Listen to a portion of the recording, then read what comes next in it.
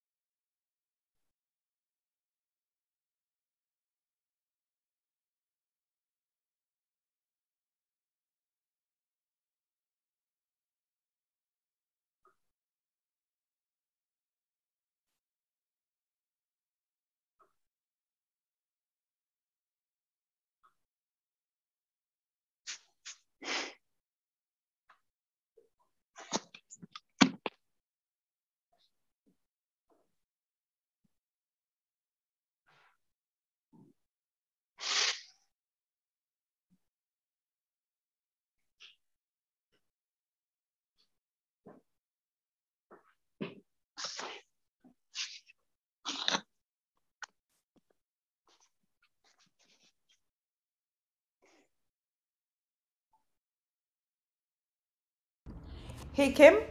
Hi, Peter. Bindu, good morning. Morning. Hey.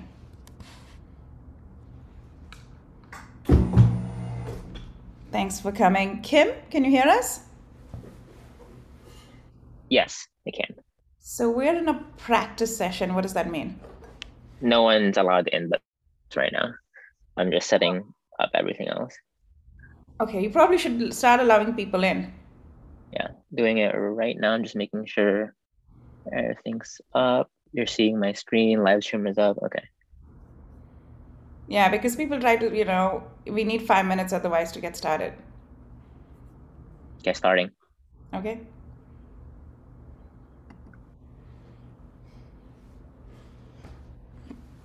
So thanks again, Peter, for joining. And, Sure thing. um, so, uh, so you, you, I know you do your podcast. So, um, when does that happen usually? Uh, which day? Because I want to, I want to refer to it. We're in season two now, and we release episodes every Wednesday. Wednesday. Okay, got it.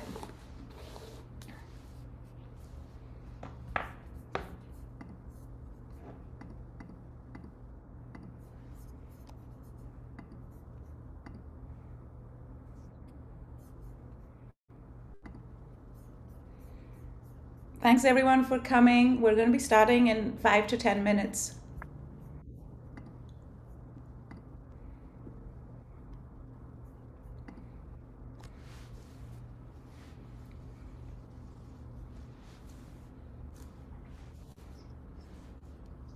We've always debated what to do at this like phase. Should we like play some music or what have you? But it, you know, there isn't anything obvious to do. Yeah, depending which time zone people are signing in from, they're all still busy grabbing their coffee and so forth. Yeah, that's true. I mean, I think in the mornings we have quite a few people from both Europe and India, and I think Oh, as the, time goes on, oh, then it's later in the day. It's later in the day, exactly.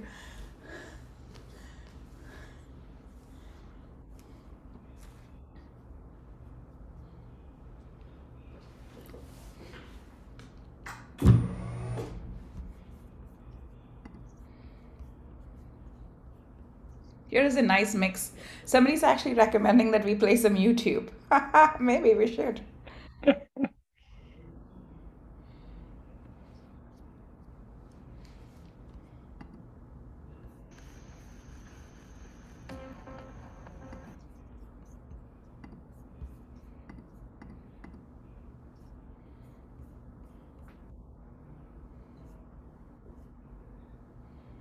opening a random link is dangerous.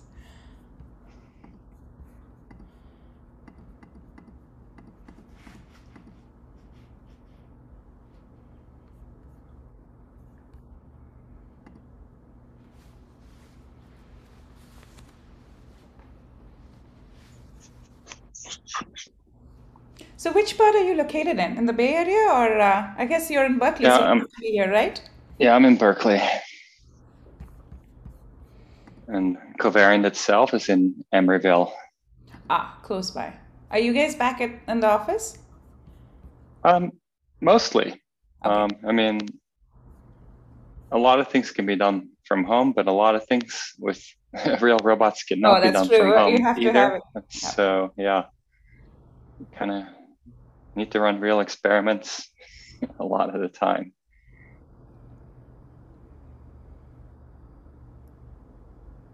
Oh, Yeah, and these industrial robots, you can't just put them in somebody's home. They're just a little too big and powerful. How big is your somebody's home. robo? Like, uh, is there a warehouse or something, or like some sort of a what is it called? A lab? Well, our office has a lot of robots. Yeah, I mean, Okay. I think at this point, close to half of our office footprint is robots. So yeah, Wow.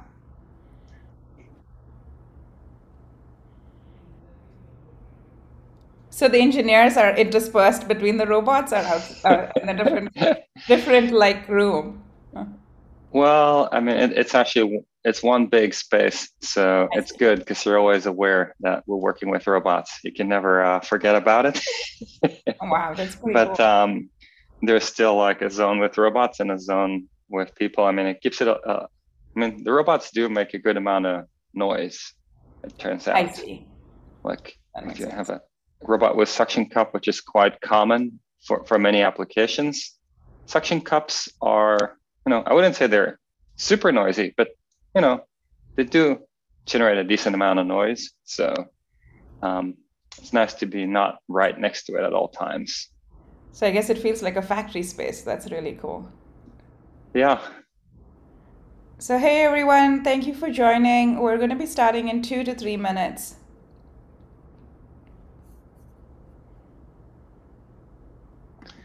About you, Bindu? What, uh, Where are are you located in San Francisco or? San Francisco, yes, and we're uh, you know we're all software. We're all fully remote at the moment, and we started as a, a, a San Francisco only company.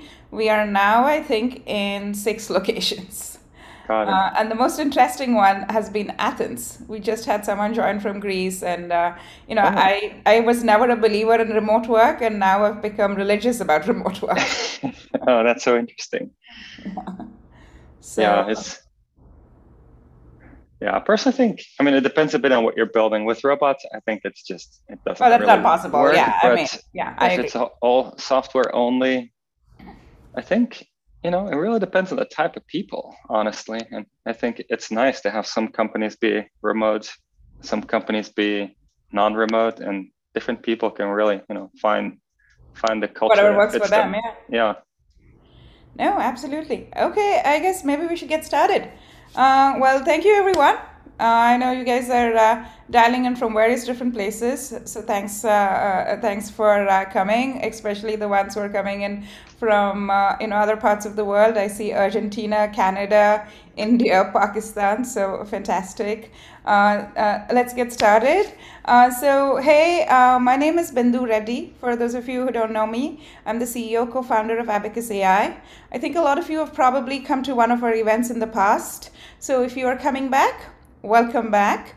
Uh, if you're new to one of our events, uh, thank you for coming. Uh, State of the Art is a conference which has a handful of sessions. Uh, we, uh, we hope to talk to kind of uh, thought leaders in the industry uh, and in academia and talk about some of the interesting kind of, uh, you know, the topic du jour um, in some ways with various different people. Today, just to kick us off, we have none other than Peter Abbeel. I'm super excited to have him. I, you know, I, I got to know about Peter Abbeel uh, the first time when I actually got interested in um, how deep learning can do multiple different uh, tasks. Uh, he, along with another person, Sergey Levine from Berkeley, as probably some of you know, wrote this seminal paper around model agnostic met- meta learning. So, uh, Peter, welcome.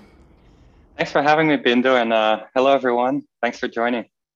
That's great. Okay, so a little bit more of an intro uh, uh, to Peter. For those of you who don't know him, he's a professor of electrical engineering and computer science at Cal. Uh, he's also uh, the director of, a, of the Berkeley Robo Learning Lab and the co director of Berkeley AI Research.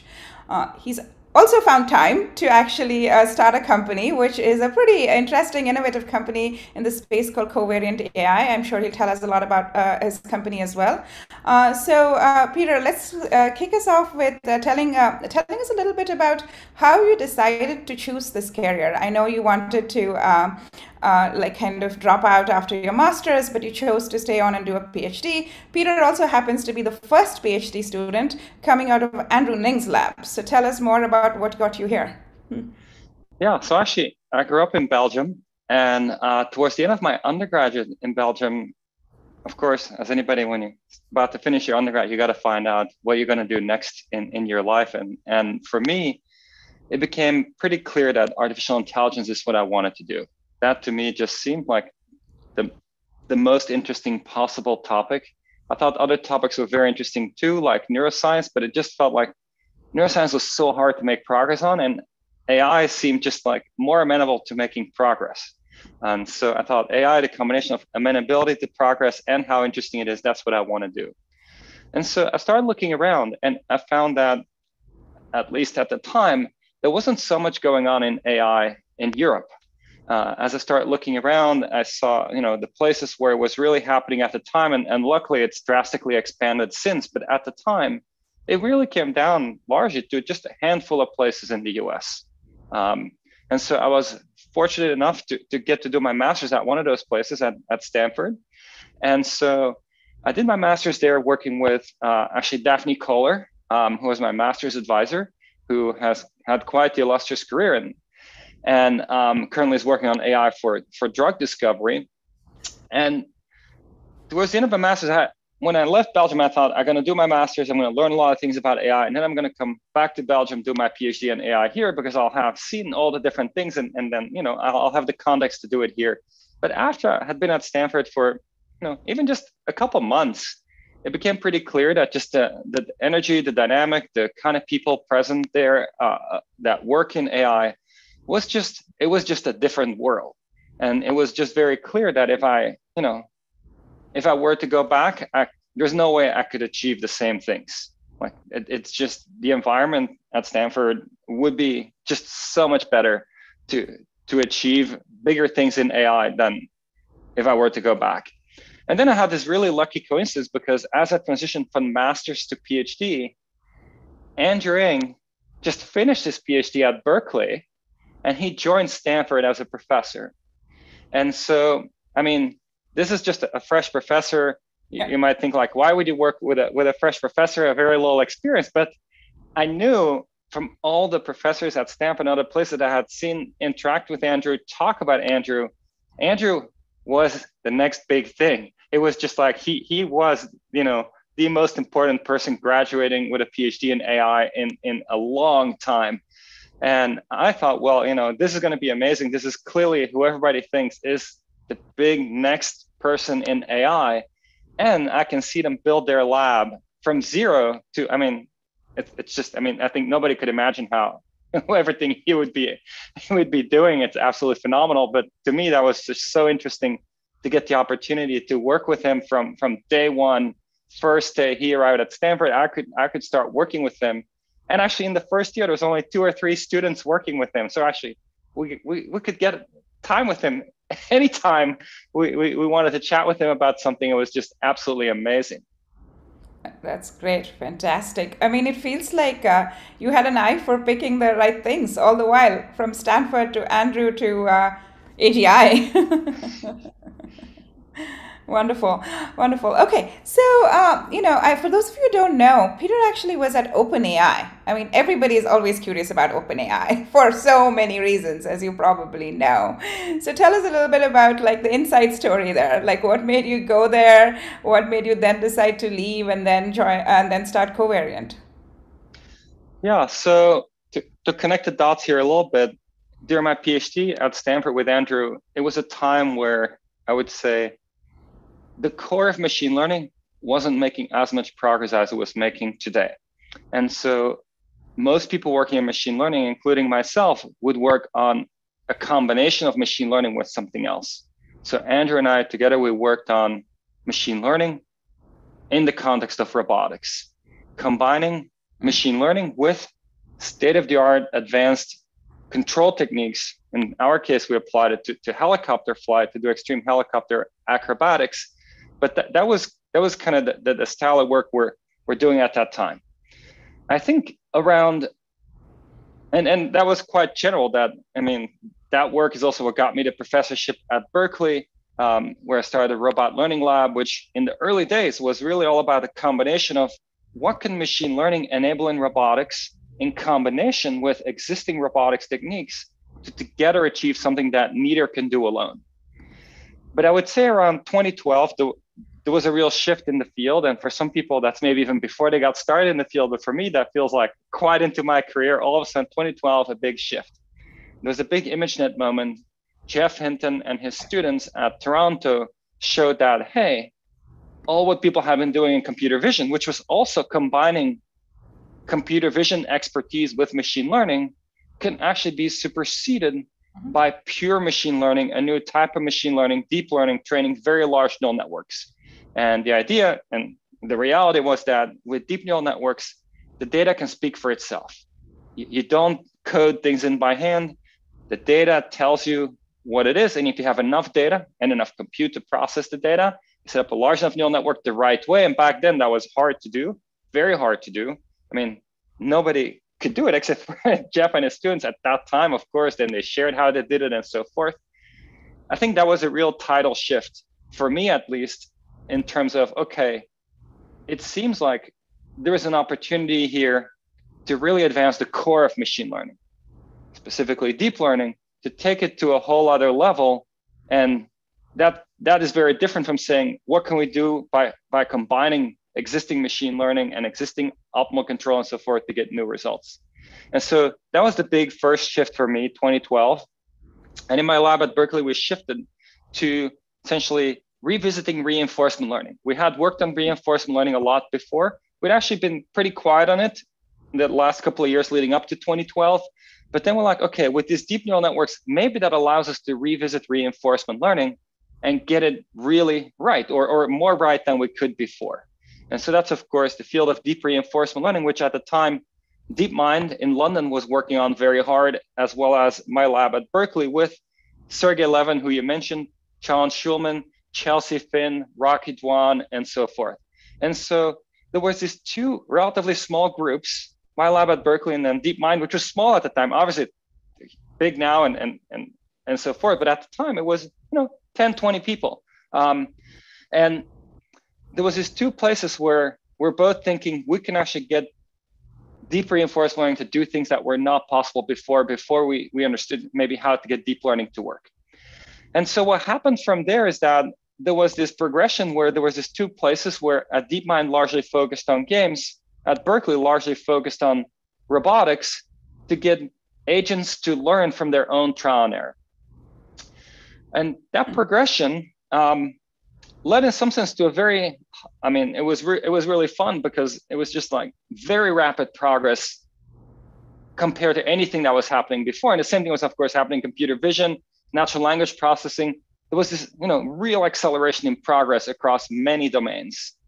And so t- to your question about openai of course so what happened is um, at the time you know deepmind had their their big results first atari in 2013 alphago in 2015 and so at the time there was some talk about you know may, maybe a new lab should be started in Silicon Valley. Google, right? say it again.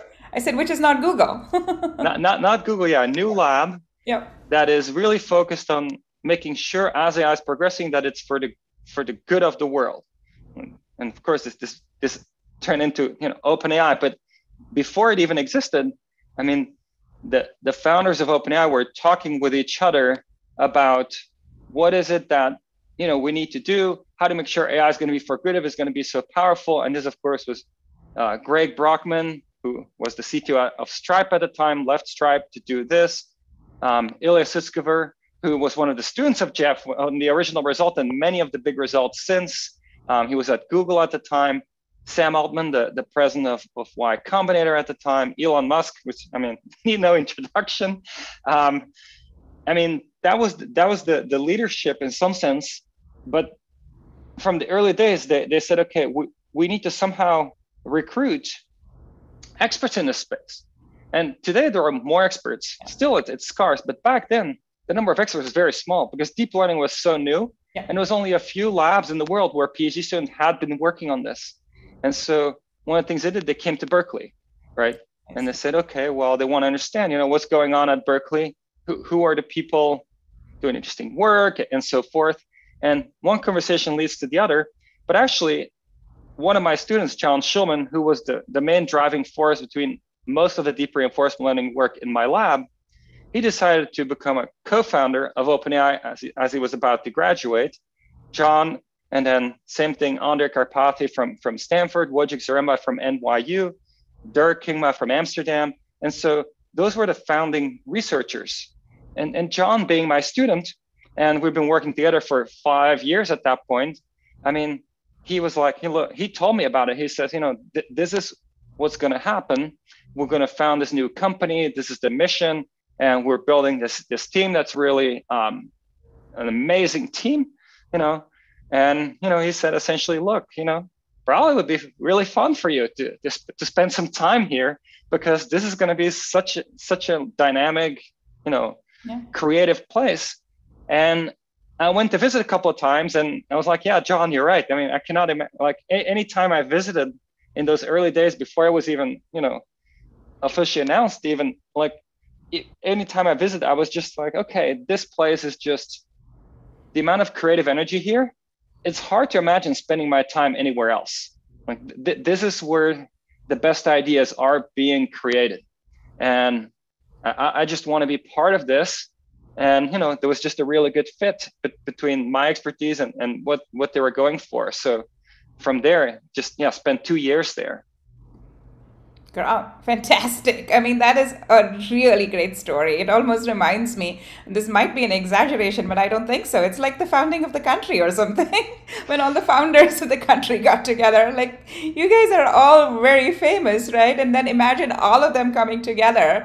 And no wonder OpenAI is what it is today. Uh, but uh, that sounds super exciting. Uh, and uh, also, it also speaks to how kind of close knit the community is, right? And how collaborative everybody is, which is fantastic. I find, you know, I find that that's one of the greatest things about uh, what has happened over the last few years has been that uh, companies even aren't like so closed. I mean everything gets published. Things are like you know things are actually much more collaborative. Uh, so tell us a little bit about you know uh, i at least have been very fascinated about the idea of uh, actually models doing multiple different things at the same time. You know we over at abacus uh, do some deep learning but all our, our models are very kind of task specific. We train a model for a particular task and then that's what uh, that's what happens today right? And everybody is thinking that okay in the future sometime there is going to be this fantastic human like ai and humans of course can do mm-hmm. multiple different things. I feel like uh, you and a couple of others uh, in the industry have been pioneers when it comes to this universal ai sort of thing. So tell us a little bit about that. What do you think uh, uh about the technology today? How far are we for, uh, from something like that? It could be that we're already there so tell us more. Hmm? yeah i mean I'm obviously fascinated by by systems that are ever smarter and smarter and smarter. And I think as you look at the spectrum, you start from, especially if you think in the context of robotics, you start from robots that are pre-programmed to do a fixed set of motions, right? Or maybe pre- pre-programmed to react to a certain sensory activation to then do a, a specific motion. From there, you can start introducing learning to have, I would say, specialist robots that know specific tasks really well that now let's say can see yeah. and that's actually i mean that's a very recent thing. And you know the vast majority of robots in the world doesn't have a camera right? They, they are just blind robots. I would say probably 99 point something percent of the robots in the world are blind. They don't they don't see. They just repeatedly do the same thing. And so it's super clever what people do to make that work but it's very limiting. I mean when you think about robots building cars you're like wow that's amazing. I mean, they do amazing things, super precise, and so forth.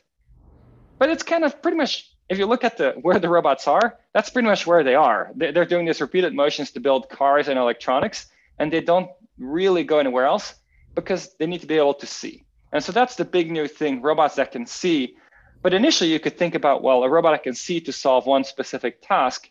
But the real future, of course, is robots that are very general and more general. AI systems are very general that can pick up on a new task quickly and acquire that new skill almost instantly. Because to me, when, when I think about when I think about AI, I, kind of think about two big things for my own motivation. One of them is just this fascination with you know humans have this thing this intelligence that is so flexible so general you know how is that possible can we understand that and can we understand it by engineering something that's that's similar and the other part of course is if we can do that the impact is is tremendous because it can come help out in, in so many different places yeah and so when i think about you know the the gold standard of, of building ai should be something really really flexible even though many applications today you know something specialist might just be the right thing to do because ultimately you're building an application to help somebody today, right? But research wise, I think the generalist version of AI is is the most exciting.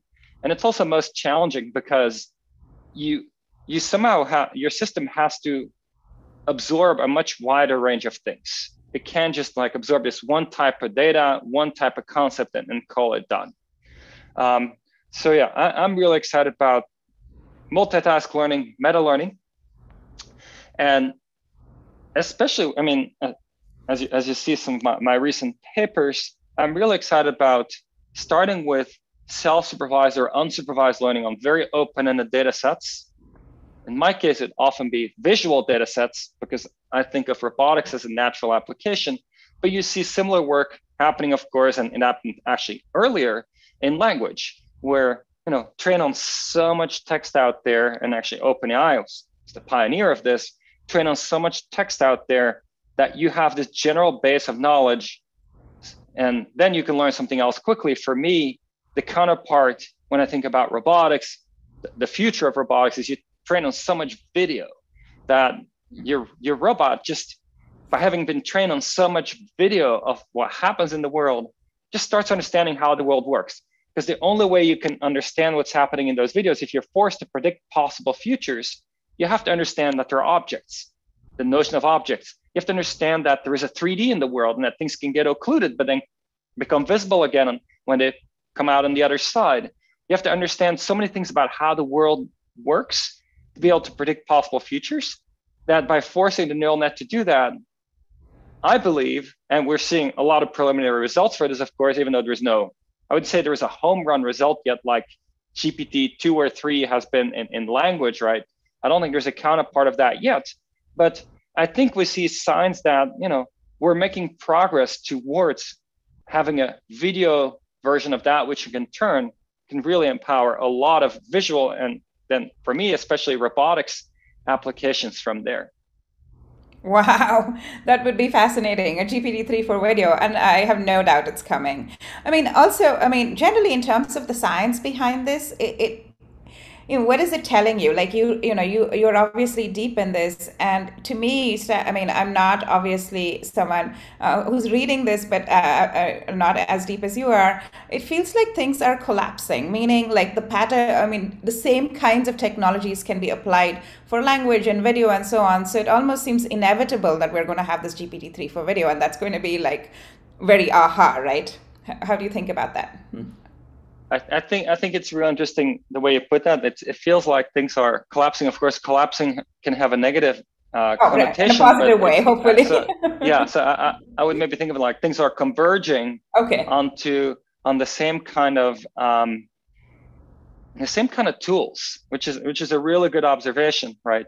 And I think deep learning really started that, right? Back yeah. in 2012, the original versions of deep learning, of course, were not as converged as we are today back then the deep learning for NLP was wildly different from the deep learning for vision and for speech, for reinforcement learning slash robotics. It was all quite different.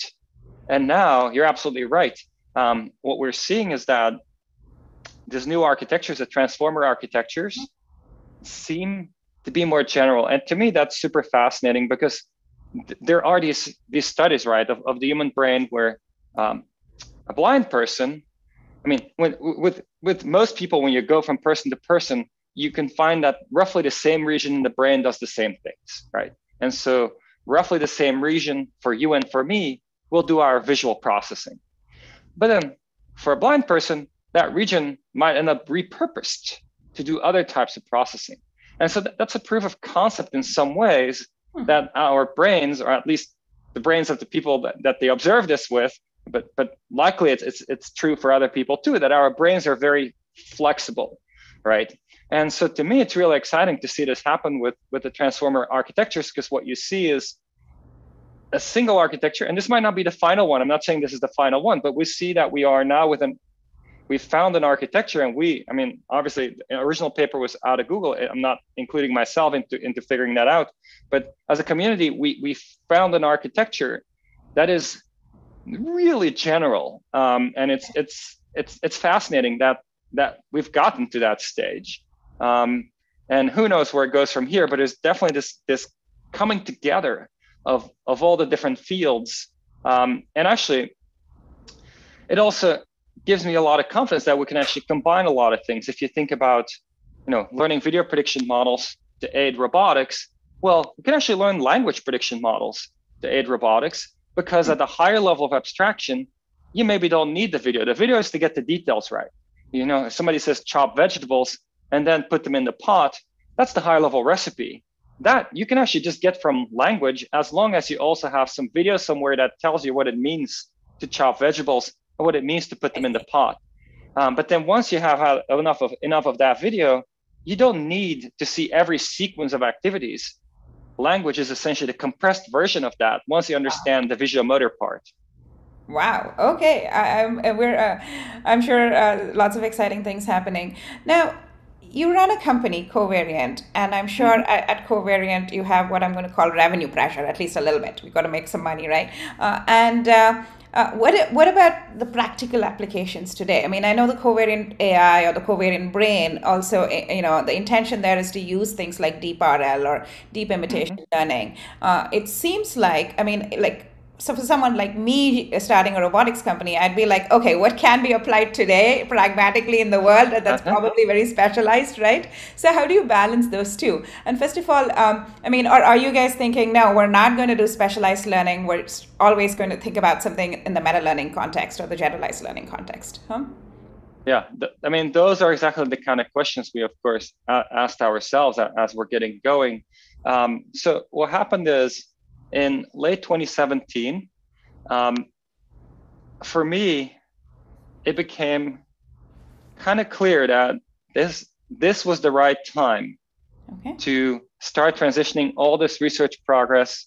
Actually, in many domains, a lot of research progress in AI could be transitioned into applications, right? And it was a really good time to think about starting companies. Of course, I, I didn't want to start multiple, but you know, it was a good time for people to think about starting companies rather than just continue to stay focused on pure research at all times. And so, to me, of course, having a long history and, and passion for robotics, to me, it was the right time to say, okay, this is the time where we can take all these recent advances in deep learning for robotics and start building applications that are completely different from the existing robotic automation that's out there. And so at the time, actually, you know, I actually sent sent a note to all my students. Um, I said, "Hey, I think it's it's the right time to you know transition some of these things. Of course, keep inventing. We can't just transition. We need to kind of keep pushing forward. But the time is right to to build on what's there and and then push with an application in mind." And turns out two of my students replied to me. Uh, Rocky Duan and Peter Chen, who ended up being uh, you know, co-founders of Covariant. Peter became the CEO and Rocky the CTO. And they said the two of us been talking about that among the two of us. Like we, we've been talking, okay, this seems the time to do it. So we're curious to compare notes. What do you think would be, you know, the, the right way to build a company? What would make this, you know, the thing that that you want to do versus what we want to do? And it turns out we were just really well aligned. Maybe no surprise because I mean, PhD students get to choose which professor they work with, and typically you work with a professor you're, mm-hmm. you know, mm-hmm. you have a natural alignment with, and so forth. But you know, they replied, and and I mean, I was super happy because I mean, they were just absolutely phenomenal PhD students. In fact, they were in parallel to doing their PhD, they had been recruited into OpenAI Peter, before he even started his PhD, and Rocky, and you know, a couple months into his PhD, back when OpenAI just had 10, 15 people, so it was just like top recruits across the world, uh, in even the early days of their PhD. So absolutely phenomenal. I'm like, wow, that one, I think it's the right time. Two, I get this opportunity to do this with these two just best possible AI researchers that I can imagine working with. We just we just got got to do this right. And so when we started thinking about the questions you're talking about, right, Bindu, it's it's like okay, building a company means thinking about bring it into the real world. And so the first question is, what does that mean to bring it into the real world? Bring robots into the world. Um, what can it do? Like if you think about a general robot, it could do anything. Like if you had a purely general robot, like you know, it could do any physical thing anywhere in the world. But we're not there. We're not there that we can deliver on that kind of capability. Nobody is obviously. I mean, yeah. If anybody were, we would see the robots all around us. They'd be, yes, you know, loading, unloading our dishwashers. They'd be cleaning our houses. They'd be maintaining our yards. They'd be doing everything for us, right? So that, that that's that's still the future. But we're thinking, okay, what can we do in in the near future to build a business around? And so the first thing we did actually, we said, let's just spend time investigating markets. And so in the first half year of Covariant, I met together with Peter Chen, two of us together met with 200 companies.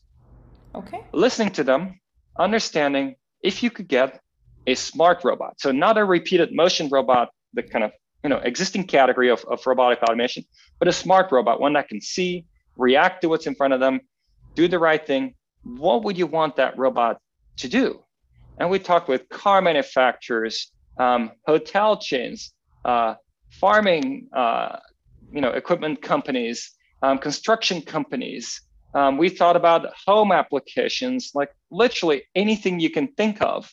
We had conversations with the relevant people, and to us, it was very clear. After those conversations, logistics and warehousing is where there's the combination of people are asking for things that we think we can deliver and they want it now not in the future it's not something where they're like we'd love to get a demo set up in our innovation lab and then we'd love to show it to our ceo and inspire our ceo and they would be like if you can deliver this today yeah. we want it now and so that was a very different feel we got now of course everybody would say you know if you can have a, a complete human level like robot you can deliver it today but they were asking for what seemed to us very advanced yet realistic things for us to deliver. And they wanted it sooner rather than later. And so to us, after three to six months of investigating the space, it was clear that's where we're going to go, at least as, as the first place. We always kept in mind once we go to one place, if we do really well, we can of course expand, but we want to focus on one area first. And then very interestingly, we were we, the first thing we thought about, okay, we we see all those facilities and e-commerce is growing so fast and that's a big driver and we're like okay we should probably do let's say returns processing that seems pretty hard nobody else going to come get anywhere close to being capable of doing that and they'd say yeah if you can do that that's great but they'd also say well actually um, if you could do pick and place that's the first thing we need and we'd be like well, pick and place you know that, it seems other companies that already exist that are, are thinking about this um, you know, wh- why another company doing that? But then something real interesting happened at GTC in 2018. So four years ago, GTC was is happening this week actually. NVIDIA's GTC. Knapp was there. Knapp is a big warehouse automation company. They provide conveyors, robots that do the transport of things in the warehouse and storage and retrieval and optimized storage and, and so forth, right?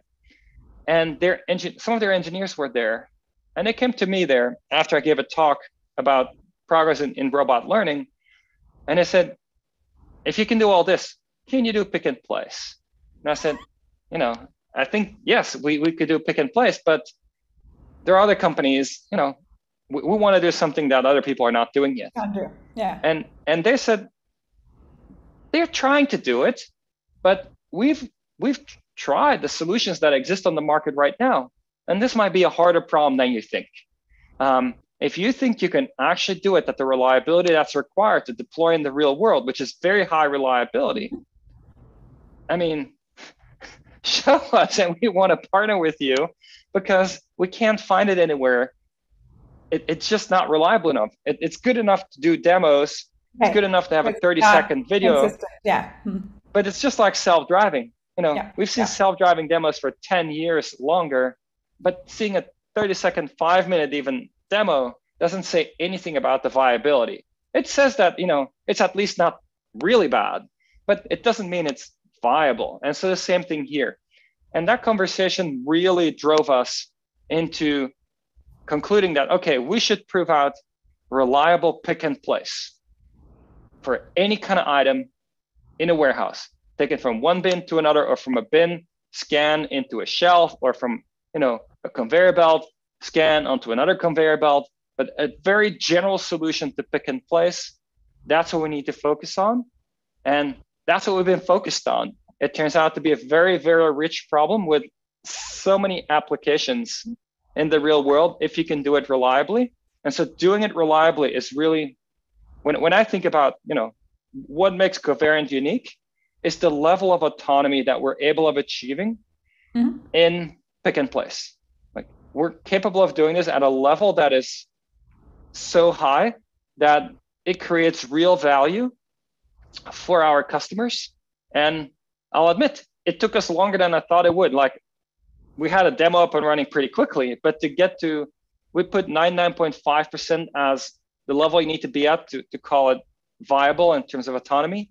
To get there, I mean, it took us a couple years to get to that level. We had to do a lot of internal research that we don't share the details about because it's our secret sauce that we know how to do this better than anybody else.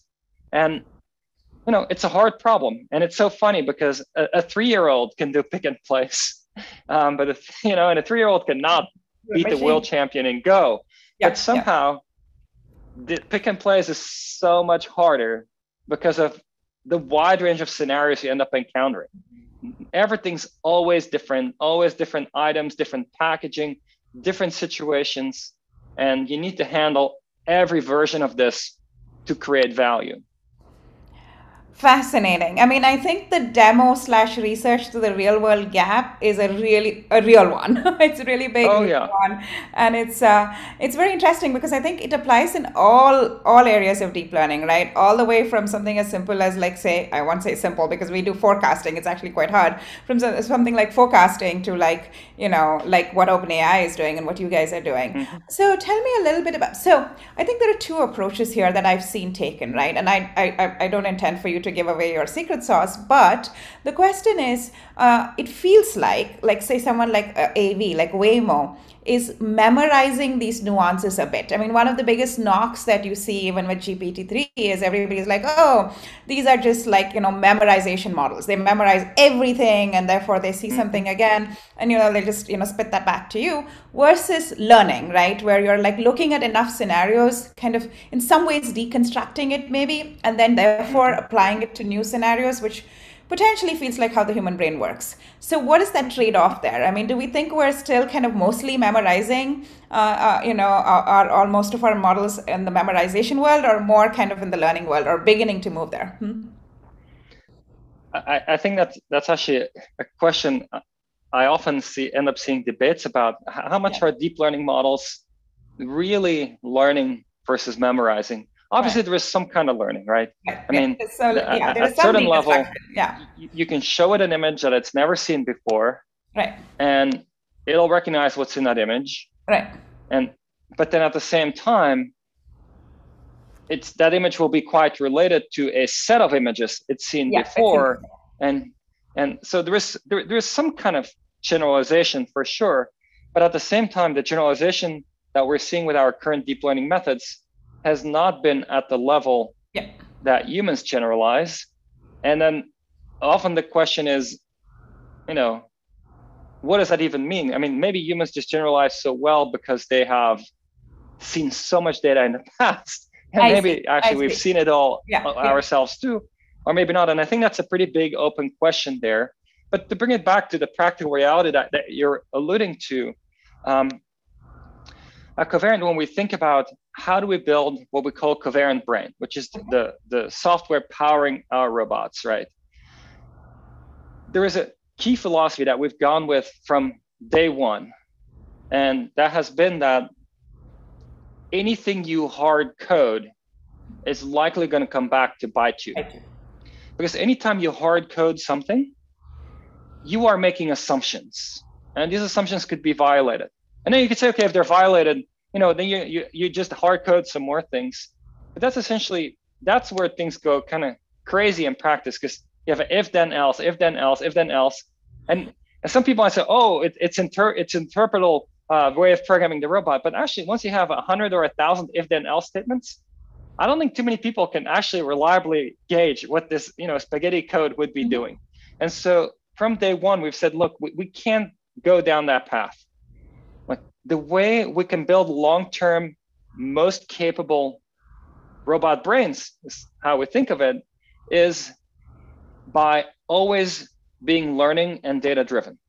If something doesn't work today, we have to be able to fix it by collecting more data of that type, training our covariant brain, which is large neural networks, mm-hmm. um, to absorb what's in that data. And now some people would, of course, say, hey, aren't you, why, why are you throwing things out? Could, couldn't you, for some things, you, you just know what it's supposed to be? Well, if you know what it's supposed to be and you could hard code it, you can do use that as a data generation engine, right? right. You can use the data and generation according to the process that yes. you know, and then learn generate all that data. You yeah. learn from that data, you internalize that concept. But if then ever there's a violation of that concept, because pretty much, I mean, it's like you know, the good old school AI things, right? Like birds can fly, right? But then you run into a bird that can't fly. What does that mean? I mean, uh, you know, is a bird that lost their wings still a bird? Is a penguin a bird or not? I mean, it's it's just like it's it's it gets complicated very very quickly, right? But if you're data driven, you just have an ex, you have just a new type of data. You add it to your existing data, and your model internalizes it. So that's one big part of our philosophy. Got we it. need to be able Got to improve it. things with data and learning. A related part is that the hard thing with building AI for the physical world is the long tail. It's the fact that there is so much, so many things that don't occur very often, but together there's a lot of it. It's a big mass. It's a heavy tail, not just long, but it's also heavy. There's a lot of probability mass in it. Mm-hmm. And so what that means is that we believe strongly, and we found this so far to be true, and I think it, I'm pretty confident it's going to be true forever, pretty much. But that you want to train a single model for everything you do. You don't want to have a separate covariant brain for picking groceries and a separate covariant brain for picking electrical supplies and a separate covariant brain for picking maybe apparel, yet another covariant brain for picking, you know, health and beauty items and so forth. You want a single brain. And in terms of things that a lot of people more naturally think about, let's say self-driving cars, it's the same thing in my mind as saying you don't want a separate system for highway driving versus city driving, city driving. Um, okay. because there's actually shared things. And by making it separate, you're splitting your data, you're cutting your ability to generalize drastically. It's by sharing all that, by having a single brain that has to be able to do everything. That sharing is actually going back to what you, what you asked about initially, Bindu. I think that sharing is what leads to the ability to generalize better. Yeah. And so that's been our philosophy from day one. We, we, we still run with that. We'll keep running with that. Yeah. Um, it's a hard now, philosophy to follow, but the right one, right? I mean, that's the that's the mm-hmm. trade-off. In the short run, it feels like let's just split it. It's easier to build two models good at two different tasks, but in the long yeah. run, this is mm-hmm. the right way to go. Fat, and this fantastic. goes back to your very initial question about multitask, right? Yeah. Um, this is multitask in some way, but we're saying actually we should consider it a single task. Think we shouldn't yeah. think of it as multitask, even though naturally you could maybe say it's multitask but we say this is single task. If you want to do it maximally well, even if all you care about is, let's say, health and beauty products, by also training your brain on all these other things, you become better at health and beauty products also. Fantastic. You know, I love your uh, tenets, the philosophies, uh, basically saying, hey, while we want to build for one particular, like, problem or solution, we're building that in a very generalized way. We're not like kind of hard coding things. Uh, I totally agree with. I think across AI, all the companies, uh, of course, ours is uh, you know I would say a little bit more kind of real worldy, meaning we're tackling mm-hmm. tackling simpler problems. Having said that, though, the same tenet applies to us as well. Like don't don't do something which is very hard coded for a particular customer. Like do it you know right. do it in a general way. I think that that philosophy actually builds kind of like uh, inherent intelligence, which is valuable for humanity humanity, right? Just much more and, and sometimes bigger than the company itself. I think that's uh, absolutely wonderful, uh, fascinating. Tell us a little bit. I don't know how much time we have, but I'm really curious about imitation learning. So maybe a minute about that. Deep RL versus imitation. You think imitation learning hasn't? I mean, it seems like it's not as buzzy, for the lack of a better word, than RL is. Um, what do you think about the future of imitation learning? Yeah, when I think about RL and imitation learning, imitation learning I think is is is just as important uh, okay. as reinforcement learning. Absolutely, if we think about the practical, um, I think the reason reinforcement learning gets more attention and and more buzz is because it's it's more mind-boggling, right? In reinforcement learning, the agent learns from scratch. Initially, it's just struggling, and then over time, it figures things out on its own, and it's it's just beautiful to watch that in action. You know, all of a sudden the robot can walk or can get up, and and and so forth, right? Um, but the truth is, reinforcement learning is is not very sample efficient. Um, I mean, the upside is that the robot or agent collect their own samples, but the downside is that it tends to require a lot of samples, right? So the beauty of imitation learning is that very often by giving a few examples, a system can directly learn to imitate. And this could be in the context of robotics. This could be in the context of other things like maybe a support agent that's having a dialogue and you know has seen past dialogues and matches the, the behavior in those past dialogues. And so one of the reasons I think you don't see as much about imitation learning in the research world is because I would say that it's, I mean, I wouldn't say it's an easy thing, but it has less complexity than reinforcement learning.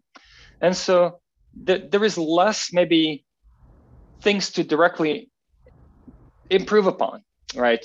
So with reinforcement learning, there is should you ex- explore? Should you exploit? What's the best way to explore? Um, how do you internalize all this information? Are you going to build an internal model of the world? Or are you just going to, you know, do model free? There's so many choices in reinforcement learning. Of course, there, there's a lot of connections between all the different algorithms. There's so many choices, and it's still so sample inefficient that it feels like there's so much room for improvement, right? On the other hand, in imitation learning, when I look at it, the methods are quite similar um, hmm. over the last 10 years um, because you're essentially doing supervised learning with a little bit of extra typically because you need to do well on a rollout, not just on a, on a one-off decision. But so there's less room for maybe innovation is maybe the way to think of it. Okay. But there's a shift in that. And so the way I see the shift is one shift is how well can imitation learning do when you have massive pre-training? I think that's a really interesting question that we see more attention to now. You pre-train a lot of video, mm-hmm. then you imitation learn on a few examples. What's the effect of the pre-training? And then related, can you find representations that can handle multitask imitation learning or that can do few shot imitation, quickly adapt to new demonstrations? So there are a few research directions, but in some sense, all of these also exist in reinforcement learning. Also in reinforcement learning, you can say, how much, what is the effect of pre-training? What is multitask reinforcement learning? What is few shot reinforcement learning? And the complexity is higher in RL. And so therefore that's challenging practice, and people are gravitating. Yeah, yeah, I think in practice, you, you might see a lot more imitation learning than reinforcement learning, at least today. But in research, okay. you're going to see more reinforcement learning research. Okay, sounds great. I mean, we're almost on time. Uh, I guess there were a few questions. I, I, think we can run over a little bit. Uh, I guess one of the questions we have was uh, uh use any. Uh, okay, do do your robots use any? I mean, this is an easy one. Do your robots use any tactical feedback from an item in addition to video stream? Probably yes, but yeah.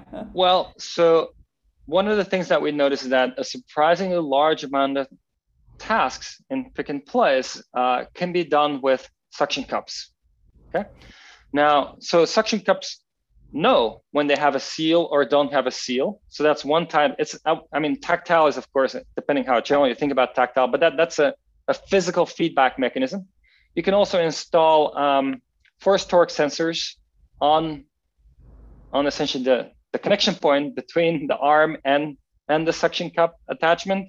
And so there is feedback like that. There's no we don't use tactile feedback the way you might think of like human fingers tactile feedback, that kind of level of sensation. Um, that's not something that actually exists as a product. I mean, if it were to exist as a product, we'd probably be looking at it. But that that's a really important current research direction to build really good tactile sensing. And I hope it'll come into existence. And I think it'll open up a lot of new opportunities when it does. Fantastic. Okay, one last question. What techniques would you recommend for debugging introspection for RL models? deep learning models are always hard to debug. But anyway, for example, if the model works very well 98% of the time, but then performs terribly in 2% of the time, how do you find what's wrong? Yeah, um, I think, you know, it, it remains tricky, especially for RL models to, to, to debug them. Um, the, there is actually a a really nice tutorial that my former student and then co-founder of OpenAI, John Schulman, put up a while back, and it's called the nuts and bolts of deep reinforcement learning. And he gave that talk a few times. I think once as a at NeurIPS, once at a um, um, a deep learning um, day that I co-organized with Andrew Ng at the time. Um, and I would recommend checking that out because honestly, there, there's a lot. There's a lot to it. Uh, it, it I think the the 45 minute talk is actually the right answer right. to it. So check yeah, try to find John Schulman nuts and bolts of deep reinforcement learning. Uh, and if you somehow can't find it, drop me an email and I can I can see if I can help you dig it out. Well, wonderful. Thank you so much. That was a really fascinating talk. Thanks for coming to our, uh, uh, you know, a little virtual event, and hopefully we'll see you again. Thank you so much, Peter. Yeah, thank you Have for hosting, Bindu. For everybody who's online live right now, I see there are more questions. I know this the, yes. the event will roll over to next thing, but I'm happy to stick around and type some answers to the questions Fantastic. that are in the Q and A. So I'll, I'll, I'll go do that right now. So yeah, the yeah, your your so question much. will be answered yes, uh, there are quite a few questions. I figured we didn't have time for it, but thank you. Bye. Thank you, Bindu.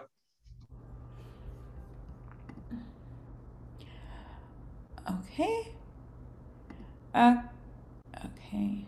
Uh, kicking off our next session is none other than, uh, uh, I don't know if Colin, you want to introduce Ganesh. I mean, I will stay, uh, say that uh, uh, I'm an IITB alumnus, so I'm very, very proud to have Ganesh here, but Colin, go for it. Hi. Yes, uh, I'm very excited to introduce our next speaker, Ganesh Ramakrishnan. He's currently an Institute Chair Professor at the Department of Computer Science and Engineering at IIT Bombay. His areas of research include human and human assisted AI, uh, AI in resource constrained environments, learning with symbolic encoding and domain knowledge in machine learning, and, and other areas of uh, efficiency in machine learning. He's uh, Ganesh has received awards for his research, such as the uh, IBM Faculty Awards and other awards from Qualcomm, Microsoft, as well as the IIT Bombay Impactful Research Award. And uh, at Abacus, we've been very lucky to collaborate with Ganesh recently. And so I'm very excited to hear this talk. So Ganesh, please take it away. Um, thanks, Colin, for a very generous introduction. Um, thanks for hosting this talk. I'm just going to screen share. Um, can you please confirm that you're able to see my screen? Yes, we can see your screen. Thanks. So uh, I'll give a brief overview of a platform that uh, myself and my colleague uh, Rishabh Iyer at the University of Texas at Dallas have been building so with a whole bunch of our students, both at IIT Bombay and at UT Dallas. Um, the idea behind this platform is to make it possible for people in resource constrained environments to be able to build models both in data efficient and compute efficient manner. So the talk uh, is meant to present our open source toolkits and you'd really like to encourage the audience here, the community at large, build upon our toolkits in two ways. Either you can integrate new algorithms or we'll be very happy if you could use tool, these toolkits in your applications.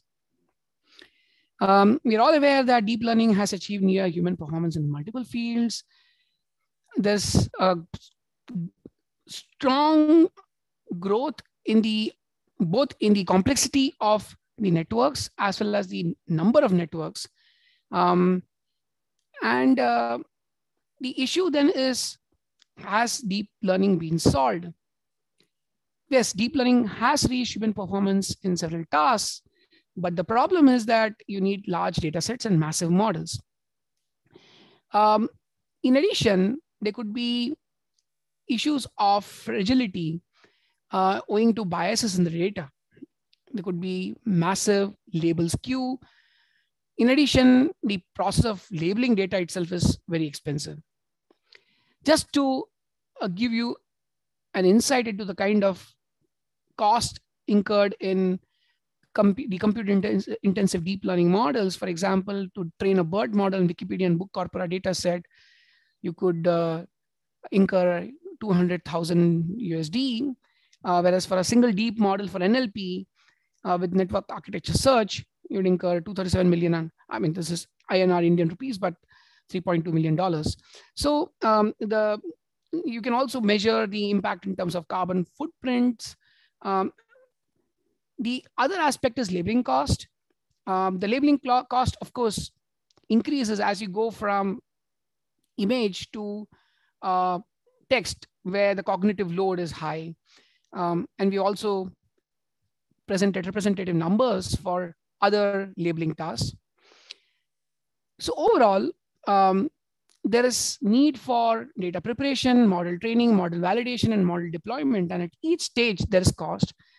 Could we be both data and compute efficient uh, across this pipeline? Um, the constraints are that you would you like to reduce your labeling or be if efficient and effective in your labeling and uh, also be robust in the process to distribution shift. A common framework that we would exploit through all our modules is subset selection. Um, you have a ground set V. This is the ground set V of all the data points. And what we seek is a subset of points that's as good as the ground set with respect to an information function f. Now, what kind of subset selection are we after? So we could look at selecting subset of a labeled data set so that we could reduce the training time. And this is typically what happens when we have a cold start setting where we don't have uh, I, am I'm sorry, when you have a warm start setting, when you have lots of label data, but you also have the cold start setting where plenty of unlabeled data, very little labeled data, and in such setting, you would like to reduce the labeling cost. There are other settings like, um, you know, you would like to select subset of model parameters to reduce inference time and so on and so forth. There's been a lot of research in this direction over the years, of course. And here's a bunch of keywords representative of the approaches used in this area, greedy, representation learning, meta learning, semi-supervised learning, streaming, submodular, and so on. But uh, the issue is that there's been a lack of good toolkits and benchmarks in this space. So what we're going to present is uh, Decile, Data Efficient Machine Learning, uh, which has several modules I'll begin with submodlib, which is a, at the heart of all the other modules. Submodlib is um, a library for summarizing massive data sets using submodular optimization. What is um? Uh, what's a submodular function? Here's a simple representative example. Consider f, the function, which is a number of distinct colors of balls in an urn. On the left-hand side, you have the set A, and on the right hand side, you have a set B, a superset of A. You have a ball, which is V, the blue colored ball. The marginal gains of adding the blue colored ball to the smaller set A is greater than equal to the marginal gain of adding the same ball to the larger set. Such a function is a submodular set, a submodular function, and submodular functions exhibit this diminishing returns property. Um, what we have in submodlib is extensive documentation and several submodular functions and their maximizations all implemented. Um, installation is as simple as a pip install described here. Um, what are the different classes of submodular functions? Broadly, three, representation, diversity, and coverage. But you could compose these with queries, queries that seek information or queries that try to hide information. so in, this first case, you see the query person seeking information on person as a representative, diverse, or high coverage summary. And uh, therefore, you'd like to ensure that the selected subset has people, but then um, they must have people in different poses or different people. On the other hand, the second case, like to hide the person information. We'll see how both query and privacy could be slapped on each of these classes of submodular functions. So let's look at the broad um, outline of instantiations of set functions. Representation functions include facility location, graph cut. Diversity includes dispersion functions, de de determinantal point processes. Coverage functions include set cover, probabilistic set cover, and feature based. Importance functions are largely modular functions. They're basically submodular, and uh, the negative is also submodular. The information functions, uh, which I alluded to in the previous slide through the example of queries and privacy preserving set, these are encapsulated in mutual information and conditional gain. And these could be used in conjunction with all the others. Um, there are a bunch of others which we won't talk about today, discounted cost functions and complexity functions. Some of these become more interesting when you're looking at submodular minimization. So um, we'll let's next look at information functions uh, which we would invoke once we outline examples of each of these three classes. Information functions have traditionally uh, been very popular through entropy. We are aware of discrete entropy, the, the joint entropy of variables indexed by S in this case. And this discrete entropy turns out to be a submodular function. But what you see here is the conditional gain the gain on adding E to A. Um, because discrete entropy is submodular, obviously there's diminishing returns. Um, now, this conditional gain itself has some interesting properties. That's what is highlighted here in yellow. But you could also have mutual information. Um, now, it turns out that mutual information and information and conditional gain could be composed with any other submodular function in place of entropy. So this is a more generic uh, definition of submodular mutual information. Um, IFA comma Q is the function applied to A plus the function applied to Q minus the function applied to A union Q. And basically it's measuring how relevant is this set A to the query Q.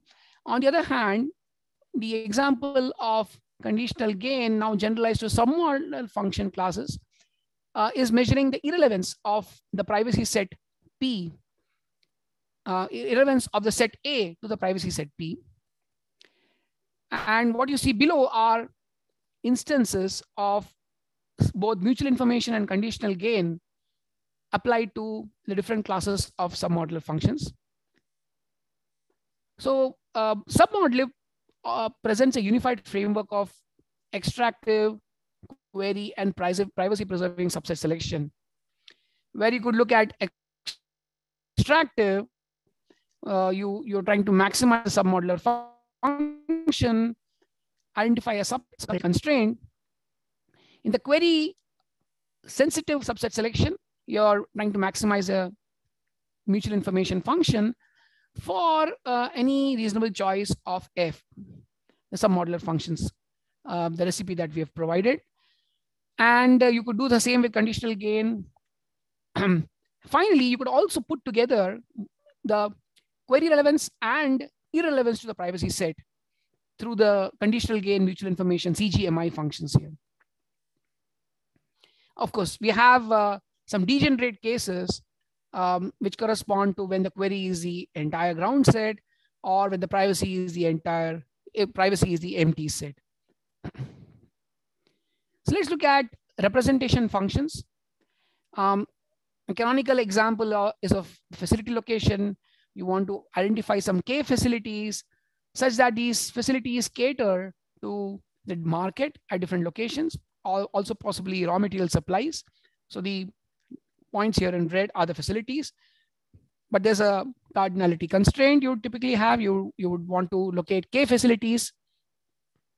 Now, underlying the choice of these facilities is the similarity, similarity between any two pair of points I and K. And the facility location problem is to identify for every point I in the ground set, the most similar facility K um, and overall, you like to say maximize the facility location function, identify a subset X that maximizes the facility location function. You could likewise have a saturated coverage uh, where you, you're looking at coverage, which we'll talk about a little later, but then you are also clipping the value based on an alpha i or graph cut. We're looking at a combination of similarity between the subset and the ground set while discounting for self-similarity within the selected subset. Um, and what would representation functions do? They would try, try and pick representative samples from each of these clusters while possibly leaving out outliers because they're not really worth representing. So effectively, these would pick centroids. Now, what happens if you apply information functions to facility location? So you see here, um, the FA is a max. And when you now look, when you put in the conditional gain on B, you're basically now discounting for the max similarity of uh, uh, every element in B from the, the, max similarity of every element in A. Okay. So on the other hand, uh, if you look at mutual information between A and B, you're looking at the min of those max similarities. Um, the next class is coverage functions, where you're trying to cover a bunch of concepts, maybe keywords here, cat, dog, bird, man, beach, and you'd like to identify a subset of documents that cover these concepts. Um, or you might be trying to cover objects, mail, car, greenery, etc., and in that process, identify a relevant subset of images. So the basic idea is to select instances which cover all the concepts.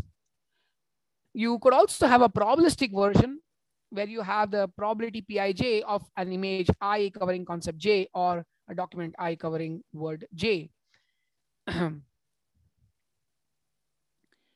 yeah, this allows for probability of covering concepts. Um, and you could again have mutual information variance um, as well as conditional um, gain variance for weighted set cover um, and probabilistic set cover.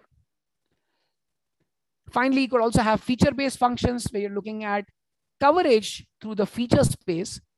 Um, and typically you would use a concave or modular function. So the total contribution of feature U in the set of images S could be a modular function and concave or modular gives you submodular functions. Um, and you could also have now a composition of these uh, through deep submodular functions. Uh, final class is the diversity class. We are all uh, aware of how you would capture the volume of the points through the determinant? The, volume of the um, polyhedron that uh, en encapsulates points through a determinant. Now, in the case of DPP, you're looking at similarity between pairs of points. The log det LS, the, the submatrix spanning the subset of points uh, through the similarity kernel. This turns out to be a submodular function. Uh, there are, of course, other diversity functions as well. Uh, you not expect all diversity functions to be monotone in general because as you keep adding points, you would not necessarily you know expect the function to itself increase. But uh, yeah, several of them are submodular or exhibit submodularity like properties. So the idea here is picking items as different as possible. And, and you notice that in this process, the outlier has been picked, which was left out when you when we consider the facility location or the uh, the representation class of functions. Uh, you could likewise also do uh, you know dispersion min, dispersion sum, dispersion min sum. Sum and dispersion min sum uh, min are not submodular. Dispersion min sum is. Um, so as a summary, we have a bunch of submodular functions. Uh, several of them are monotone. As I mentioned, the log det is not a monotone submodular function. Likewise, graph cut and mutual information aren't. Uh, but there are also non-submodular functions such as disparity min and disparity sum. Um, now, for you could slap the info, mutual information conditional gain and uh, combination of these on all of these functions. This is uh, a table not necessarily meant to be parsed in such a short duration, but uh, sufficient to highlight that all of these have been implemented in submodlib, uh, rather the maximization of these functions. So what are we talking about in terms of maximization? We'll get to that now. Um, the master optimization problem is that you want to maximize this function f, which could be either uh, the submodular function, mi function, cg, or cg-mi function, subject to some cardinality constraint. Um, let's uh, get some glimpses into variants of this master optimization problem. the most intuitive algorithm is a greedy algorithm. And uh, the idea here is just pick the next element E, which leads to the maximum gain. Um, how good is a set Sk composed of the first k greedily selected elements? It turns out that it's not that bad at all. Um, this constraint, of course, is the cardinality constraint. Um, and it turns out that SK has an approximation. This, this entire algorithm has an approximation guarantee. In practice, of course, it's very good. So you can see that uh, for a problem of that of sensor placement, um, you're trying to place sensors to cover field, um, the greedy choice is almost as good as optimal. In theory, uh, it turns out that the function evaluated on the greedily selected set is at least 1 minus 1 over, 1 over e times the function evaluated on the optimal set S star. And this is uh, quite encouraging Though, of course, as I said in practice, uh, the results, uh, the, the, greedy algorithm often does as well as the um, uh, the brute force. However, it turns out that no polynomial time algorithm can do better than this in the worst case. So this is pretty reassuring. Um, you could also have budget constraints instead of giving the equal weightage to every element. You could have a CE, and uh, in which case you do uh, a greedy as well as a modified greedy, where you are accounting for the cost of the element while looking at the conditional gain. Uh, and it turns out that it has half the previous approximation factor. Um, but there have been, of course, uh, several other investigations into this space. Um, summarily, the greedy algorithm framework uh, could look at uh, cardinality or a weighted cardinality or a weighted cost constraint. And you could look at maximizing either monotone submodular functions, um, in which case you have you know, the, the, encouraging guarantees we talked about, or in many cases, submodular functions without monotonicity. And this is the overall greedy algorithm. Uh, it turns out that submodlib makes this entire space, um, which could be somewhat uh, intimidating to a newcomer. Um, it makes some submodlib basically makes it very easy. Just a few lines of code here. You see, um, you could use facility location to identify this diverse set of points in purple here. Um, you could use FLMI where you have this query here in green. Uh, and that has influenced the choice of the subset of the same cardinality. And you can see that the green has drawn a couple of points close, a couple of the selected points close to the cluster where it belongs. On the other hand, you could also have a conditional gain. Uh, all you need to do is just specify this red point as the conditioning query uh, conditioning privacy set. And suddenly you find that the points are uh, selected points are all pushed away. So very easy to visualize as well. Um, now we look at couple of other modules in Decile where we have leveraged submodlib uh, or built significantly on top in a very non-trivial manner. The simplest extension is trust, um, targeted subset selection to mine rare events, personalization, fairness, and I've also kind of uh, divided the remaining part into the cold start, the, that is trust and spear, and subsequently the warm start setting. The cold start setting, we, we basically are struggling with label data. Uh, so we don't have too much label data. So what can you do in the case of uh, less label data? So imagine that you have a large unlabeled pool and you, you know your target domain. For example, you might be looking at anomalous behavior, your target is all nighttime images, whereas your unlabeled data set has day and night both. So the uh, use of mutual information based functions could help you identify a targeted subset that is aligned close with the target that should be labeled in order to do well on the target domain. Um, and this is enabled through trust again um, extens extensively documented and very easy to play around with. Um, there are many use cases. For example, if you may have, um, you may want to tune your model based on the behavior of the confusion matrix, where you would like to identify target classes through the diagonal elements, or you'd like to condition or guard yourselves against the confusing classes based on the off diagonal elements. So um, you can do performance-based data selection. Um, as I already mentioned, you could do rare class enhancement, selecting and labeling rare events to improve the model performance, like in the case of the nighttime images. Or you might do targeted selection for personalization, such as handwriting, personalization. Yeah, more about that in our uh, uh, recent paper at AAAI 2022. But uh, all this is available in Trust. And yes, trust uh, not only has the submodular functions and the MI functions, but also combinations of MI and CG functions. Um, and yes, there are there are some uh, representative results on how uh, Trust helps improve performance on rare class and performance-based selection. In the interest of time, I think we're already running very late.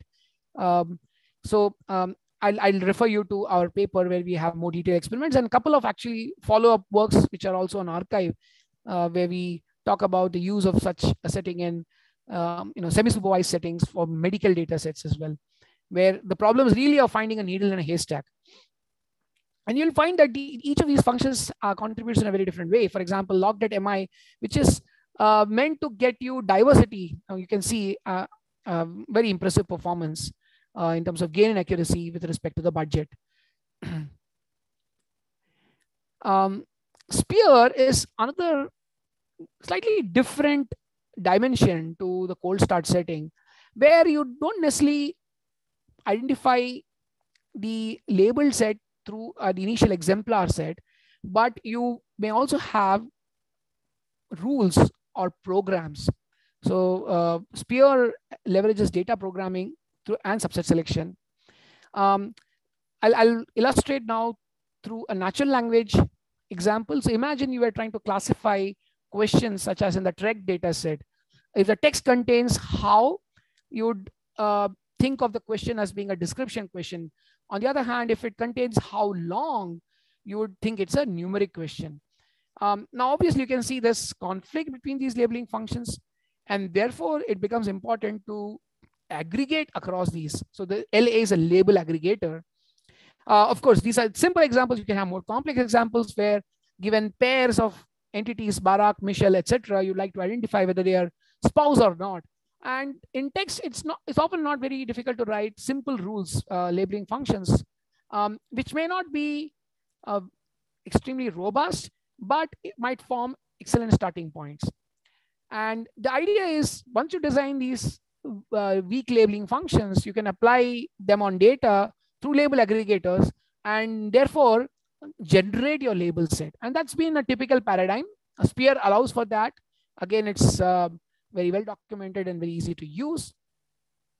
You could also do this through images. In the case of images, you could, um, you know, in the case of Google Album, you are organizing uh, the photos into into folders, and uh, um, you, you, can add photos to an album X when the photo contains a particular person name, and then um, you could therefore identify other images which look similar to that initial image, which could act as an exemplar.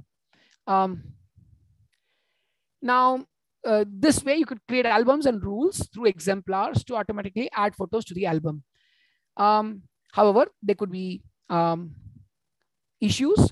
For example, you get incorrect classification. This image uh, is of the wrong person being tagged as maybe a Sundar. The scene turns out to be uh, one folder.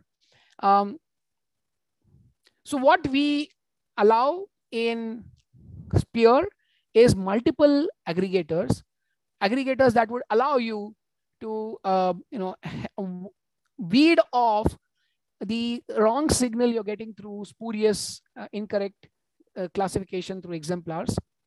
Um, we use, uh, uh, we've implemented some of the ag aggregators from Snorkel from Stanford, but we have our own aggregators um, beginning with Cage from AAAI 20, where, where we bring in priors associated with the labeling functions. So when the, when the person writes a labeling function, uh, often the, uh, the, the designer of the labeling functions is able to uh, associate some confidence, at the least saying that the labeling function one um, is more plausible than labeling function two, and which is more plausible than labeling function three.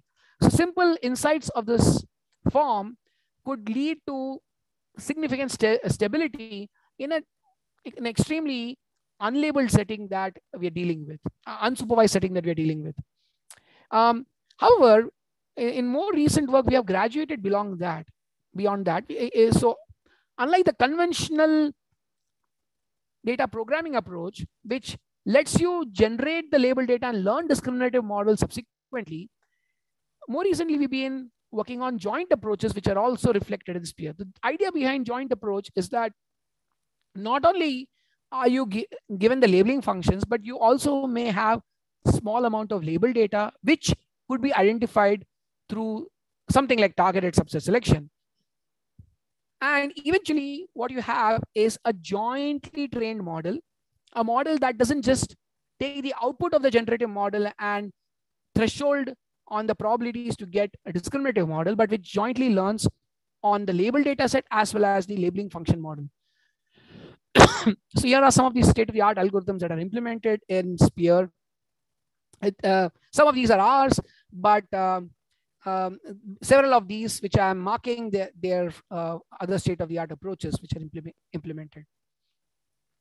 And the basic idea is semi-supervised data programming, where you have a feature model, um, could be any deep feature for a feature, it could be the BERT uh, based representation, which operates in conjunction with the labeling function model, which is marked in blue out here.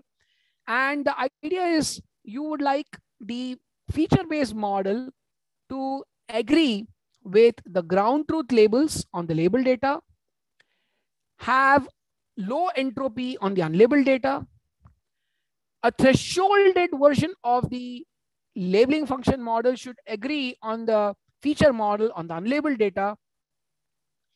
Um, and you may not want to threshold, but rather make the probabilities of the labeling function model and the feature model agree on both the unlabeled and labeled data. Now, it's not necessary to have all these components.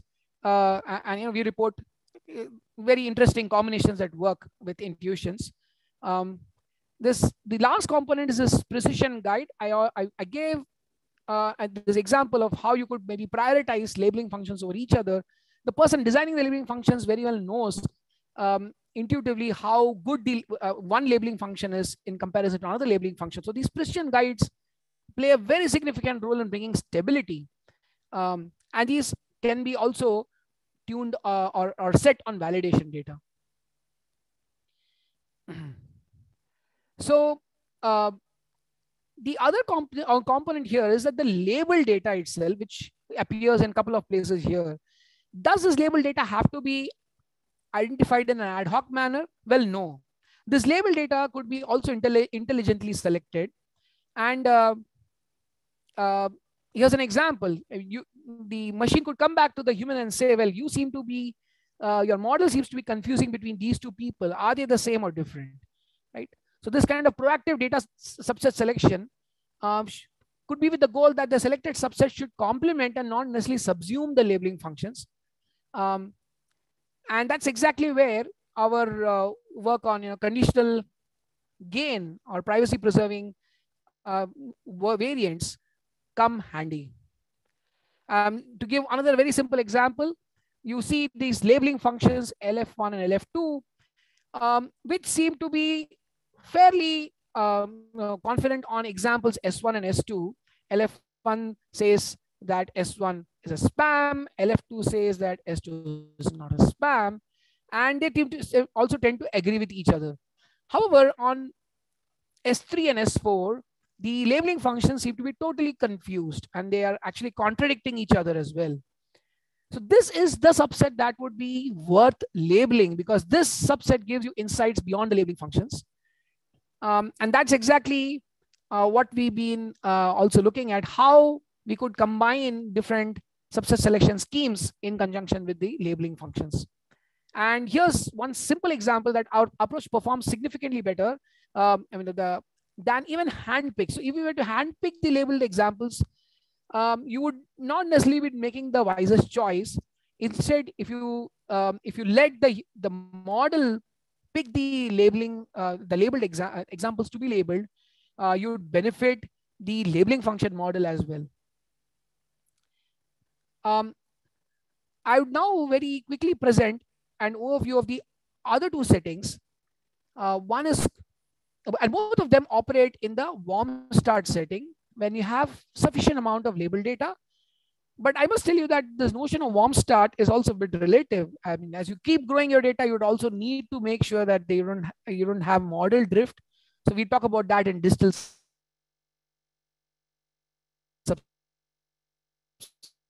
subsequently for deep interactive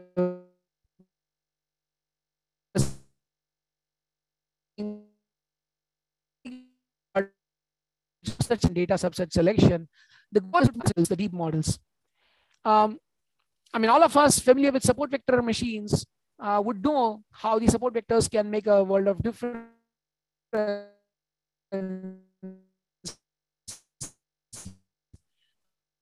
um, in you know like inbox settings can be obtained through core sets um, or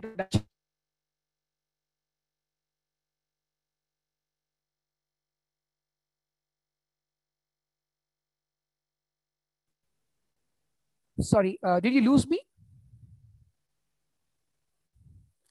Uh, we can hear you now just fine.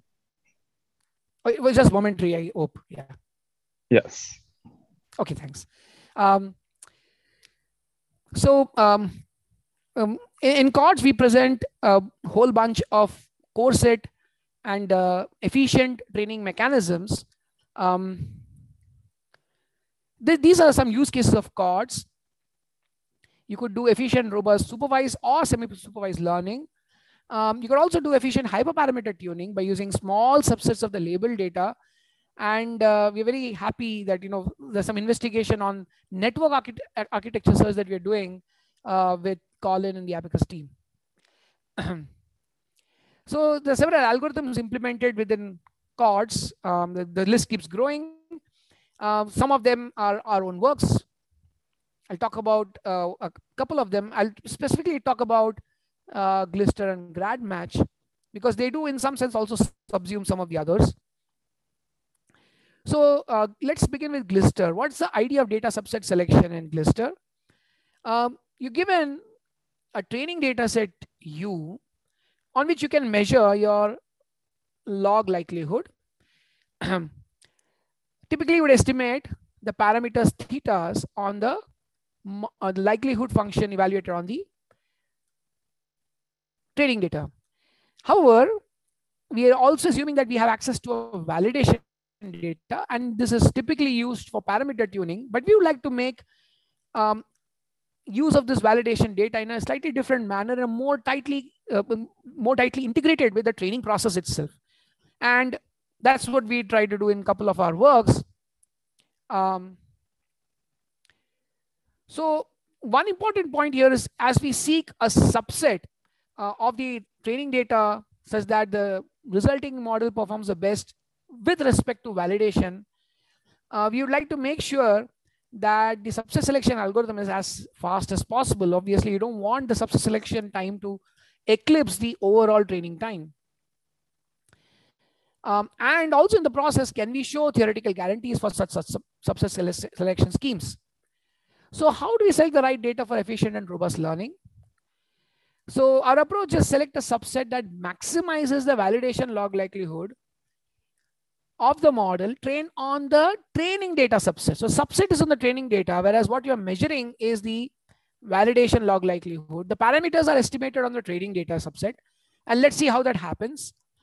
So here in the inner optimization problem or inner um, aspect, we're looking at theta is estimated on the subset of the training data. But on what grounds are we identifying the subset? Well, the subset should be such that the validation log likelihood or, uh, is maximized. That's the outer level problem. Um, so, well, is this even feasible? well, instead of validation, we can also use a full training data set. That's just a side note. Um, the challenge is that inner optimization problem can be very difficult. I mean, you need to solve this every time you identify a subset and then go back and identify the next subset. Uh, right? So that could be an issue. Solving the inner optimization problem can be very expensive. Um, and uh, if you go to do it in closed form exactly obviously you know or even attempt to do it in uh, to convergence it can defeat the purpose of selecting a subset for fasting faster training.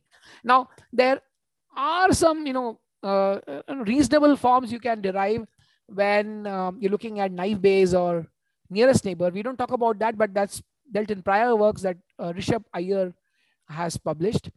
But what we're going to do is uh, look at approximations. For speed up that could hold for more complex and real worldish uh, uh, network models and objective functions. And what, what is that approximation? Well, one, uh, the first is online one-step meta approximation. So you take the one-step gradient update, single gradient step towards the training subset log likelihood ascent direction. Um, that's the first. Uh, and now based on this, you could identify the subset every time again, but then um, that also is expensive. So just because you have plugged this theta here doesn't mean that the subset selection now is going to be fast. So of course, uh, before we move to other practical aspects, let's look at some uh, interesting properties. So when the validation log likelihood function is the negative logistic loss or the negative squared loss or the negative hinge loss, the above optimization problems is an instance of cardinality constraints submodular maximization. In the special case of negative cross entropy loss, we have weak submodularity, which uh, we won't talk about here. Um, so I, we recall that submodularity has this natural diminishing returns property, and therefore we can use this, and you can also use a simple greedy algorithm to find the data subset S, right? But as I pointed out, um, this is also going to be expensive because you, as as I'm going to talk about next, the evaluation of this function for every element that you try and add is going to be very expensive, a greedy algorithm, right? So instead of working with this complex objective, how about a Taylor series expansion so that you can further op approximately optimization problem ignoring higher order terms. And what you observe is now the, the influence of the subset is only in the second term. The first term is just the previous iteration of theta uh, used to evaluate the log likelihood and the entire validation set. So this is done at each iteration of the greedy algorithm. And uh, as you can see, this, this dot product, in fact, opens up many other avenues. Uh, one of them is, of course, that the uh, this greedy subset selection scheme now only needs to identify this dot product for every new element added. Um, so it reduces the basically the need for multiple forward passes over the validation data. That's exactly what we have now uh, gotten out here. Um, so this is different from, of course, uh, doing Taylor approximation upfront. We did this Taylor approximation after the one-step gradient approximation. Otherwise, you would have just had a modular problem. So now, um, so what do you get because of this? Um, well, we can now do stochastic gradient descent on initial set, get the parameters, and on the new parameters, you can again do a greedy data, uh, data subset selection based on which the new set of parameters obtained. So alternate between the parameter updates for L uh, for a couple of a couple of epochs and uh, the subset selection. Um, so data selection is done every L epochs. There are further computational aspects. In the interest of time, I just want to mention them. So we could select a subset every L epochs. Uh, we also, uh, you know, think of uh, use engineering tricks such as large layer gradients only being used, and also stochastic greedy selection and R greedy selection algorithms are used for subset selection, um, which which do pretty well in practice. Uh, so the, I, I I didn't get the time to talk about multiple, uh, you know, um, greedy variants implemented within submodlib. Um, but you know, some of them are as good as uh, the greedy in theory, and some of them in practice turn out to be as good. So uh, what's interesting is that under certain condition, Glister Online converges optimizer uh, of the validation loss in uh, one by epsilon square kind of epochs. Um, and the upper bound that we get for the difference in the validation loss with respect to the optimal parameters has this interesting cos theta, which measures the dot product between the training likelihood gradient and the validation uh, gradient. Sorry, Ganesh, uh, just to Thank step you. in, uh, deep apologies, but some of our panelists from our next panel have to leave soon. Oh, Is there any way to wrap this up in a minute? Yes, I, will be doing it soon. Yes, Thank I'm almost done. Yes, thanks. Yes, so very few efficiency results. You know, you can, uh, the, the, the, main takeaway is that we get almost 3x uh, speed up with no loss in accuracy. And if you're okay with little loss, um, uh, you, you, can do better. And 10x speed up for AutoML.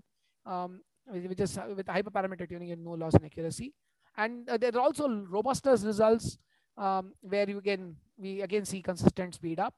Um, the last component of our work, the distill work, which uh, I, am going to just talk about how it builds on CORDS, but there are many other things we do in distill. The idea is to cut down the labeling cost in a warm start setting. Again, distill is very easy to use. Um, what's interesting about Distill is that we allow whole bunch of active learning algorithms, state of the art, uh, to be used. Um, uh, you know, where the human can use that algorithm to identify the subset to be labeled next. Um, and it also makes it very easy to switch the active learning algorithms um, with different implementations of common deep neural networks. And uh, another very important thing is we allow for data augmentation, which often eclipses you know any uh, uh, gymnastics you might do with your uh, you know active learning scheme. So data augmentation is very critical here. Um, and and that that basically makes you work hard on the active learning strategy to show its value. Um, and, and a couple of other engineering aspects here as well. And these are the algorithms implemented. Um, but specifically with the Glister, which I talked about earlier, we do Glister Active, um, where you select a subset of points, L epochs to be labeled and add it to current label set. So you basically, uh, now you can use hypothesized labels in Glister Active instead of uh, working with the true labels. That's because now we also want to deal with unlabeled data points. Um, and yeah, this Glister Active has been, uh, you know, profiled here, uh, but yes, you, you're welcome to visit our paper. And also the takeaway message is Glister can achieve 7x speed up at 10%, 3x speed up at 30%. And you can see as you increase your um, law, uh, you know, you're okay with compromising on the loss, you get more speed up. Um, and that's all with uh, active learning as well. Right, I, am going to skip all this in the interest of time, and you know, a whole bunch of uh, leaderboards have been set up. Uh, and the, in, the most important thing is we've been able to make extensive use of uh, our work uh, in, in several applications at uh, both at IIT Bombay and, and elsewhere. Uh, we, we've had uh, you know award-winning works on video analytics for the Indian uh, security agencies, where we have made extensive use of efficient, effective data subset selection. Um, I've been also working with uh, you know, Abacus, IBM Research um, on efficient AutoML. Uh, we made good use of this for low resource language settings um, through for optical character recognition and machine translation, especially post editing for low resource languages. We made extensive use of Spear and Trust there. Um, and, and likewise for, you know, um, personalized speech recognition, we made use of Trust. And uh, uh, we have upcoming uh, very interesting use cases of all of these in biomedical imaging. Um, thank you. Uh, thanks for your attention. I hope uh, uh, you'll all take interest in making use of the libraries I talked about under data efficient machine learning. Thank you very much. Thank you, Ganesh. Um, moving on, uh, hello everyone. Welcome to the panel Machine Learning, the Force Multiplier. Uh, I'm Nandish, the Director of Product at Abacus and the moderator for this session. Uh, with me, I have the panelists uh, Xingshu Liu, Fernando, Schwartz um, and Amit Shankar, who are the data science and machine learning leaders at their respective companies. Uh, to kick off the session, I would like to ask the panelists to introduce themselves, give some insights into their backgrounds, and tell us a little bit more about the application of machine learning in their respective organizations. Maybe we can go around in alphabetical order, starting with Amit, followed by Fernando and uh, Xingshu. Sure. Um, Amit Shankar, CIO at uh, USIC. Uh, it's one of the largest uh, underground utility locating company in North America, uh, about 11,000 field employees. Uh, and what they do is uh, they are marking underground utilities. So every time you see a paint or flag on the ground, now you know what that is or who that is. They are marking what the underground utilities are before any kind of excavation activity can happen. Uh, and so uh, we collect a lot of data as part of that. And what we're trying to leverage within our environment is how do we uh, take that data to predict what our work time is going to be at certain job sites because no two excavation site is different. Um, so uh, a lot of interesting things to share with this group, uh, but uh, I'll let the others go and introduce themselves and we can get into the rest later.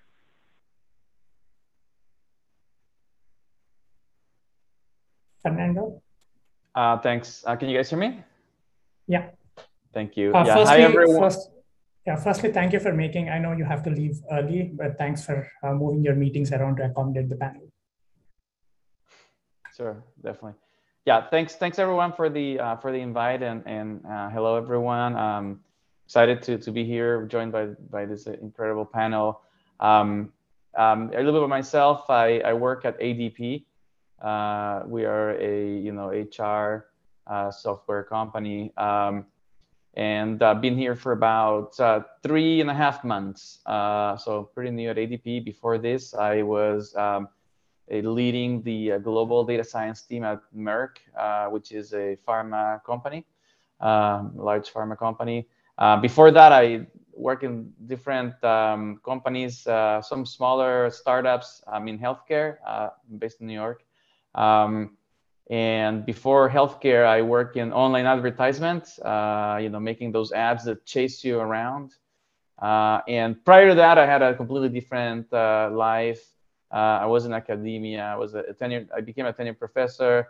I'm a mathematician by training. Used to study about the. I mean, early in my career, used to study about the shape of shapes of uh, black holes in high dimensions, uh, and then from there, I guess it, it was a, a, an interesting hop to looking at shapes of data sets in high dimensions, which is something that we deal with quite a bit as data scientists, right? When we look at embeddings. Um, and then uh, yeah, after that, you know, stint in industry, uh, and here I am now leading the uh, machine learning and data science team at, uh, at ADP. Super happy to be here, guys. Thank you. Xingshu? All right. Hello, everyone. This is Xingshu Liu. Um, I'm currently working with Macy's, um, and uh, I'm responsible for the enterprise data and analytics across the organization. I joined the the, uh, the team about a year ago, and uh, actually we have uh, several hundred of data analysts, data scientists, um, and the other team members all together. So I'm responsible for the data governance, the data engineering, uh, data analytics, and uh, data science slash machine learning as well. So very excited to be a part of Macy's. Before that, I was uh, actually uh, working in both the startups and the large corporations. I worked in uh, three separate startups, and uh, I was lucky that all three had a successful exits. But some of the exits, you know, went public in a few years. Some other exits got, you know, acquired, but after 15 years, right? It was um, quite a journey, quite a journey. So after that, I joined the large corporations. The difference between working the startup and the large corporations is in the startups, we have the quite a dynamic environment, thinking about outside of the box and driving innovations. But um, within the large organization, I was able to see through the implementation and the integration of taking the solutions to drive the business value. Very excited to be a part of this journey. Within Macy's specifically, regarding the machine learning applications, I would say we just started journey. Um, but the good news is number one, we have a very strong business commitment from our senior and executive leadership. This is a strategic investment from Macy's for the long term. The second is about the culture, actually, thinking about the implementation of the solutions, uh, the openness, the openness to adopting the a, um, machine learning solution. That's a, such a key factor. And the third is really thinking about the, uh, the very quick of the benefit of like um, seeing the results very quickly. That's part of benefit of the retail. If we do something right to our customers, our customers react very positively. So just so excited to be here to share, you know, some of the knowledge and experience with you all. Uh, thank you all for the introductions. Um, so the, uh, diving diving a bit more into the applications of uh, ML uh, we are curious uh, how ML has impacted different departments in your organization, uh, be it sales and marketing, IT, or business uh, planning. Which departments do you think uh, has the most benefit from the application of ML in your respective companies? Do you want to direct this to somebody or just uh, open yeah, it up? open it up. Yeah, you can, sure. you can start answering. I'll take that one because I'm unfortunately going to have to maybe leave a little early. Um, so, uh, and I don't mean to uh, be a, a, a, microphone a hug or anything. Um, so at ADP, um, we really um, look at uh, HR. I mean, many many of us, and even myself in the past, right, have been paid through ADP. And if you think about it, and if you actually know the data, it's quite surprising.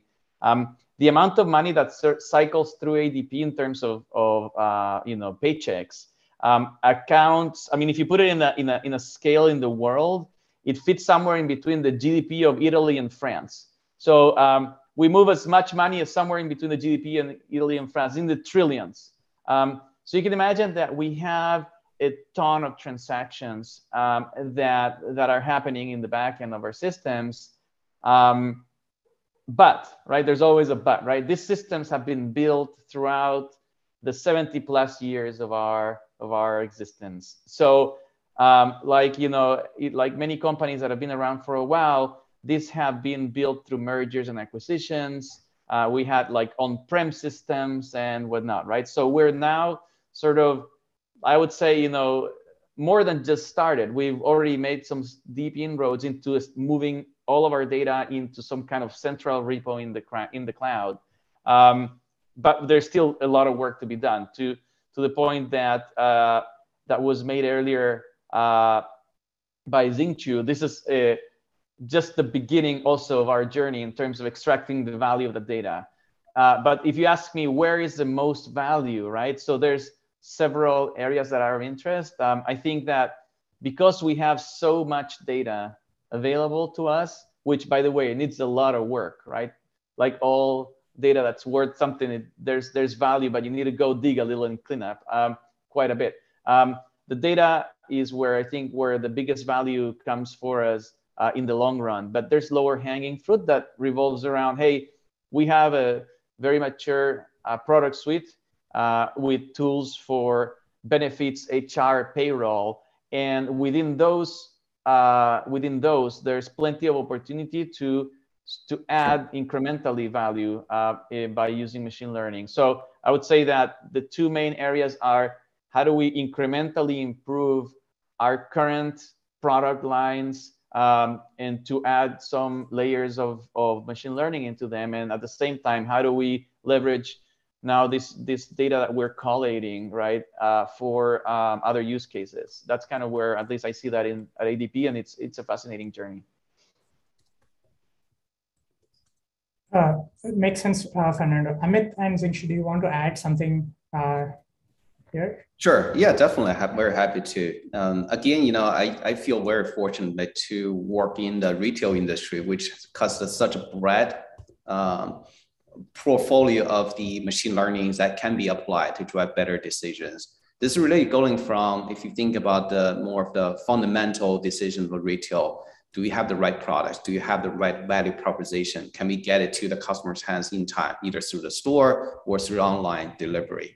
So those are foundational. So we're talking about merchandising, assortment, pricing, supply chain, inventory, but that's just, you know that's just a foundational piece. And we're thinking about the customer experience thinking about the digital the online your mobile phones thinking about the store operations um, thinking about the uh, the call center the marketing how do we outreach to our customers?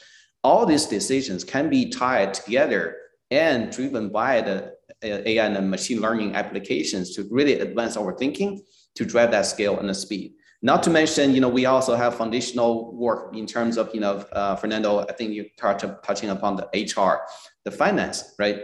All these pieces are, are all tied together. So it's hard for me to pinpoint and say, this is the biggest impact. I see all are driving our agenda forward, but there are a couple themes I would call it out.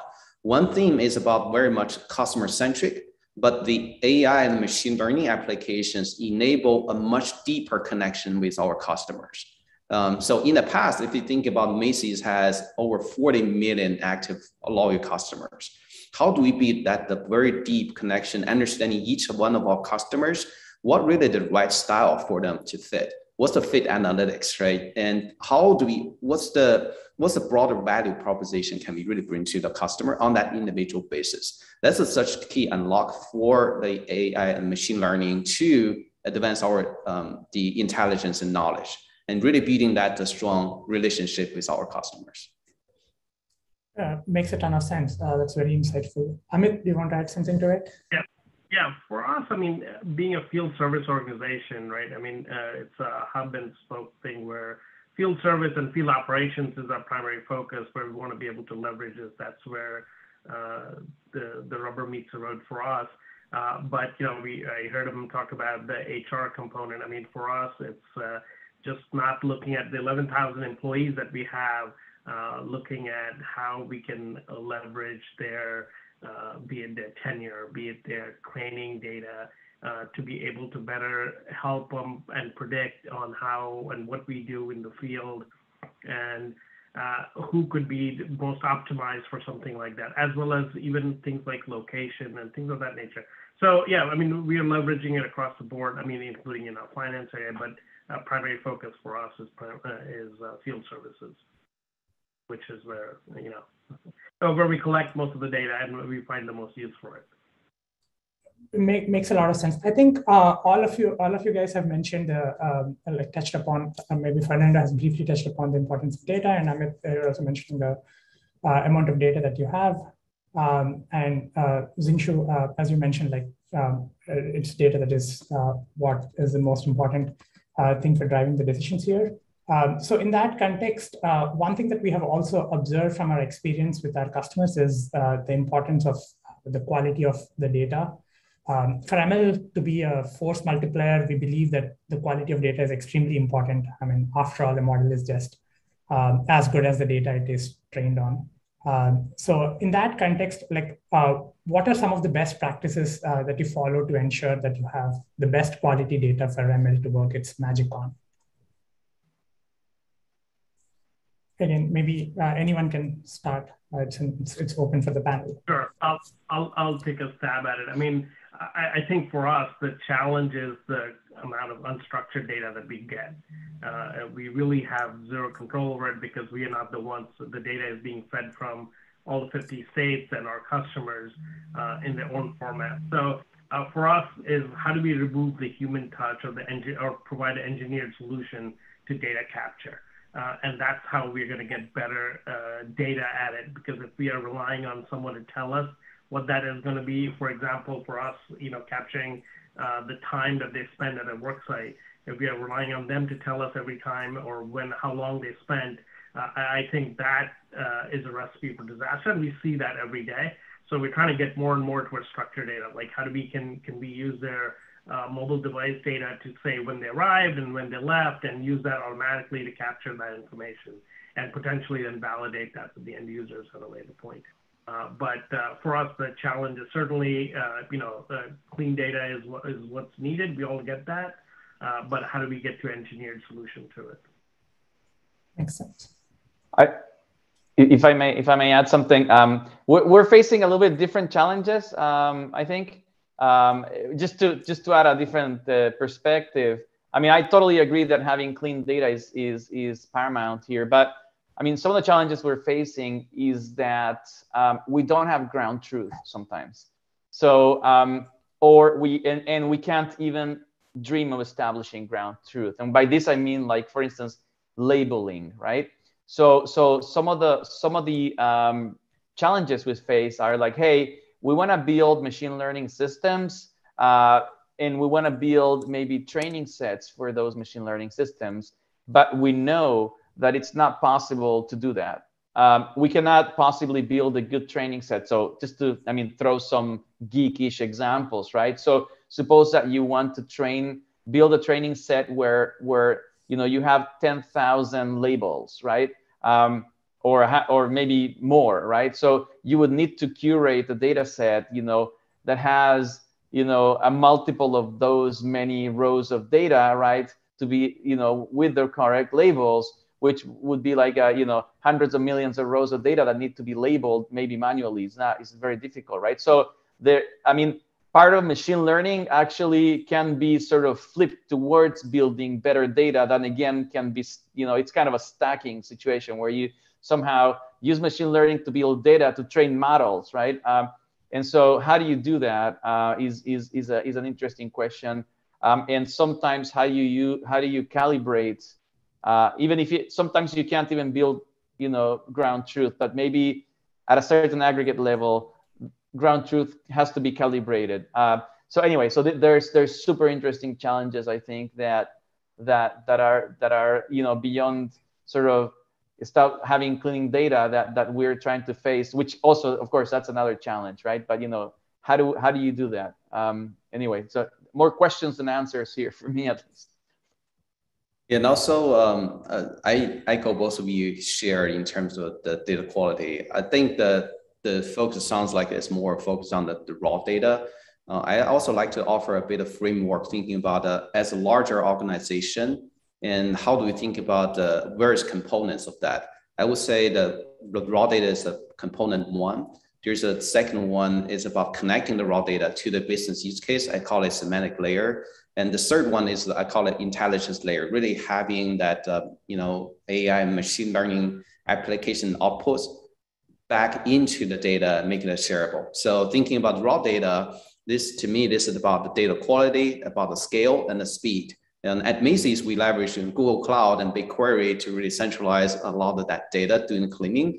But also from organization perspective, we have data governance team, we have data engineering team, really ensure the data quality, consistency, and accessibility. That's the step one. Then the step two, the semantic layer is so critical because there are various team, as I mentioned, your business functions in terms of merchandising, supply chain, marketing, digital, etc. Each team could define their own calculation using the data. That's where it's causing the inconsistency, causing the, the, the disconnect. That's why having so-called semantic layer to embed the calculation within that layer to empower the consistency and drive it in speed and scale. That's really the next level. Then we're talking about a true intelligence layer, really bring in the machine learning application and, and the output. Simple example is like forecasting. If we're talking forecasting, if you think about you know uh, Macy's business, this is the going from the top financial forecasting, inventory, the pricing, down to like you know the how do we manage the fulfillment, how do I manage the store operations, where granular level that's going to really cause a lot of challenges. If we say we're talking about tens of thousands of people using that results, then we need to really bring into the data layer as an intelligence to connect all the dots. That's how I think about as a closed loop, closing the loop to continue to feed our intelligence back to the data and really advance our you know, level of intelligence. Makes a ton of sense. Uh, I know, Fernando, you have to leave in a couple of minutes. Maybe do you want to take the panel question? Like, how do you handle privacy concerns on your data? Sorry, which, which is the, sorry, yeah, sorry, the question, apologies for that. Apologies for that, guys, sorry. I have to drop. Which is the question do you want me to look into? Sorry. Uh, the guest question, how do you handle privacy concerns on your data? Oh, right. Yeah. Thank you so much. Yeah, sure. Sure. Someone put a, a question in the chat. Uh, and I'll, let me just repeat this. How do you handle privacy concerns on your data? Well, I mean, uh, this, you know, coming from healthcare uh, myself, right? Um, this is kind of piece of cake, I would say. Uh, privacy in healthcare is uh, difficult, right? In the sense that um, you have, you know, there's so much regulation around uh, personal healthcare information called PHI. Um, what the kind of information that we handle at ADP is called PII. Um, and so um, there are very uh, standard uh, ways to, to handling the data, data and making sure that, I mean, you know, God forbid you're, you're, you know, attacked by someone, right? There's, um, there's no, there's no way to, or at least, you know, the best possible protection to this data, right? So uh, we use like the state of the art encryption, but this is, this is, I mean, generally speaking, right? Safety um, about data um, and, and access to platforms is, is something that's top of mind. You know, everybody heard about the Log4j. So we were we were stuck with dealing with Log4j countless hours last year. Um, I don't mean to jinx it here. We I think so far uh, we're we're safe, but um, this this is this kept a lot of people awake throughout the new year uh, last year. Um, and I mean that's just part of the equation, right? But specifically around the data, I mean, there are there are standard ways to to to hashing uh, the the private information, right? So we don't we don't we're not exposed to that. Uh, so like one-way hashes and whatnot, right? Um, so I don't know if that answers the question, uh, but of course, regulation is is changing, uh, and um, you know, I think that the biggest challenge is not necessarily around uh, you know privacy, is more around fairness. Um, and specifically in the industry that I work in, and then that's an area that a topic that I just drop in there and just have to leave, right? But the EEOC, uh, you know, um, the Commission for Equal uh, Employment Opportunity um, has some interesting thoughts as how do you how do you make sure that that if you use machine learning to make to driving decisions that impact people's lives, how do you make sure that you're you're you're doing this in a fair way? Um, and we as a collective are trying to figure that out as a society, right? There's no clear recipe just yet, but that's kind of where where I think the, the challenges lie more than in uh, privacy, which is um, I think a little bit more uh, better understood. Um, with that said, you guys, I, I, I really appreciate the opportunity, and I'm so sorry to drop. This is an amazing panel, and I have a call uh, to go to, uh, but very nice chatting with you guys. Happy to, to to come back any other time, and nice to meet you, Amit and and Xingshu. Uh, thank you, guys. Nice meeting you too, Fernando. Thank you, Fernando. Bye-bye. Cool. Uh, continuing continuing uh, with um, Amit and Xingshu. Um, so, given that we have spoken the challenges of having good quality data, what are some of the other challenges uh, that you face when uh, implementing AIML solutions? And what are some of the techniques that you recommend to the uh, audience on how to tackle these challenges? Sure. Uh, I mean, in, in our case, it's our technicians, our field techs who are uh, really consuming this data that we are do, uh, that we are leveraging from ML, which is primarily uh, trying to predict, you know, how long it should take them to do their work. for us, you know, we get about, you know, we do about 90 million of them this year, and the reality is that no two work is the same for us. you know, some can take few minutes to a couple of hours to a few days, and some may go on for months. Uh, so the challenge for us is uh, making sure that the, the, the techs who are consuming this data can trust this data. And, and it doesn't create this uh, feedback loop where they, they think that if the computer says it's 15 minutes and I'm going to take 30 minutes, am I not doing it right? Or am I doing it better? Uh, so I, I think for us, what we are trying to do is how do we provide and collect feedback from them on a real-time basis? right? So if we think that it should take 15 minutes and the employees does it in five, we want them to be able to tell us why it worked the way it did and why it was done in five. And it may be something like, hey, I couldn't even get access to this facility because the gate, I, I don't have the gate code to get in someone's house or to, to someone's backyard. Um, whereas, so I never completed the work, but I'll have to come back. And that's why it only took me a couple of minutes and not the 15 you thought. Uh, uh, and so by doing that, I think that brings that uh, they have some extra level of confidence that you know it's not there to monitor their work as much as it is to help them get better. And and that's how we can plan their day. So um, you know we do this collecting the feedback, uh, good or bad from them, as well as uh, trying to see how well the machine uh, machine learning. Makes, makes a lot of sense. Yeah, I think that Amit kind of touched upon a, a few points. I, I, totally agree in terms of some of the implementation, you know, and change management.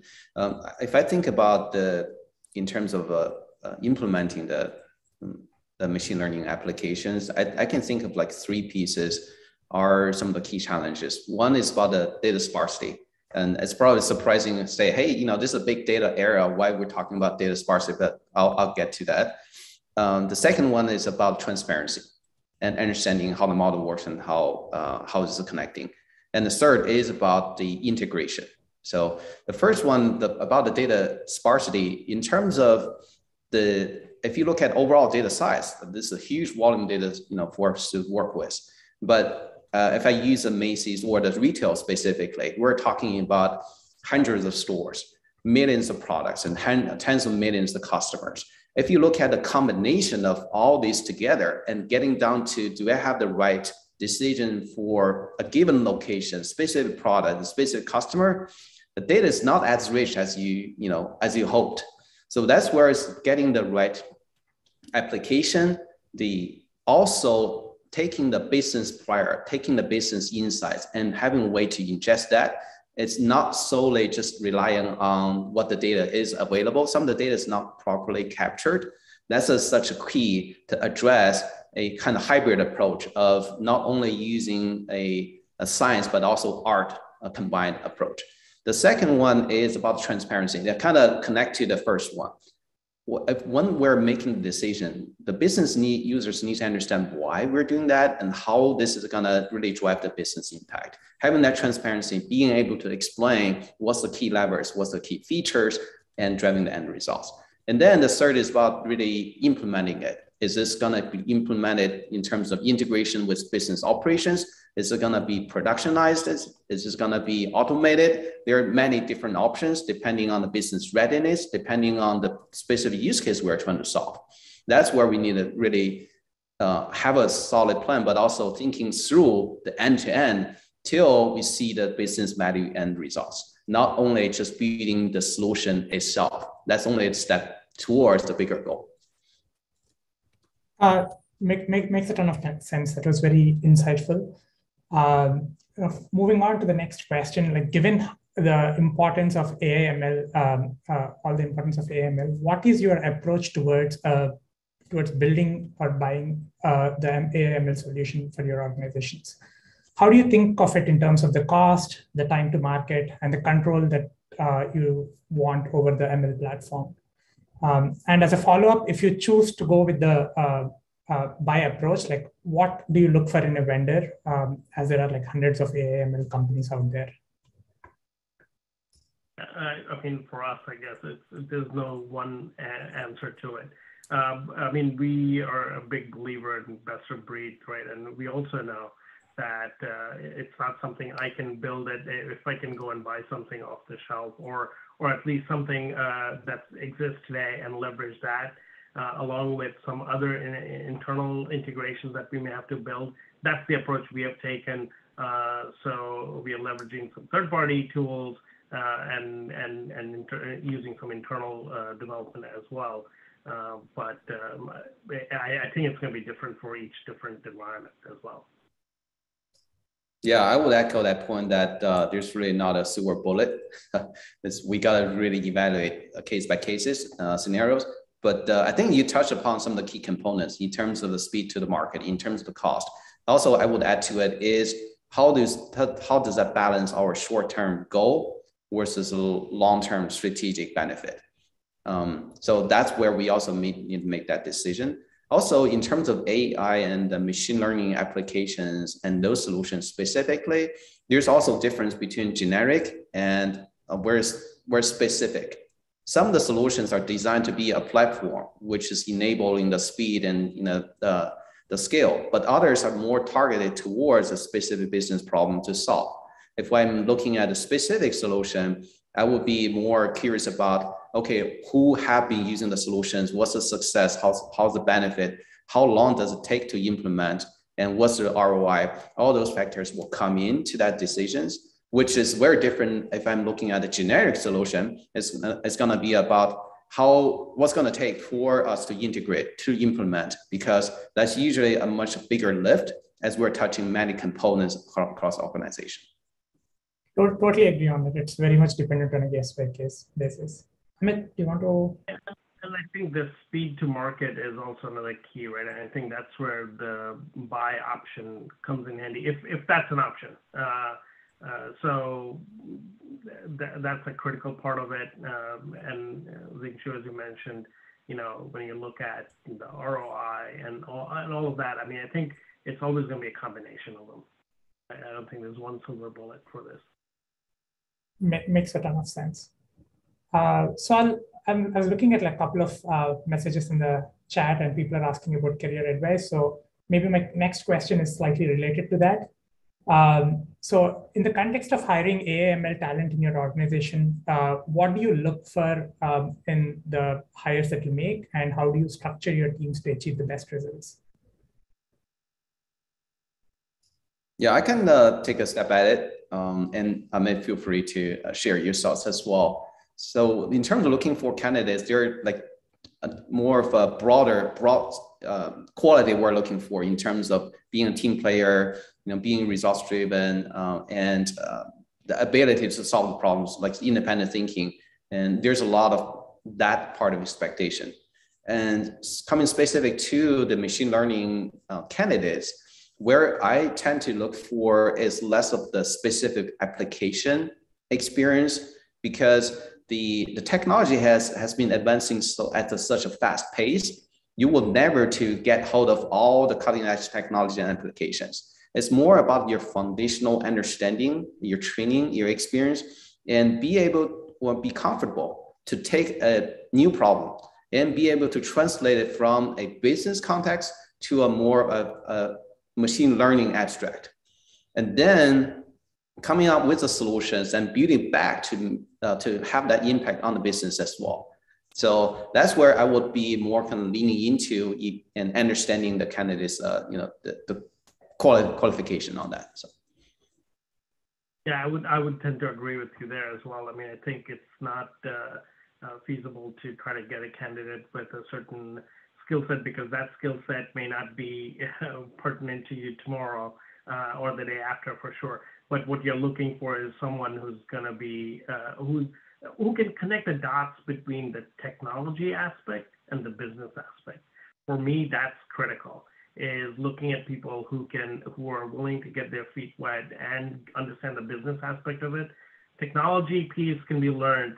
Uh, that marrying both of them and finding real value in it, that's where the uh, true talent totally agree uh, with both of you. Like, uh, I mean, this is something that uh, I have also personally observed. A lot of lot of data scientists focus on uh, like building the best models, but uh, uh, hardly focus on like connecting the dots between the business and like the solutions that need to be built to address the challenges.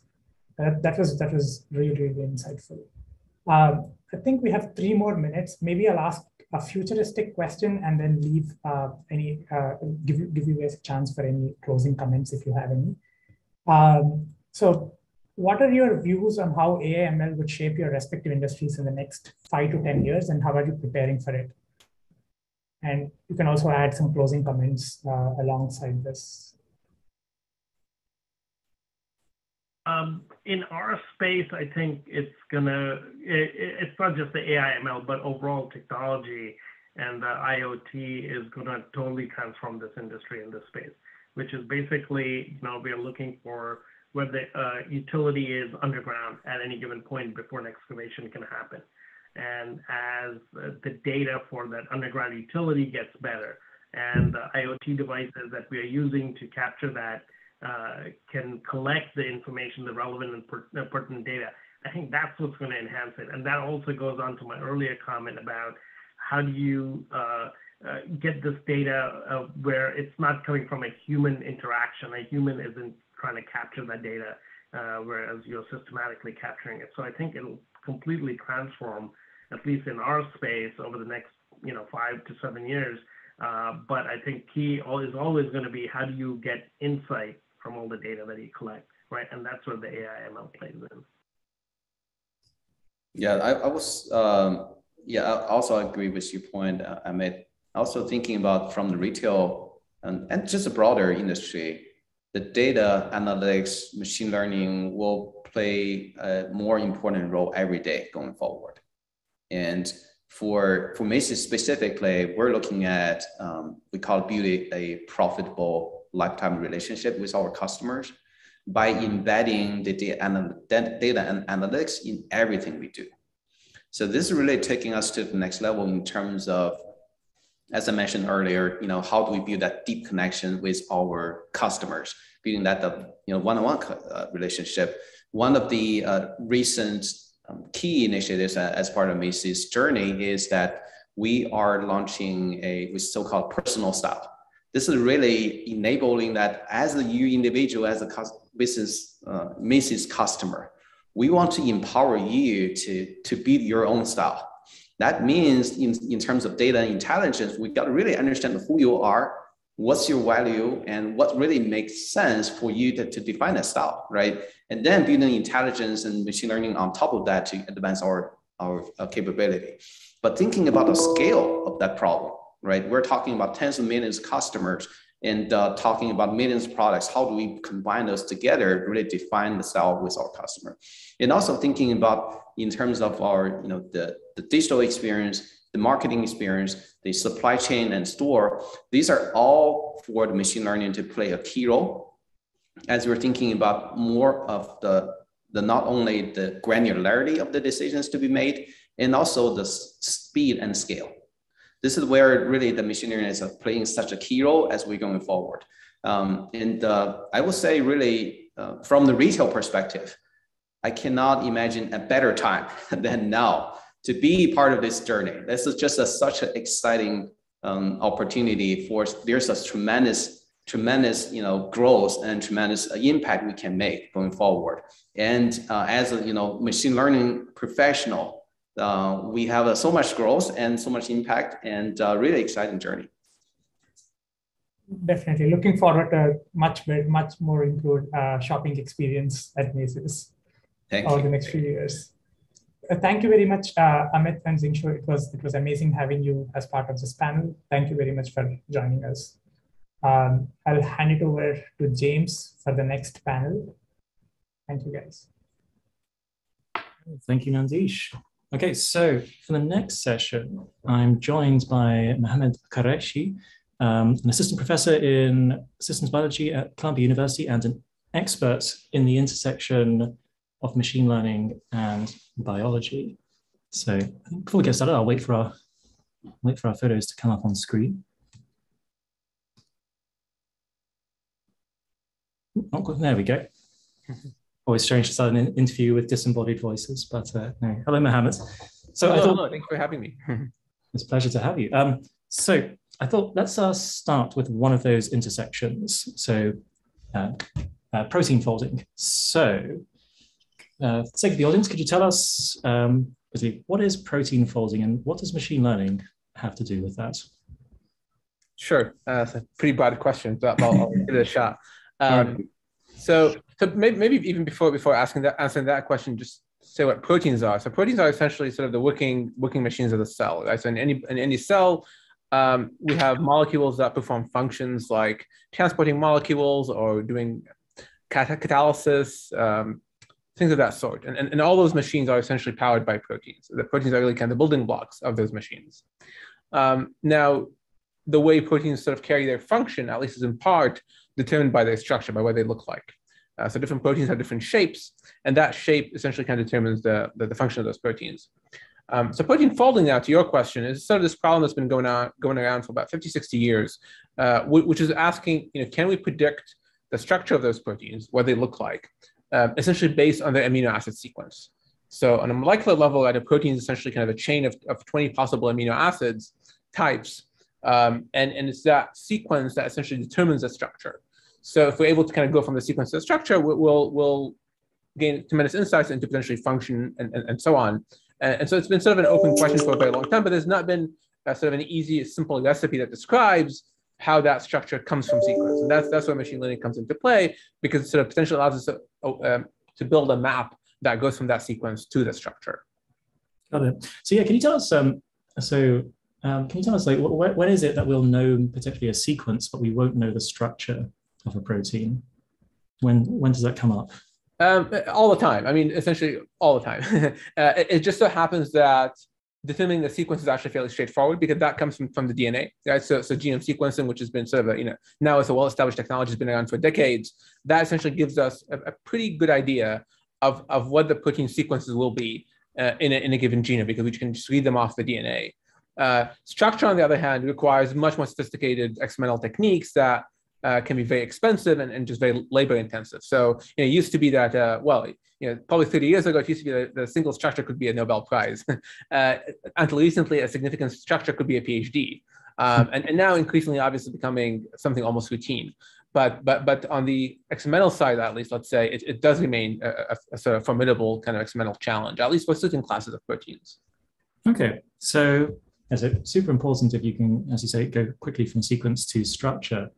So uh, I think in the title of this talk, we, we mentioned AlphaFold. So let's maybe, uh, let's talk about that. Like, you know, what was, you know, what is AlphaFold? Why is that significant? What was before? What's after? Like, you know, what was the AlphaFold event in protein folding prediction? Sure, sure. Um, so, like I said, I mean, this, this is a field that's been going on for a long time. You know, it's, it's not something that's new. People people have been working on this problem for, for decades, really. Um, and, and in fact, it sort of got formalized in, in, in this sort of competition called CASP, uh, which happens every two years, where essentially groups try to predict structures, um, try to predict the, the, structures of proteins that, that they don't know. So it's sort of a blind prediction task uh, using computational techniques. Um, and I think it's fair to say that for much of the 2010s and, and certainly the 2000s, the field was somewhat stagnant. Not, not much was really happening. Uh, machine learning sort of began to percolate in the space in the mid 2010s as deep learning sort of became, you know, kind of broadly used in computer vision, and other areas. Um, but it wasn't until uh, sort of well, so, so there was certainly a lot of progress, but I, I, would say it wasn't until kind of DeepMind's entry with the first AlphaFold in 2018 and then the second AlphaFold in 2020 uh, that we really saw the, the kind of the, the, conceptual innovations materialize into sort of practical improvements. So, so, so I think there were, there were many ideas that, that were sort of floating around, but of DeepMind managed to kind of put them together in a way that was very effective. Uh, and that really, um, I would say, moved the field from being kind of an, an interesting method development exercise, something that, that's of interest to specialists, but not maybe to the broader biology community and the biomedical community, to now I think being of sort of fundamental interest uh, to, to, to the biomedical community. So the methods now work well enough that they're actually interesting for people who don't just care about method development. And that was that was reflected in the fact that I believe it was um, Science Magazine that, that picked protein structure prediction as their breakthrough of the year last year across mm-hmm. all the fields of science. Yeah. So so you mentioned now that you know potentially the uh, the performance of uh, the uh, structure prediction is sort of good enough that it's you know it's no longer about the methods. It's like okay, well now we can apply it. It's like now what do we do with it? So I guess the question is, so what what is what has that opened up? What is the new level of performance opened up that we weren't able to consider before? Well, it's actually it's almost hard to say because it's such a broad. You know, I certainly wouldn't have expected this to happen in the next 10, 20 years in a way. So, so I think it, the, the the opportunities are so vast that sort of you know, it's almost like you know having the internet all of a sudden like what, what, can you do with it and and we, we could we could see what we could do with it in the next few years but i think the really exciting applications will only begin to emerge in the next five to ten years um, but in the immediate t- term i think that there are sort of obvious things so certainly we would we will be able to now or we already have in a way uh, predict the structures of essentially every protein that we care about um, that will give us insights into their function potentially, right? Because as I said earlier, structure sort of determines function, or at least is related closely to function. Um, so this means that for many proteins, so you know whose function we didn't know before, suddenly we have some idea, or we, we may begin to have a better idea. This is both useful for my biomedical applications, where you know that may give us something, some insight into the nature of say a disease, um, but it's also potentially interesting for bio, for biomedical or say bioindustrial applications, bioengineering applications, where one is able to kind of mine protein databases for proteins that could be used in all sorts of interesting, say, chemical, um, you know, uses or even uh, agricultural uses, for example. Um, and on, on, the drug discovery side, there's some immediate applications in terms of uh, using these protein structures, these predictive structures, to begin to uh, develop drugs that that bind to them. Um, th- this is by no means the kind of the entirety of the drug development process, but at least one key piece of the drug development process is being able to uh, selectively bind a single protein and modulate its function. And having those structures is critical for that purpose. And so this this this begins to allow us to do that in a much more systematic uh, way as well. So that, those are some of, some of the immediate kind of applications, but but there are but there are many other ones actually as well. Okay, so if those are the immediate ones, uh, what are the what are the blue sky applications? What are the like you know 10, 20 years away versions, or is that is yeah. that too far away to speculate? Is that? well, I, mean, I, I think I, there are there are probably stages. I mean, I think even on the say the five year time frame, there, there, are going to be applications like protein design, where we, where we can potentially design new proteins that have uh, sort of bespoke function that, that we aim for, that we that we intend uh, for intend for them to have, and, and and that I think is going to be sort of a really explosive field in the next few years. Uh, it's already very much a, a, sort of a very active and thriving field, but I think this this breakthrough will allow us to, to go much further than that.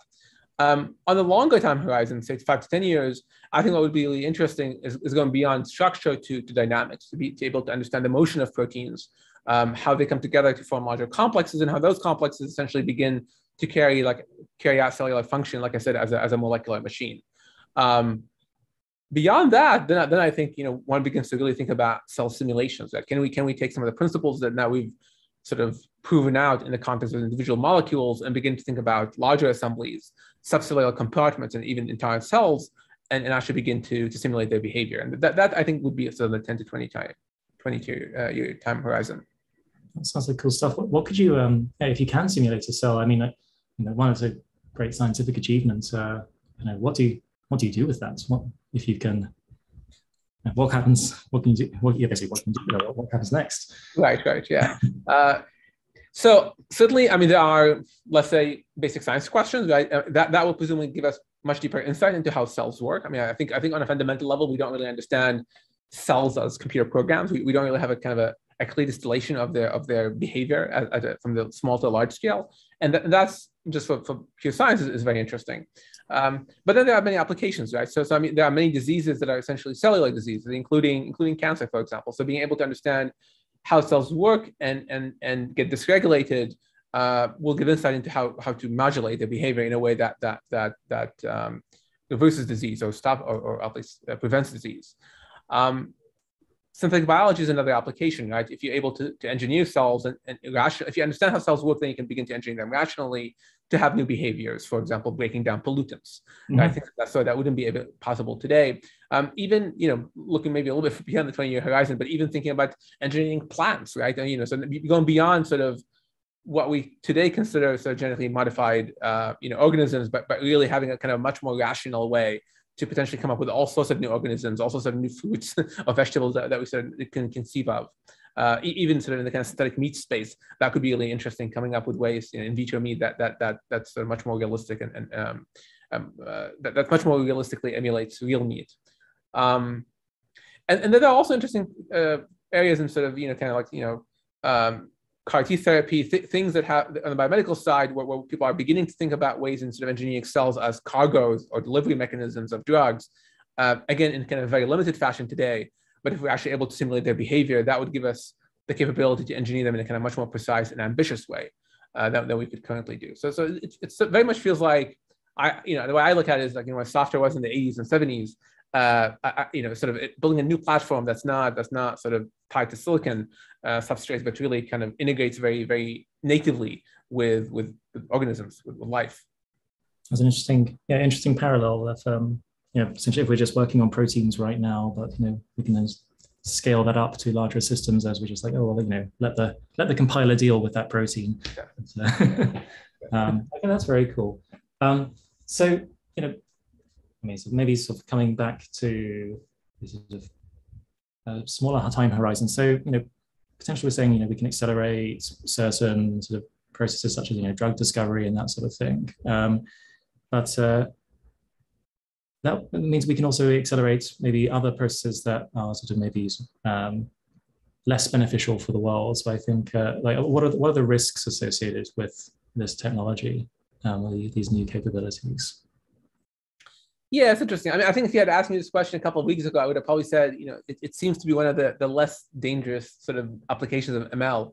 Uh, although just a week ago, too, I think there was this interesting paper, you know, a simple and but clever idea where uh, there, are, these models that try to predict essentially the toxicity of a small molecule, and they typically use it in a way to optimize you know small molecules to behave in an untoxic fashion, uh, you know, to be used as drugs. Uh, but, but you know it's not very hard. You know, essentially, you know, you, you, you reverse the gradient in the other direction, and instead of optimizing for uh, low toxicity, optimize for high toxicity, and then you suddenly create some you know very dangerous drugs. And you know th- th- that particular paper sort of garnered a lot of a lot of attention. Um, proteins being molecules, you know, have that same same property, right? So one could imagine instead of generating proteins that that um, that, are toxic that have all sorts of you know unintended intended or unintended consequences that could potentially be dangerous. Um, certainly, as one begins to, to think about engineering organisms and, and things of that sort, which are potentially autonomous in various ways, uh, that's obviously going to, to, to raise some very critical questions, right? I mean, and we, would have to not just think about them obviously in isolation, but in terms of the environment in which they exist and in, the, in which they, they interact with other other other uh, organisms. So it'll be interesting. I mean, I suspect for the foreseeable future, much of sort of bioengineering and bioindustry is going to be constrict, you know, restricted to sort of vats that are that are producing things in controlled environments. Um, I don't know if we'll ever get good enough at this to feel comfortable releasing these things in the wild. Um, but but still, there's been discussion about you know genetically modified mosquitoes that might you know might, might sort of help with you know various kind of uh, epidemics and such. So um, like any technology, I think I think I think certainly a double-edged sword, and, and, particularly in the hands of people who are maybe not so um, uh, altruistic. indeed, indeed. Um, so yeah, so um, I think that's sort of really sort of sort of sets the scene for like you know what's possible here like um, but maybe let's uh, talk a little bit about the sort of machine learning side of it. So you know what what are the what are the methods involved in the latest and greatest um, protein structure prediction methods? Like what what what's different these days? Yeah so I, I think this is you know protein folding is, is instructive in that I think it's a it's a window into wider world that I think uh, is, is beginning to open, right? So so you know, the kind of the, the let's say the whatever the, the, the, early 2010s to mid 2010s, the kind of first generations of deep learning methods, uh, much of the focus there was you know was on these sort of canonical problems in computer science, things like computer vision, natural language processing, speech recognition, things that people sort of recognize as as critical, crucial problems for sort of kind of basic uh, elements of, of computer computer cognition. Uh, but but but they, but they were very much tied to these kind of you know like kind of classical problems. what I think has happened in the last couple of years is, is that there's been sort of growing awareness that there are scientific problems uh, that are really interesting, right? And that, that, that have tremendous you know, benefit to society potentially. Uh, and that, that could both benefit from machine learning, but also drive machine learning in sort of interesting new directions. And I think protein folding is definitely one of those. Um, so, so I mean, to your question about what's different about it, well, um, at a high level, right, what, what's different here is that you're trying to, at least in principle, um, not just have methods or architectures that are able to learn from data, uh, but that are also simultaneously able to reflect prior knowledge about what we, what we understand about these systems, right? And, and this, I think, is, is in some ways fundamentally different from, from things like human speech or, or vision or what have you, where we don't really have a sort of a strong theoretical understanding of the kind of the underlying phenomena, right? If you're seeing you know, images, I mean, images are just such a diverse type of modalities. It's really, it's really hard to, to create a theory of, of, of images, right? Uh, but with things like proteins, you know, we actually do have pretty decent biophysical models of what these proteins, uh, how, of how these proteins behave. Um, in some ways, I would say maybe the disappointment for somebody who's looking in the space is that the, the, kind of the leading machine learning methods haven't used as much biophysics as one would have thought is possible or could could be done. But nonetheless, there are certainly uh, they, they, certainly have done so to some extent, right? So, so AlphaFold 2, for example, has all sorts of elements in its architecture that um, you know captures aspects of, of, if not protein physics, then at least protein geometry, um, and and that that um, is at least partly responsible for the fact that they work as well as they have. Right? So it's really kind of given machine learning in this new direction that that I think makes it much more makes it less about general learning and more about sort of being able to kind of maximally extract information out of well understood domains. Interesting. So I was wondering if there's um, maybe a slight parallel there. You, you mentioned, um, say, you know, computer vision, like at least so the initial methods, absolutely, there were, there were no constraints. Like it was just, you know, here's an image and then very generic looking architecture to process it. Um, but I guess more and more people are turning to simulation as a source of data.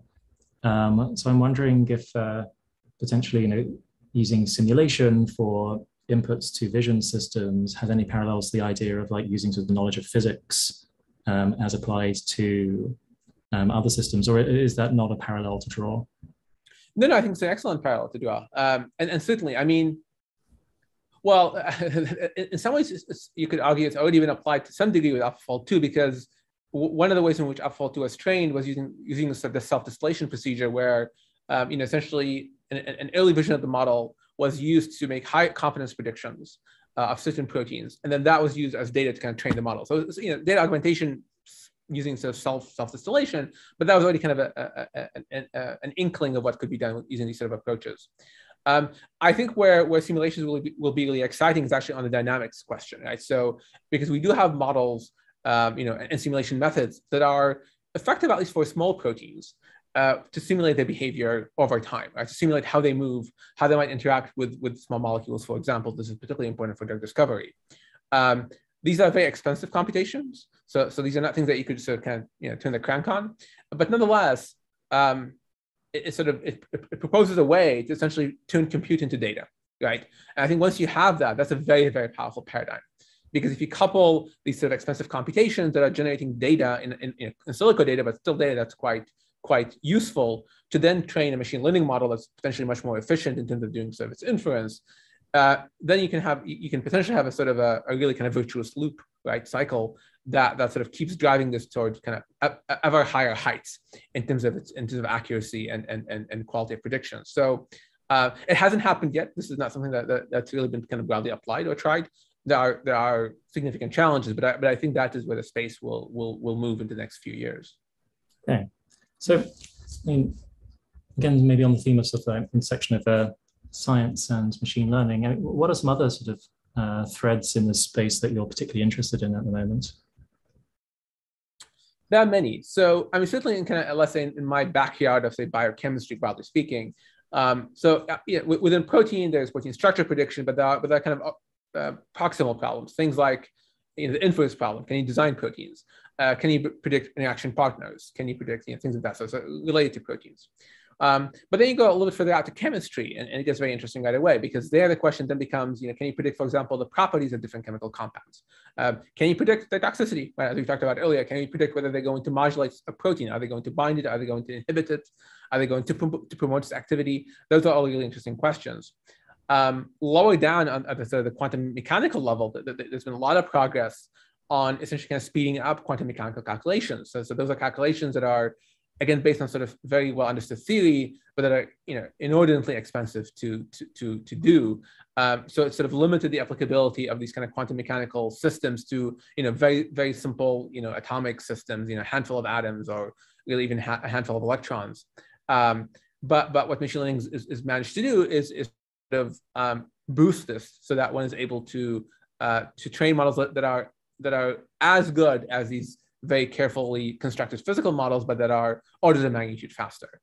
Um, and, and so, so that, that's sort of, you know, that's, that's one, one example which I think will have um, tremendous applications, not just in, in, in, sort of biomedicine, but even in things like designing, you know, small, um, sorry, designing new molecules for things like, um, you know, energy applications or, or new solar cells or, you know, types of types of new, new chemistries, essentially kind of material science type of applications. That I think is, is, really exciting um, as well. Um, and then beyond that, certainly not my areas of expertise, but I mean, there's been you know quite quite a bit of work in, in, in physics and in other areas. Um, just a couple of weeks ago, um, DeepMind actually they published a paper on essentially controlling a you know fusion reactor, um, you know a small fusion reactor using using sort reinforcement learning techniques. Um, so uh, my sense, I think this is true for DeepMind, but maybe perhaps even for the broader community as a whole, is that kind of hard science is being increasingly seen as a really interesting place to go uh, both because the, the payoff is higher, but also because it sort of exercises machine learning in, in new ways. Um, so I, I, expect the trend to continue. That's, that's very exciting stuff. I mean, personally, when, when I hear things like this, I, I get a little bit more optimistic for the future, and maybe, maybe in terms of climate and that sort of thing, where there's there's maybe there's still a chance that we can tech our way out of this. Like, uh, uh, I know what's your, what's your view on that? Are we are we going to we're going to create some new organisms that you know eat up what we what we don't want and produce what we do? Like, like what, what are the what are the, what, are, what does it look like? What does it feel like? Yeah, it's an interesting question. I mean, I think it's very hard to predict, right? And, and partly because I think it's so, so certainly it feels to me like we have the, the, the, the, building blocks to create technology that is potentially very transform, transformative, right? For, for all these various problems, you know, climate, uh, disease, etc. Um, but at the same time, I mean, there are, there are challenges, right? Both sort of in terms of just kind of timing, I think the, the speed at which the climate potentially is changing, but also more sociological problems, right? I mean, things like bioterrorism and so on, you know, where, where okay, you create new, new toxic materials that could then potentially be quite problematic, right? So it's a bit hard to say what, what will win. And I think it, has as much to do with, with technology as it does with sort of, you know, the way we've arranged society, if you may. Um, and, and that, that I think is, is, is, sort of, again, like very unpredictable. But I, I do think in terms of you know, if we were able to sort of marshal our resources in a kind of a fairly ideal way and, and kind of coordinate across, you know, across within and across countries, I suspect the technology certainly is there. I don't, I don't think that there's a kind of a problem that's not insurmountable given what we have and given what we know. Um, it's just more, more a matter of, of, of, all the kind of the, of all the pieces falling in the right place at the right time. And, and that I think is, is hard to predict. Yeah, indeed. Yeah. Do we have any, know, is there any, um, do we have any measures? Like, are there any sort of like concrete sort of observable effects of like um, machine learning applying to science? Like, have we seen accelerations in certain scientific areas, or is it still sort of at the like possibility excitement stage? I think so. I mean, I think it was at the possibility stage, you know, up to a year ago, year and a half ago. I, I think what we've seen now in multiple areas, but but but I, I would certainly pick protein folding as maybe the, the, the, kind of the clear shining example. Right? This is one area where it's a problem that's been a knot for decades, right? And, and I think would, it would have remained a knot for at least another decade or two. Uh, it, it, it's something that we thought maybe in, in 2040 we'd be able to kind of compute our way through it using kind of brute force. Um, but we saw this kind of massive acceleration, uh, you know, using using machine learning. So, so I, I, this, I mean, you know, like I said, it's a break, breakthrough of the year. So clearly something kind of Nobel Prize worthy that, that was done. Um, and I, and I don't see any reason why this cannot be replicated in other areas. The stuff that I mentioned in infusion, those areas, again, not my area of expertise, but I think it's a bit more, say, early days. Um, but, but the ingredients, at least for the biochemical applications, are there, right? I mean, it has to do with, you know, with data. Um, it has to do with sort of, you know, having some understanding of the underlying, uh, like, kind of biophysics, um, and having the, the, will to sort of, you know, build these models. So, so all of that is there, I suspect. Uh, so, so I, I do think things proximal to this space. I mean, that, that I, I, can say with I think with certainty, we'll see we'll see substantial improvement over the next 10 years. I think the field will look dramatically different, almost unrecognizably different uh, in 10 years from now. You know, uh, the field being, being you know, anything having to do with molecular biology and, and, and you know, sort of related areas, uh, because, because this will just kind of percolate through all those various problems that haven't yet been solved, but we can just kind of see the answers now, uh, given, given the breakthroughs in protein folding. Yes. Actually, maybe speaking of like, so some of those that maybe areas, of problems where we haven't quite got the answers yet, but we can sort of see a path forward. What are the, um, what are your, what are some of the most interesting like open problems still? Like, you know, what what can't we do, but we're real is probably the next thing to work on. Yeah. Um, so, so you know, so one class is sort of other types of molecules. So it's like RNA, for example. You know, we, we know RNA takes on a 3D structure. Uh, we, we know it's functional. It also behaves a bit like proteins. In fact, we think that early life relied on RNA as its sort of work, you know, as workhorse machinery. And it wasn't until later that proteins actually evolved. Uh, and, and, and we, we see we see evidence of that in our own in our own genomes, where you know, for example, the ribosome is, is actually a kind of a riboprotein machine. So it's comprised it comprises both RNA and, and proteins. Um, so being able to do the same thing for RNA proteins will be will be very exciting. Uh, it's it's more challenging uh, in part because we understand a lot less uh, of, of of RNA biophysics, but also because we have a lot less data. So while in the in the in the protein case we had maybe something like fifty thousand say unique protein structures, uh, that, that were very crucial for, for training these models. Um, on RNA, it's probably more like a few hundreds. Uh, so, so it's a much more of a low data regime kind of kind of task. Um, in the protein problem itself, there are really interesting questions that still remain kind of outside the purview of, of AlphaFold. So, so one that's of sort of kind of immense biological uh, importance is the impact of genetic variation, right? So, so you know, we simply know that that our bodies differ in terms of their um, proteins, uh, we, we know they're called coding regions, and those regions have, have genetic variations in them, both kind of just natural variation, but also sometimes somatic mutations that, are, that arise in, in the uh, course of life, and that could lead to disease. Uh, but we, but AlphaFold can't yet, and none of the really the current methods can model how a mutation is going to impact the structure of a protein, not not reliably anyway. Uh, and that that would be very useful, obviously, for, for biomedical applications. So that, that's sort of an obvious next step that I think a lot of people are interested in. Yeah. So when you say it, it um, struggles at that moment, um, what, what what is the what is the failure mode, or like why can't it get at that um, the impact of a mutation? Yeah. So it, it, it, has in part a little to do with how it actually works, how AlphaFold works. Um, and, and, and, many of those methods, not just AlphaFold, but essentially a good chunk of the, the field relies on this idea. So, so the idea is that you, you're going to predict protein structure essentially by looking at what's called coevolution. So, so you look at um, similar proteins to the one you're interested in, and you observe how different amino acids in those proteins co-evolve, how they change in concert with one another.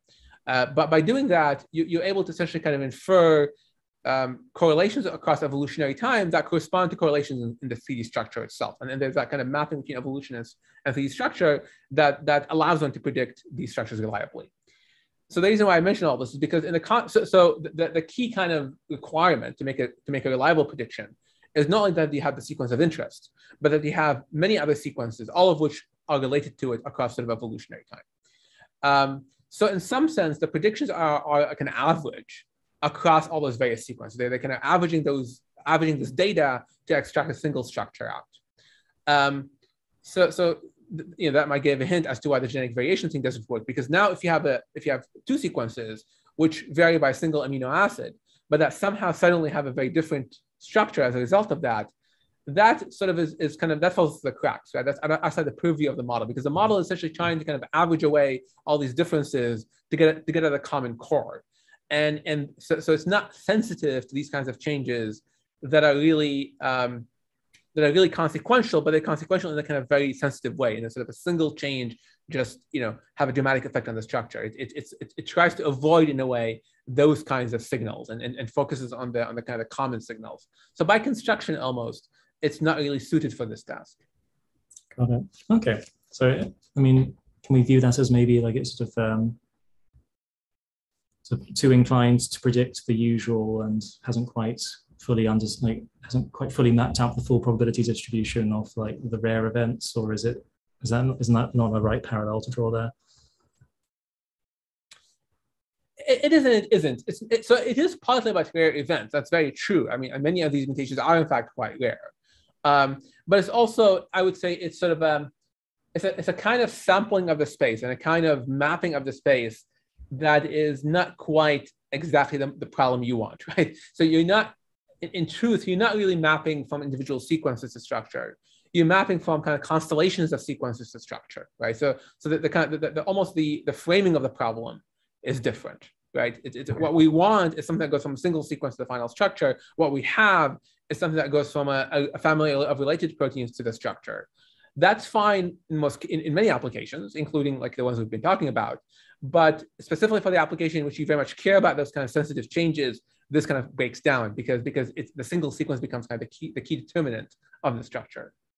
Got it. Okay. So, I'm just got, we've got a couple of questions coming in. So let me just take a look at some of these. So I have one from Jan.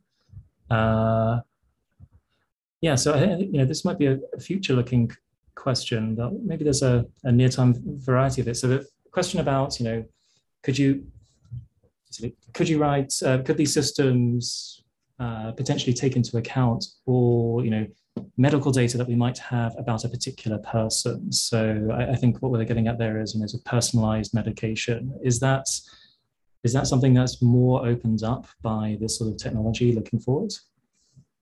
I think so, and and, and I think it's the kind of application that it's one of those things I, I talked about earlier. It's a, it sort of begins to point toward things that are maybe possible, but that we hadn't even sort of considered before because they just so, they were so out of the realm of the possibility in a way.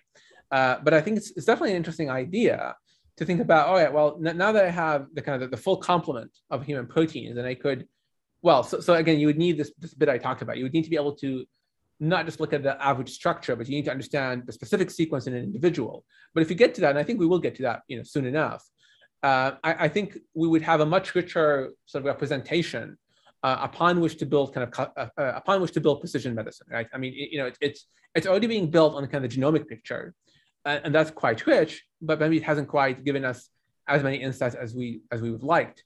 Um, but, but I think the kind of the kind of the protein level is is yet another is yet another degree of sophistication that is much closer to things like disease. It's, it's, it's not obviously quite the same thing. You still you still some distance away from that, but you're much closer to it than you would with just pure genetics.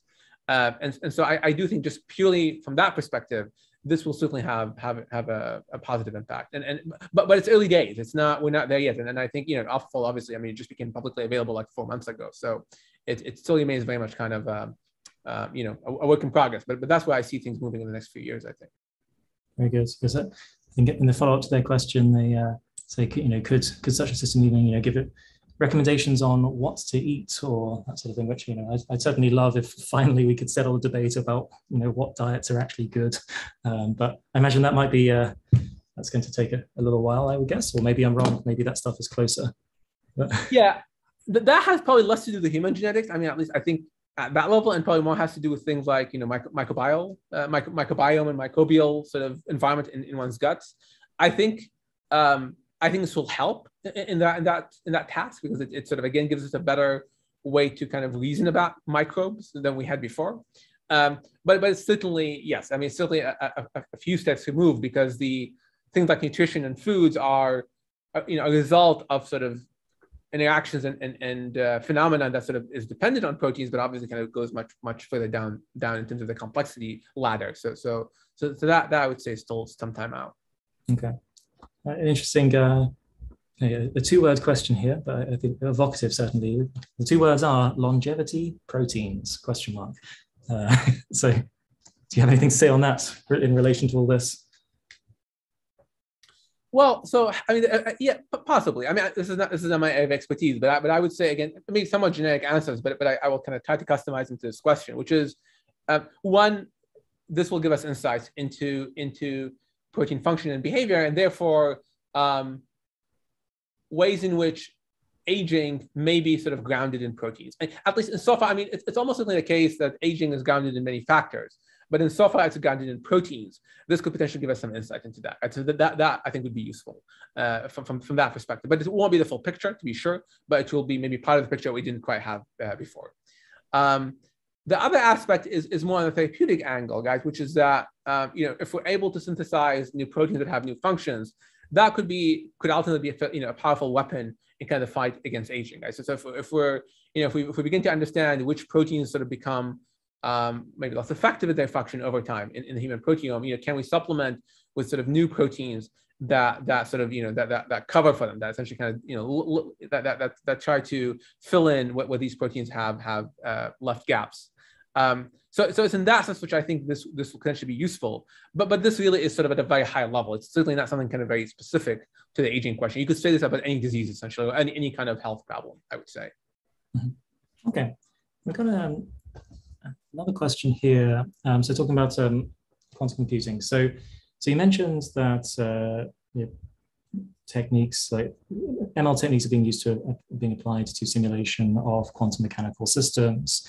Um, maybe turning this around, it's uh, are you obviously I presume there is research into if we get quantum computing really going, how it could be applied to, for example, protein folding. Um, is that something that you follow? Do you have some thoughts to share on that?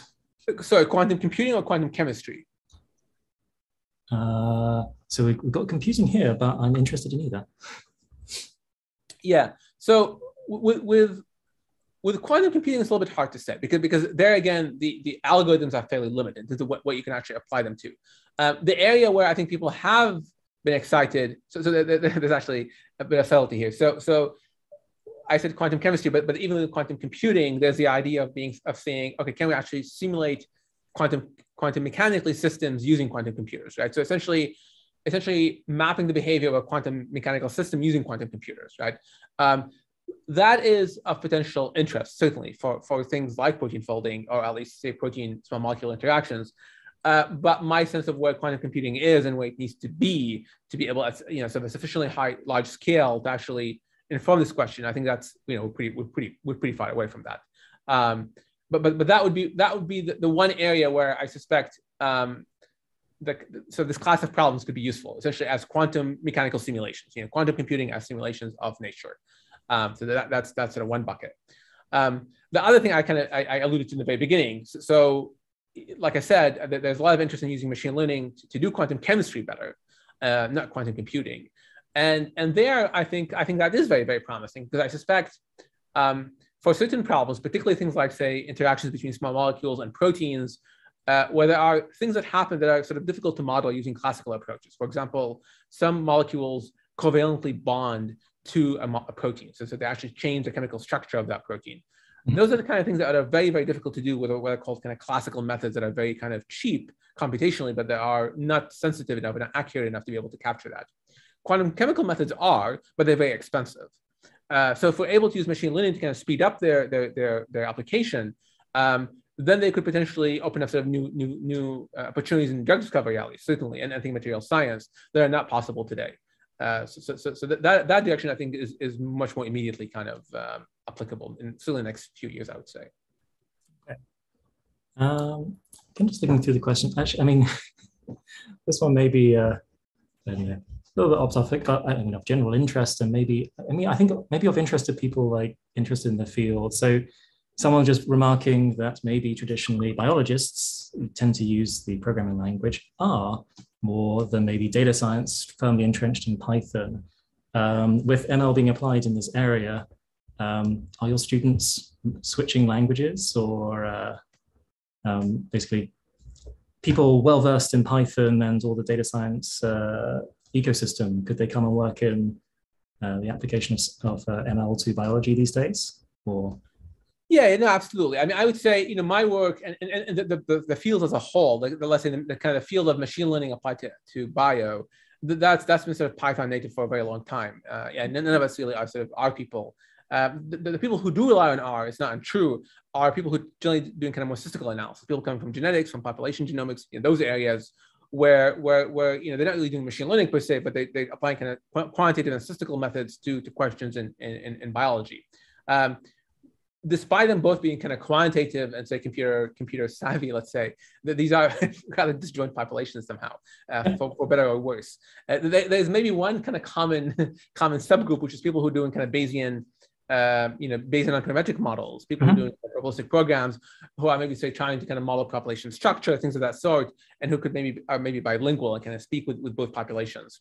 Um, but at least people in kind of my space, people who kind of thinking about say supervised machine learning, kind of classically apply you know, deep learning, those kinds of things, um, um, we're, we're, also you know Pythonistas, I would say.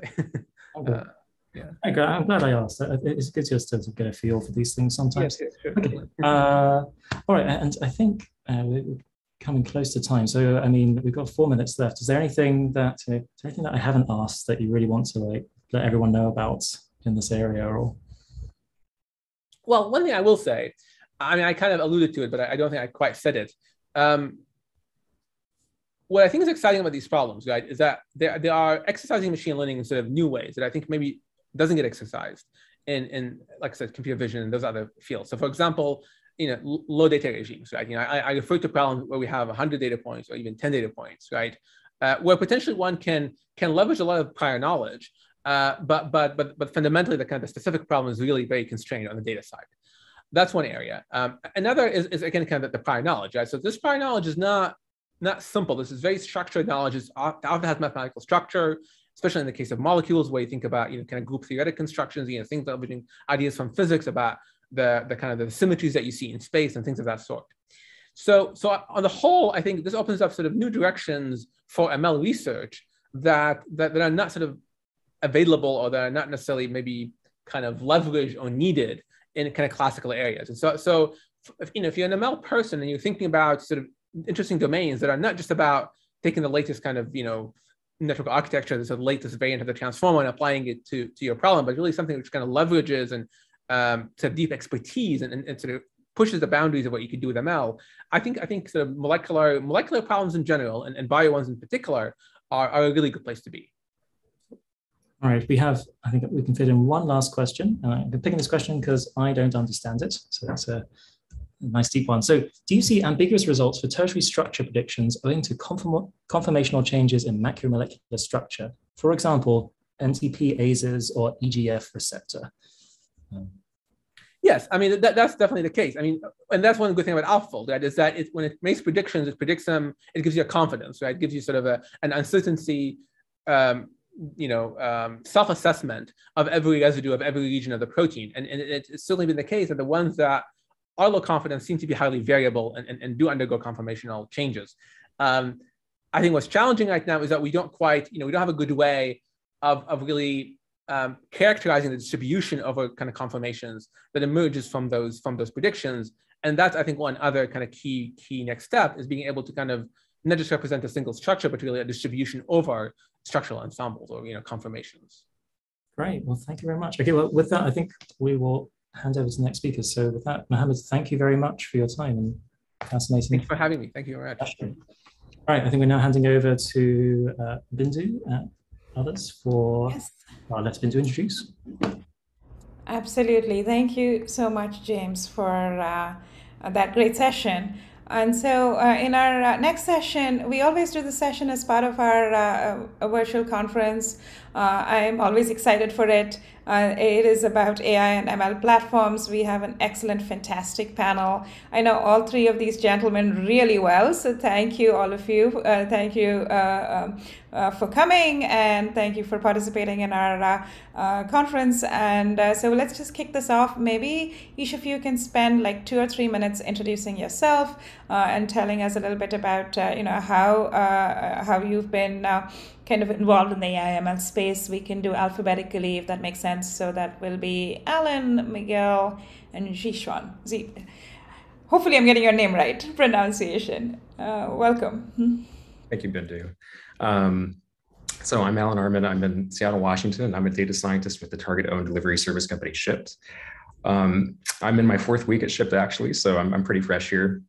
At Shipt, I lead and manage a data science team responsible for predicting uh, the fulfillment time for different stages of our driven orders. Um, so Shipt, you know, if you think of like Instacart, uh, DoorDash, uh, for Shipt, you know, we have both shoppers and we have drivers. And what I'm responsible for is on the driven side, and understanding how the different um, legs of that journey uh, work and how long does each one take. Um, before Shipt, I previously worked at DocuSign in customer success operations, developing uh, recommendation engines, um, and A/B testing systems. Expedia, I worked in ad technology, again, in experiment design, and developing uh, machine learning models that helped optimize uh, the ad experience. And before then, uh, the majority of my career, which almost is like another life now, uh, was with the Federal Reserve conducting macroeconomics uh, and policy research. Welcome, Alan. Hi, everyone. Uh, thanks, Bindu and Abacus for the invitation. pleasure being with you, Alan and Juan. So I'm Miguel Paredes. I'm a VP of Data Science at uh, Albertsons, and I've been with Albertsons since October, so just recently. Uh, before that, I um, I, I was in Peru working for uh, one of the largest conglomerates uh, with uh, 10 different industries within their portfolio. So banking, fishing, hospitality, mining, healthcare, insurance, etc. Um, just creating teams and creating value uh, with AI machine learning within the portfolio. So very much like a private equity fund I'm trying to just uh, do uh, value potential analysis and throw machine learning models at interesting uh, problems. Uh, had a lot of fun and then moved back to the States uh, just recently. Um, at Albertsons, we're basically trying to um, just create value for our customers through just machine learning, data science, and around the lines of personalization, around the lines of supply chain optimization, predicting out of stock, the usual things one does in, in retail. And I'm um, excited to be here. Thank you. Uh, hi, everyone. Uh, my name is Xiquan. Uh, I'm Senior Manager for the Recommendation Data Science um, at Home Depot. Uh, so I have been with Home Depot for almost seven years um, in, July, in June. Uh, so I have been working on recommendations since then uh, as an individual contributor. Now I'm the Senior Manager on the team. and my team is responsible for the recommendation and the personalization algorithm that powers HomeDepot.com uh, a lot of interesting work um, uh, happening in my group. Uh, I, I, would like to share that uh, in the later panel discussions. Um, before I joined Home Depot, I was um, senior um, engineer in, uh, at Qualcomm in California. I was um, uh, had the opportunity to play with deep learning very early on and doing many exciting research on computer vision at Qualcomm. yeah, that, that's my experience. Well, welcome everybody. Let's get started. I'm always excited to talk to practitioners. Uh, you know, it's one thing to talk to researchers, the other thing to talk to practitioners, and practicing and applying machine and deep learning is always like I would say, to, uh, you know, uh, is the hard is the hard problem, right? Let's start actually with uh, uh, uh Xiquan. I know Home Depot is one of those very, I would say, um, strange unicorn-like companies in the sense that you guys are applying deep learning in production uh, and you're doing it for what I think makes a lot of sense, right? Personalization and recommendation and search and stuff like that. Uh, I do th- uh, so. Uh, we would love to hear about what got you started on that journey to the extent that you can share? Uh, why is it effective? Because you know generally amongst data scientists deep learning has a bad name. I'm sure you've heard that too right? Uh, and uh, you know and why at least uh, in these areas it's uh, you know it, it, could potentially be slam dunk to apply these techniques. Uh, yeah great question. So uh, yeah, as I said, I, I was very fortunate uh, to be one of the first play with deep learning. So at, in, at Qualcomm, uh, 2013, and I went to the NIPS 2013. That's where um, I think uh, uh, Hinton was presenting the AlexNet work, and uh, Yann LeCun was hired into Facebook, and Mark Zuckerberg was appeared in NIPS trying to recruit their scientists to Facebook. So um, yeah, so I was very lucky to play with deep learning, but I wasn't very sure deep learning can be used in enterprise uh, setting um, because it's very computational expensive. Uh, but luckily, uh, Google published one paper about you know how YouTube used deep learning to uh, to power their recommendation. I was like, wow, uh, this this is gonna uh, this is gonna work. I mean, it works at a YouTube scale. It's gonna work at Home Depot scale as well.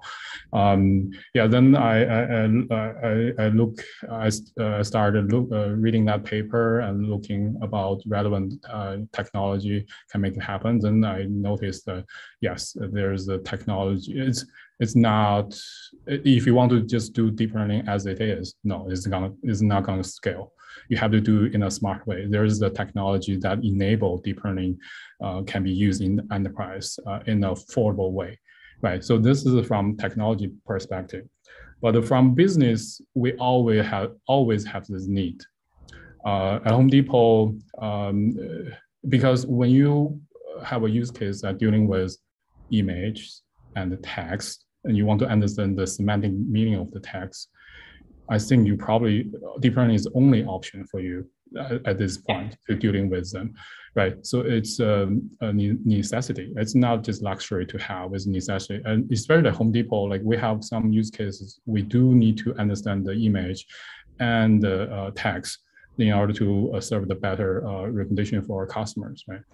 Uh, so yeah, we, we use it's deep learning is just necessity. It's not a luxury or good to have. Um, the other uh, reason is uh, a better customer service. That's that's very uh, to to the heart to Home Depot. You know, Home Depot when, when Home Depot was a brick and mortar store, that's uh, Home Depot's uh, secret to be successful as well, the customer service in store. Uh, but in the e-commerce era, uh, how do you do customers online? Right? So search recommendation, those digital uh, customer service.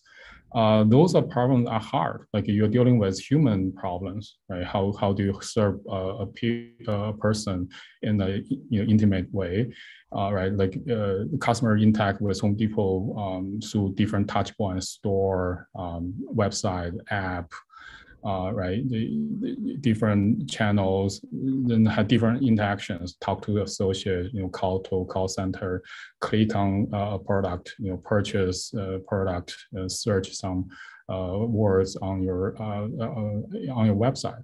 Those interactions, so many types, and they are their interaction are very nonlinear. How do you figure out? How do you distill signal, useful signal out of those multimodal complex interactions? I think probably today only deep learning is only viable technology to do that. Uh, therefore, I think yeah, yeah, deep learning is very useful to people at this point. Yeah. No, that makes sense. Uh, what you're saying is it's going to be inevitable. Probably like all every company everywhere is soon going to adopt it because there's no choice between language when you have language data or vision data, and it also is performant, right? In in, yeah. in the cases of personalization and things like that, which yeah. is great. Yeah. Uh, okay, let's uh, kind of switch tracks a bit, uh, and I'm like trying to actually really kind of go into your a uh, little bit into your backgrounds and like uh, ask questions which might be relevant. So let's go to Miguel, and I know Miguel was kind of leading up um, AI ML at a very large bank in Latin America. He decided to come to the US and join Albertsons specifically. So, Miguel, what made you decide on Albertsons? I mean, uh, it's kind of interesting that we have Home Depot and Albertsons, similar but so different. So, uh, uh, you know, uh, what attracted you to Albertsons? Huh? Yeah. Um, so, first of all, I, I was excited about joining a company that had a purpose that I could align to. So Albertson's purpose is to bring people together around the joys of food and to inspire well-being. And I really like that uh, purpose. And I think finding a company that you can align your purpose to is fundamental because you really like will bring the most to it, right? And and and you'll just find that you're working towards something. So I really like that. Um, the concept of well-being is something that's very important for me. Like, so the question of how can we uh, uh, promote and foster well-being for our customers, being a grocery chain, which we also have pharmacies. Uh, that was really exciting. Second, uh, joining a company that is transforming itself and pushing to transform an industry that was also very exciting. Um, Albertsons is investing heavily and has been investing heavily in technology and digital and customer centricity um, and data science. So just joining a company like that was super interesting. Um, and finally, I just was very excited to join a company whose uh, leadership team has both vision and ambition. Like the the ambition we have to transform ourselves and push uh, the boundaries of the industry are, are big and that was something that I was very excited from the CEO of Vivek to Chris Rupp, Daniel Krop, um, everyone there.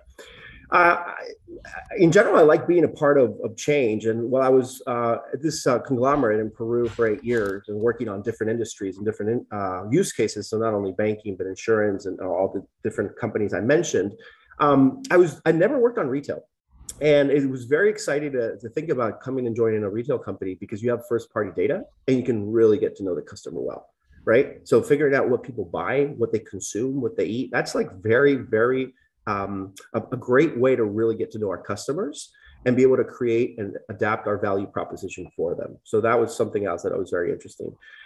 Um, and, and I think uh, we do. I, I could probably share a couple of things we're doing um, um, in the in the context of what I mentioned of really getting to know our customers. Uh, one of the most important things I think is personalization, right? Because what is important for our customers varies. And so getting to know them, getting to understand their behaviors, their spending behaviors, what they eat, what they prefer, how often, et cetera, um, that is super interesting. And we can really use machine learning for that to really personalize our offer, to understand those patterns. Uh, the other thing that we're working on and is aligned with our, our, our mission is how can we help our customers, if they want so, to live a healthier life?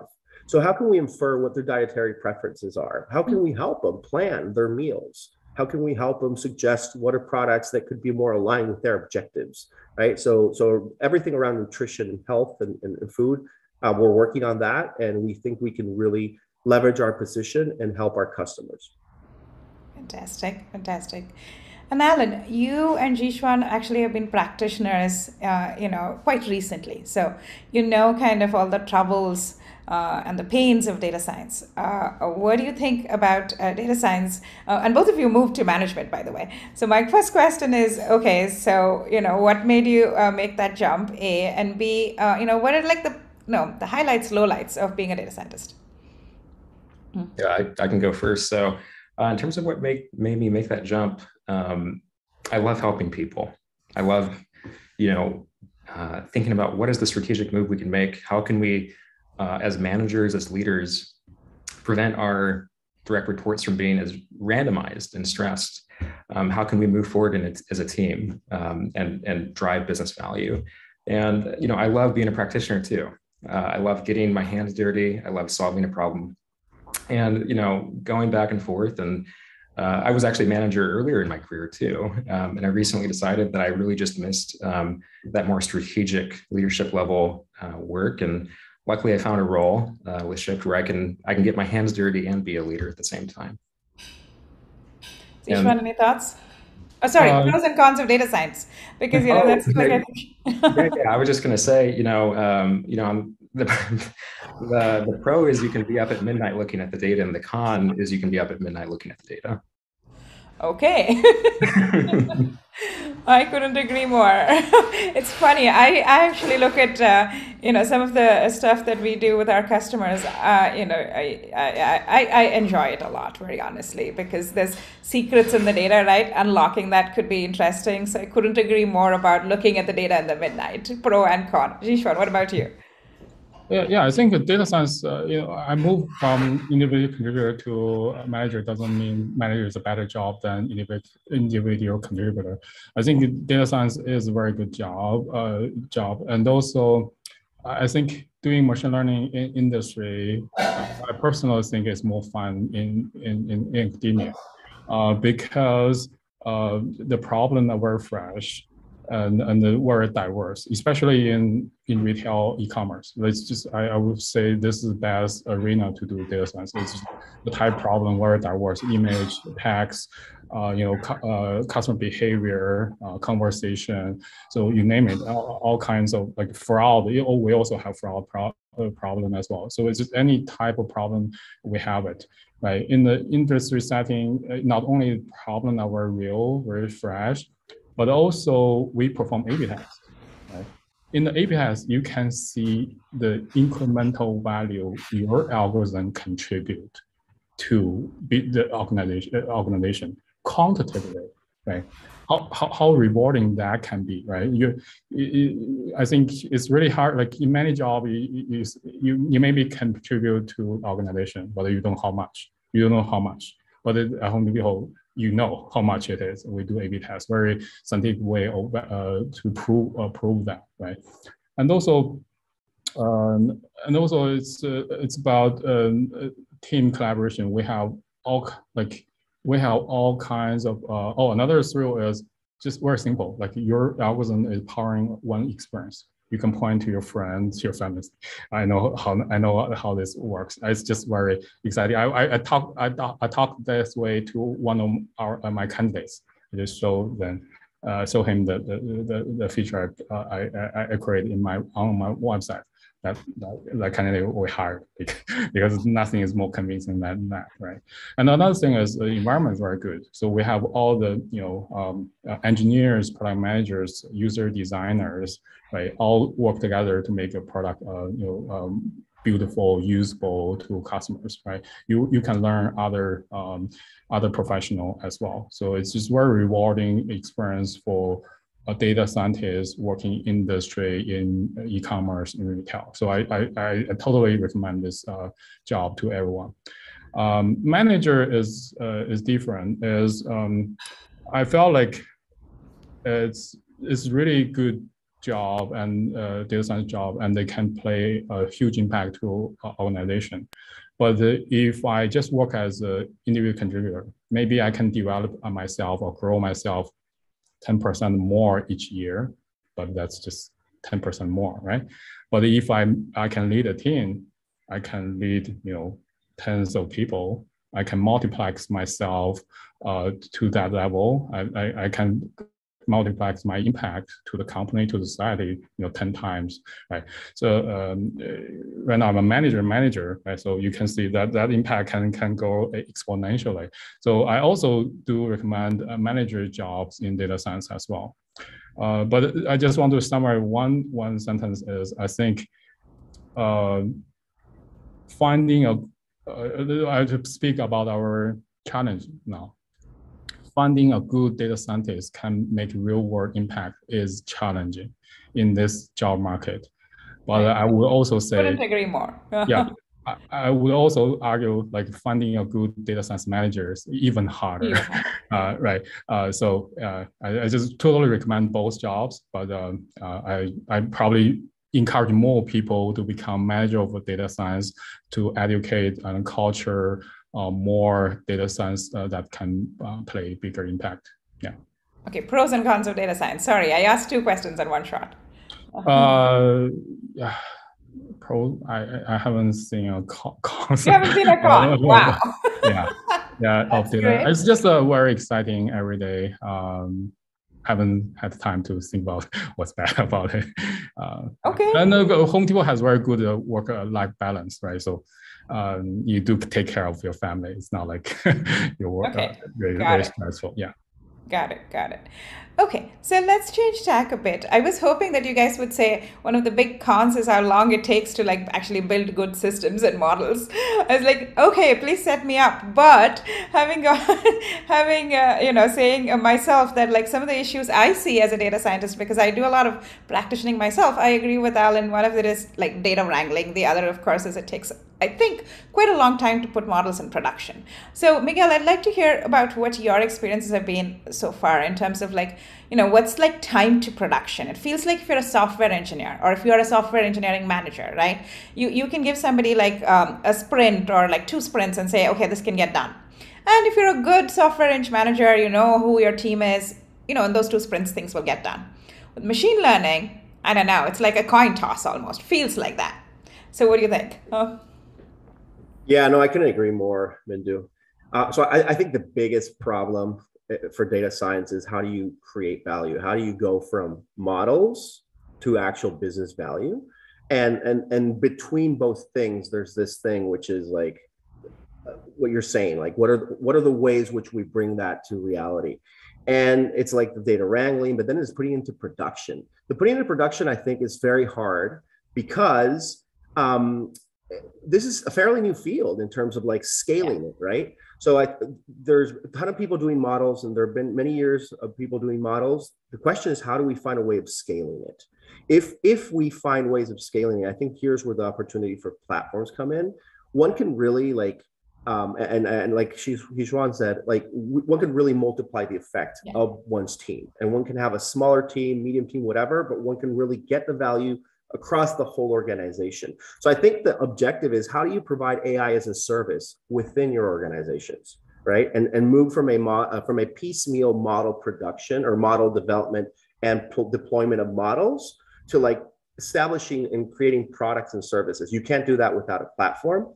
And um, and that's actually something that is is probably our, our, the biggest area of interest right now for companies like albertsons and others. And we're right now we're thinking of that. We're thinking of architecture. We're deploying like we're talking to different people and we're just trying to figure out what is the correct way for us that we can actually get these things we're developing the modeling into the hands of the users. And many times you don't want to put them you definitely don't want to put the models. Many times you don't want the users to even know there's a machine learning or ai model you just want to incorporate what you're doing into the decision making process, right? And or replace the decision making process because there's less uncertainty. So you just want to automate things, right? So so that they can do other stuff.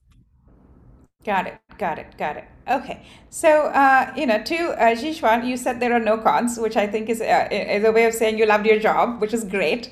So, tell me a little bit about, uh, you know, you got uh, to the extent again you, you can share like how did you set this up? You guys obviously do a lot of models. You have you have this at scale working quite well. What can you share? Because i'm sure there's lots of people in the audience who want to be as productive maybe as home depot has been. And then you also do research right? I mean you've got a few papers out there. So tell us more. Hmm. Uh, yeah, so uh, I say no con doesn't mean there's no pain points in data science life, uh, like data wrangling is. Uh, but uh, but what do you do about it, right? People talk about uh, data science spend 80% time in data cleaning. Yeah. But then what do you do? Like, do you accept that? Right. So, so thank you for the opportunity uh, for me to talk about data leadership in data science. I encourage people to uh, take more leadership uh, uh, uh roles in data science to push the field further. So we, when we heard about 80% of data wrangling, uh, that's true, but that's for a new use case, right? Okay. For right, but uh, we because that we established a platform team within data science team, right? We were trying to make uh, change that. Uh, for the first data science, look at the first uh, new use case. Yeah, it's true, 80% time. But if another data science also look at the same similar use case, right can that data science use the existing work, right? If you don't allow that happen, yeah, everybody 80% of the time. But if you can allow people to reuse, then it's not 80% of the time, right? That's when talk about leadership in data science. When you see some uh, uh, pain points in your everyday life job, mm-hmm. can you change that? It's not like uh, accept. Can you change it? So the next generation data science, they will not suffer this, right? Um, so yeah, so we, we do have platform in the team very early on. This is before machine learning ops. It's, it's not because we're smart. It's just we we don't we cannot bear the the, the pain in our uh, job. So we, we create that uh, organization. So platforms are essential. Alan, uh, what about you? New company Shipt. Is that also a platform friendly company? Yeah, I, I, would say we're very big on uh, building out internal platforms. From what I can see so far, um, there's a lot of you know massive ambition uh, in terms of tooling, um, both actually both internal and external. Um, and you know to kind of echo the point about the 80-20, it's not you know from my own experience, it's not just new use cases; it's also new hires. Um, if we all kind of think about our experience as being new hires, especially on the practitioner side, and we're going through a new project um, our time is often consumed by simply trying to understand what the data even means. Uh, we go through so much documentation if there's if we're lucky enough to have documentation. Uh, we probably Slack message people we don't even know across the company, asking what is this field, where is it coming from, what is the business context for it, and then we spend time looking through data warehouse source code too to really understand uh, the how that how that field is populating. Um, and so, I mean, there's just so much time there on the data discovery side that I think we spend as new hires and and and then into new use cases. Um, and there's so much room, I think, across the industry to close that gap uh, with platform type technologies. And I think um, for an ML platform, especially on like the uh, just before model development or at the model development stage, uh, there's a big opportunity there to help surface data issues uh, to the user um, like showing the distributions for every feature or saying, hey, maybe there's data leakage going on yeah. that you don't know about. My top feature right now. I mean, of course, uh, I mean, I think most people in the audience probably know uh, this is, of course, from Abacus AI. We are a machine learning platform.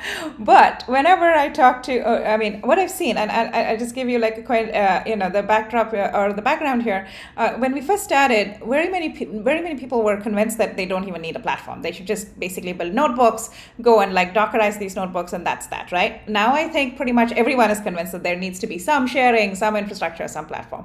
And then uh, I will just uh, mention to you recently, uh, I had a chat with uh, Dropbox, uh, and Dropbox is very well known. This is public. Uh, they don't even use the cloud, not because they're not tech forward or something. they went to the cloud and then they turned off cloud because it was much more expensive for them to use AWS than not. And now, guess what? They've written their own data warehouse as well. They don't even use Snowflake or BigQuery or anything. So my question is around build and buy. In the ML platform space today, I see quite a few people going, you know, in one direction and I think a significant number going in the other, meaning there is no winning direction here, right? Yet it feels like a lot of people are building in house, some people are choosing to buy. Uh, what do you think? I mean, how do you think this will allow, uh, evolve? Let's start with Miguel on this. Like, you know, you you know, how do you think it is? I mean, am I summarizing that correctly today? And then, you know, what's the future going to look like? Hmm. Yeah, no, I totally. Uh, I think you're summarizing correctly, I, and I think it's really dependent on the baseline of the different companies, right, and the the capabilities they have. Um, and I think it, many times it has to do with time to value. Like some companies like could develop it internally, but they the time to value of acquiring a part of a platform because I think the ecosystem around or the platform, the conceptual framework of MLOps and in general, uh, what you need to really deploy ML and AI is big, has different parts, right? Um, and I think one has to be smart and figure out what parts could be developed internally, what parts could be outsourced, what parts can be outsourced and then uh, brought in internally. And I think it's it's uh, it's a time to value question. Um, so we're we're looking at it like that way. We're looking at what we can do internally, but we are probably going to be heavy be uh, heavily dependent on partners, just because we believe that um, at least in the beginning, a lot of uh, what's out there can really help us uh, change what we're doing now, and we need to move quickly. Because in the end, the, like the customer needs certain things that we can't necessarily provide, so therefore that's why we need to move quickly. And the question will be then, how much are we spending? And the alternative of doing it internally, what's the benefit? What's the cost? Um, the the cost benefit of doing that uh, versus working on some other value uh, opportunity. I think that that's that's kind of like the framework we have at least. Makes sense to me. Alan and Xiquan, how how do you guys think about it? Yeah, you know, I think the question in terms of build versus buy also goes back to customer versus user right? The, cu- the customer, right? The business leadership, operational leadership, the user, data scientist. Um, and the business and operational leadership, you know, they think of low code or no code solutions that deliver on business dates quickly um, without necessarily like, you know, scaling to so many data scientists or to so many engineers to support that. And then, you know, it also reflects on the customer side, data scientists who want cutting edge tools to accelerate uh, their work. Uh, there's the infrastructure work- workload, um, but still allows them to get their hands dirty and feel like they're being technical. Um, and frankly, like there are some data scientists that I know that very much prefer to build everything from scratch, but um, you know, I'm starting to see a shift in mentality. How many practitioners use sklearn and don't write the underlying code for random forest themselves, right? Um, there's a reason these tools are useful. Um, and at their best, they allow the data scientists to focus on the cognitive, non-routine work, the art of crafting that model. At their worst, though, these tools um, they may be workhorse tools and libraries, but they can sometimes uh, make us fly blindly um, if we don't have a strong theoretical foundation. And so, you know, more and more, um, I think data scientists are going to have to realize that conducting data science research doesn't necessarily mean that you wrote any of the code for their algorithm yourself, but it does mean that you know how to use the tools and not misuse them. And on the flip side, on the on the business side, um, you know, the business leadership needs to know that in order for this tool to be used well, it has to be a data scientist at the steering wheel. Okay. Yeah. Makes sense. Yeah. So uh, my thought on this, uh, first of all, yeah, I agree. Is uh, you know, uh, speed to market is uh, the most important thing, um, but it doesn't mean you know uh, buying from vendor is the the way to uh, you know, uh, shorten the speed to market because you know uh, sometimes vendor can be slow as well right for, for certain certain uh, certain certain things right so, so right uh, so so it's in, in-house and the vendors that, that's why both both methods are used by each company uh, because the, the, each company trying to speed uh, the, the speed to market, shorten the speed to market. That, that's why different company choose should I use vendor faster or in-house faster. Right? So I think uh, um, this has been uh, talked about. But I want to talk about two other aspects. Is I think this is very healthy phenomenon, right? That means you know uh, you know AI is uh, is bringing value to a society. Therefore, everyone want to contribute to it. There are different solutions. Uh, that's great. A very healthy phenomenon. Um, another point I want to bring is actually, I think data science is very still not mature uh, profession. Uh, we we don't know what we need eventually. Uh, so that there's some involvement uh, down the road. Uh, right now, we focus on might not be the, the we need in the future. So there's a little bit of uncertainty on that as well. So that's also cause you know in-house uh, vendor and different vendor solution, etc. Yeah.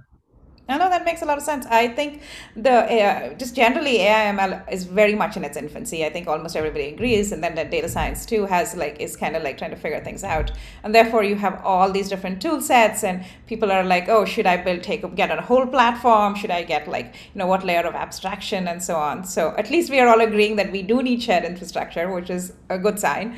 And now the question becomes like, what does that look like? And that's early on, uh, and it's early on in its evolution. That all makes sense to me. So so, I mean, let's talk a little bit more about the platform versus uh, kind of like, um, you know, we're, we're basically having this build versus buy debate, uh, which I think uh, is a good one to have. But one of the things I have, uh, you know, at least experienced, at least from, you know, kind of my, uh, I, used to uh, work at Google, and Google, as you can imagine, is just a build, build, build company. there is no buying, right? And then if you look at Netflix, it's actually a much more modern company in some ways. and they're a lot more like a buy, buy, buy company, weirdly, right? I mean, they they built everything on um, AWS, and so um, so I, I do think the DNA of, of each organization is different, and that makes sense. Uh, I guess the question for all of you guys, because at some level, all of you are data science managers, right?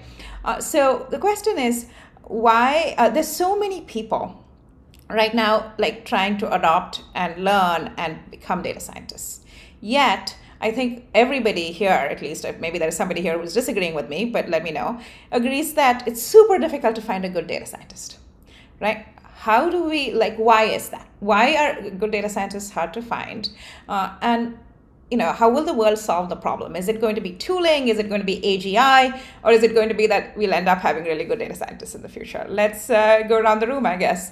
Uh, maybe Miguel, you can start us off. Hmm. Sure. I, I think I would take a step back and ask, what is a good data scientist? And I think what is a good data scientist is, is, is dependent on where that data science needs to be, right? Like a good data scientist is probably different at Google, at Facebook, at yeah. Albertsons, et cetera, right? I think there's different dimensions of, of where one is good technically in terms of soft skills, in terms of like the the, the values and character they have, the uh, the purpose they have, et cetera. For us, like what we're looking for is data scientists who obviously the minimum, uh, like there's necessary conditions and there's sufficient conditions, right? Necessary for sure. You want people who are really good technically speaking, correct? But then you want, like, I think many times data scientists are not good data scientists, not because they're not good technically, just be, but just because they have not learned or they don't like to work in teams. I'm not generalizing, um, and or they don't necessarily see the importance of value and time to value, right? So, so in their objective function, that's not there yet because they're very focused on um, just like optimizing and getting that extra AUC or precision or whatever. So let's if, if if i say that a good data scientist has all the qualities that we as a company want i would say it's so hard just because there's it's such a hot market. There's such a need for talent. And and i think that just requires organizations to really understand what it is they need and how do you search for them. Now once you bring them in um, the question is how do you enable them to create the most value? And i think that's where that's where having tools that you can eh, independently of in-house out-house like whatever like having tools that they can use kind of like jarvis kind of like iron man like uh, like what are the suits and the tools that you can give them to really multiply what they're doing and scale it and have these network effects within the organization. Okay, yeah, makes sense. That makes sense. Uh, Xiquan or Alan? I don't know if I, I don't know if I'm having like an echo. If I am, I'm going to mute. Yeah, I think I heard a little something, but uh, yeah, I can go next. You know, I think one reason uh, it's you know very difficult to hire, you know, to say quote unquote good data scientists is uh, the fact that even with a strong academic background, you still need a lot of years of experience to go through different projects. I think as Miguel was getting at, going through and getting that business sense uh, for how to interact with stakeholders, how to communicate your results effectively to both technical and non-technical audiences. Um, in financial investment, they have a formula uh, that relates to you know what a financial investor uh, can achieve or like how how talented they are, and it's a function of the square root of how many projects they've managed, how many investments they've gone through. Um, and the same is kind of true across other fields too, like data science. You need more and more projects under your belt to understand what you learn in academia and how it applies, um, and what you know what sort of nuances come up in the real world. Um, and and that's so hard to get. Just you know, um, and having having somebody come in uh, with that background is invaluable. Having them know how to look for those nuances, uh, for those you know, for those mistakes in the data, as we talked about, like data discovery, that requires maturity, a big, a big level of maturity to do right. Um, yeah, so uh, from me, I think uh, uh, I have three points. First of all, like data science is hard because what you do is trying to use the algorithmic uh, way you are to train the world, right? You're trying to make a business impact in certain area right? It's hard. Like making a real impact is hard in general, no matter data science or whatever. It's just hard. Uh, therefore, the, the bar for the, the the talent is high. So therefore, it's it's just really hard to find good talent can solve uh, particular uh, real world problem in certain domain, right? So that's one aspect. The second aspect is uh, the data science, um, uh, and also it's probably uh, data science, you know, today it's not like data science is Superman can do anything. Usually it's you need to work in, in a team to make things happen, right? So therefore the, you know, th this is not necessarily taught in school. There's no such environment for, for students to be in, immersed in that environment. Like how do you work with totally different things like UX research, usually they from art school or something. It's just, it's not, not uh, interact with your, your student life, right? So that's also make it tough. Uh, the third point is probably uh, from industry as well. Uh, there is a barrier between academia and the industry. The, the industry has certain problem, but uh, for various reasons, they don't want to disclose their problem. Therefore, academia don't don't receive those problems solved so academia, they, they come fund their own problem to teach their student, which not necessarily align with what the industry need, right? So there's a gap there as well. So I'm also working on uh, effort. Uh, actually, next week is uh, uh, to talk with some university uh, people to how to uh, establish the relationship between uh, make bring the gap to uh, smaller. Right? How how do we uh, co-educate a student? How do we uh, increase uh, research collaboration with universities? Uh, yeah, I think that's the, another piece um, uh, could, could, could contribute to this um, phenomenon problem yeah no makes sense i mean what you're saying is data science is hard the academic programs aren't really like equipping equipping them for real life problems. Uh, and so and then uh, in, in, general that just uh, makes the whole uh, problem much more difficult. Uh, so let's get a little bit more kind of like um, into uh, like the kinds of problems you guys are solving in your organizations like the com i mean i like calling them common enterprise ai use cases. Maybe common it may be specific to you. And i think a lot of people talk about like you know when you look at the ai community we're all talking about like like uh, NLP and vision and whatnot. But then real world problems, a lot of times I've seen at least, have to do a lot with like structured data, right? Churn reduction, huge benefit to the company. Uh, personalization, super huge benefit. So um, I, I, think for each of you, like, what are your five top AI applications? If there are not five, you can go with whatever number you've got. Um, in in your organization or in the past which you think will be kind of the big and shakers in terms of the bottom line uh, miguel Sure. Uh, so maybe this time we go Miguel, Xiquan, and Alan. Change it up. so um, I, I, think all across the uh, uh, customer relationship uh, journey, right? So acquisition, um, correct risk or pricing. Uh, so so how do you, where do you find your clients or customers? Like how do you price correctly if you have a service or like product? Uh, how do you um, increase wallet share? Like how do you create more value for them so that they will give you more money? Um, how do you retain them? And and I think uh, if some leave, how do you win back? Those are kind of like the the five that we have, uh, and I've, I've had in the past as well. Like just like how do we just get our customers, make sure they don't leave, and then there's like other stuff around like uh, customer service, right? How do we use NLP and vision and like uh, uh, audio? How do we really learn what our customers' pains are and what are we what are the pains we're generating on them in terms of customer service and how would we really mine that space to be able to really change our offering for them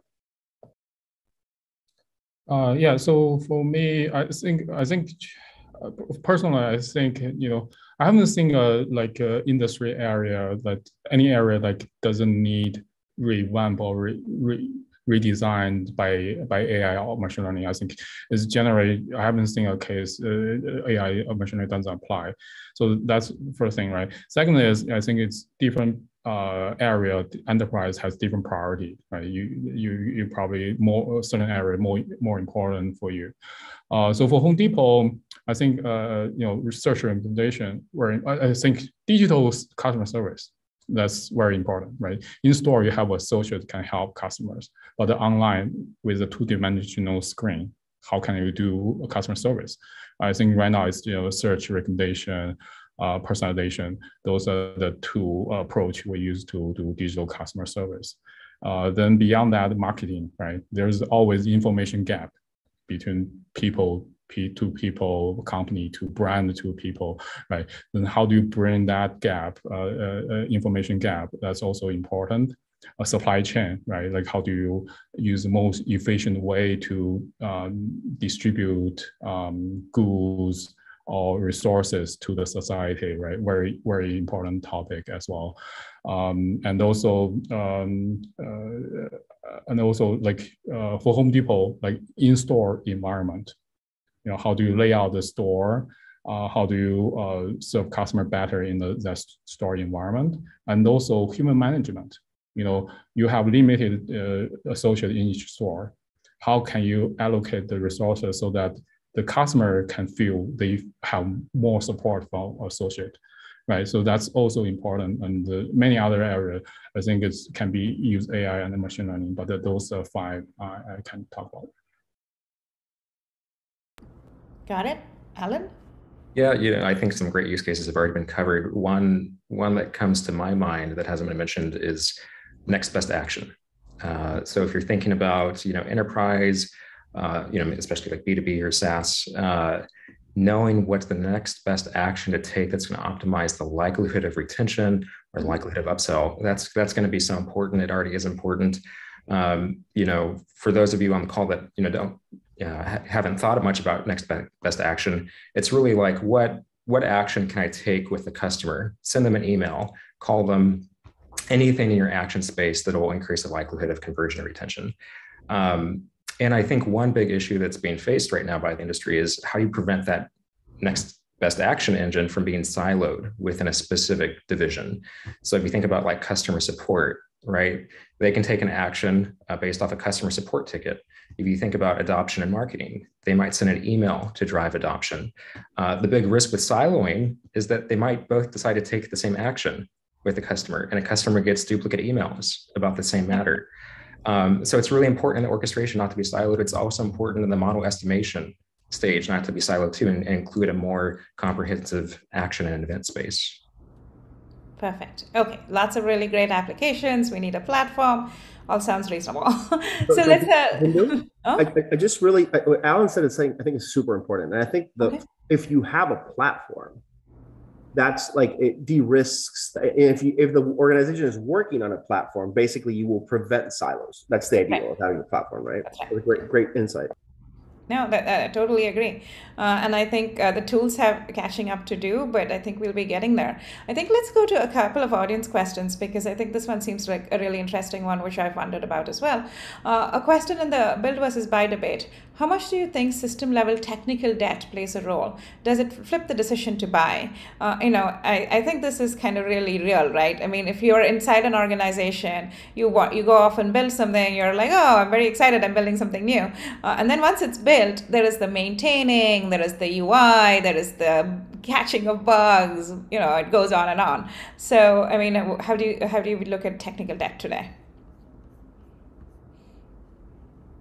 Anyone want to take the question? Oh. So I'll, I'll talk about my previous experience. Like technical debt is like the skeletons in the closet, right? It's like this thing like nobody wants to talk about, and like we just push back, and but it's so real.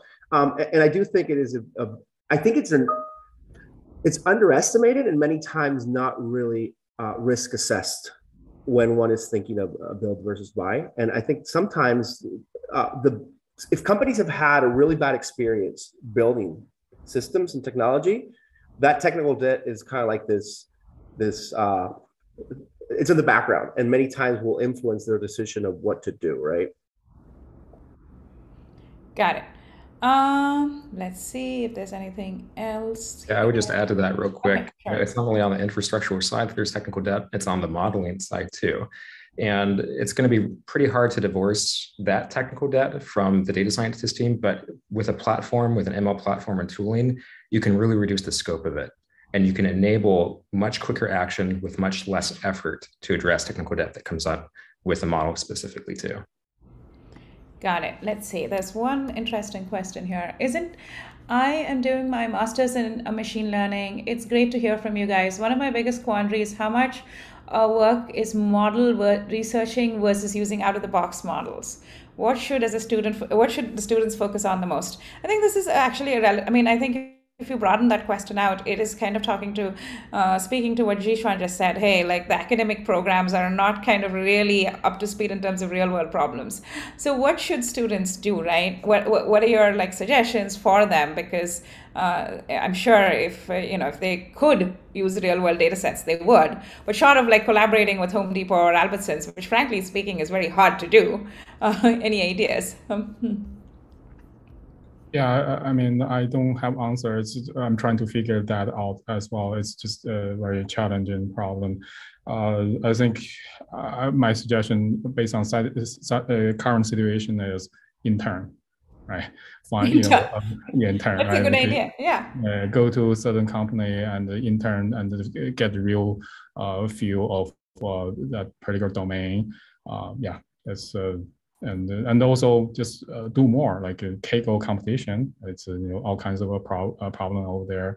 Uh, practice more, um, do more, yeah, and learn from learn from the best people. Like uh, oh, oh another oh great idea is go to data science conference. I I I, I am telling people don't uh, don't have like just search on Google top data science conference and go to those conference. I think this is one of the benefit from COVID is you know all, all the data science conference become virtual uh, or at least have a virtual option. Well, the ticket is 100 200 bucks right? Go there and uh, listen to the best in the industry what they are working on what their challenge. I think this is very direct uh, very very effective and cost effective way of uh, learning uh, learn uh, be, be more prepared for industry jobs yeah, I think there are kind of two parts to this question for the out of the box versus the researching. Um, yeah, you know, the more the more and more you progress in your career, you're probably going to start saying, "This out of the box model is going to do the trick. It's going to lead to a good V0 or V1." Um, and then, as we see business value from that first iteration, we can go through additional cycles. That's what you start to see more and more. In terms of uh, you know how you can ramp up and become more experienced, one one great um, experience that I had early in my career was going to meetups. Uh, there are some meetups where people get together for a couple hours, 20, 30 uh, aspiring data scientists and tackle problems. Um, one problem that, the, that I did that I loved was uh, how to how to optimize routes for a local transportation, uh, public transportation system. Um, that kind of those kinds of problems are so edifying. You do code reviews with people, it's really like uh, that team experience that people were talking about earlier. That's an important uh, part of maturing as a data scientist is working on teams and going to meetups and having that kind of experience is great.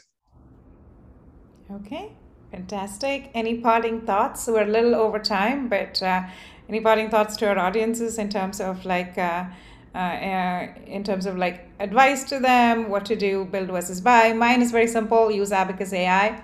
But what's yours? Uh, you know, uh, one concluding thought is, you know, about the benefit of ML platforms like Abacus. Uh, one big thing that you encounter is confirmation bias, right? As we go through model development, we all want the model to do well. Um, and you also see a lot of varied practices for model evaluation across different data scientists.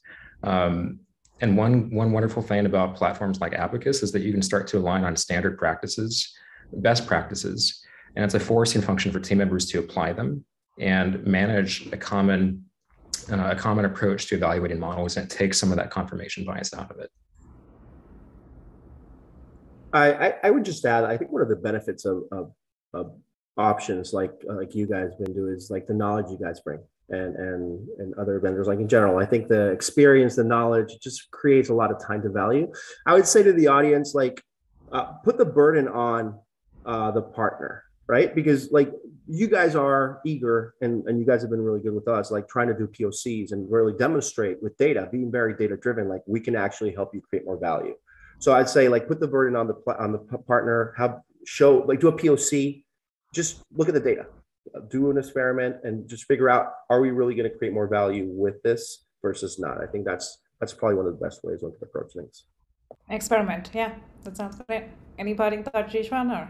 Yeah, yes. So uh, I think we're we're a little bit biased. All everybody come from industry, and I was very uh, promote you know industry uh, data science job. Probably I will say some say nice academia as well. So so like there, there are many professors. They are really great. Great. Right. Yeah, they, they see a problem very deeply. So they are solving some very fundamental problem in AI and the machine learning. We, I really appreciate their research. I know you know I'm working with many of them uh, to help uh, help my organization to uh, to make machine learning approach more practical, more robust, etc.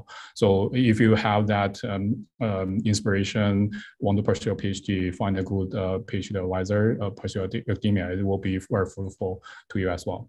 Uh, but then for um, uh, for industry data science job, you know, I just felt personally I like it a lot uh, because you can make it really, really, world impact uh, problem very diverse. I, I, would highly encourage you to do uh, data science practitioner in industry. Uh, the final thing is data science leadership. You know, I would say AI is very naive and data science is very naive at this point. Uh, I, I think uh, everybody should take the data science leadership role to make this field more robust. Um, theoretically, practically, uh, you know, uh, ethically, every aspect. Uh, please help to make this domain, uh, this professional real, data science professional real. Okay, with that very thought, we will wrap up. And also, just to talk about research, uh, we've got our head of research, Colin White, now uh, leading a session. Uh, so, Colin, uh, please introduce our next guest, and thank you very much, everyone.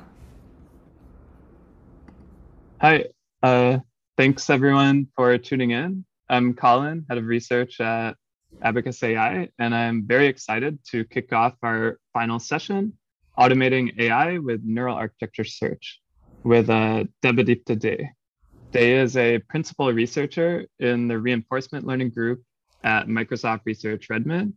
He received his PhD in robotics at Carnegie Mellon University, and his research includes automated machine learning, reinforcement learning, robotics, vision, and planning.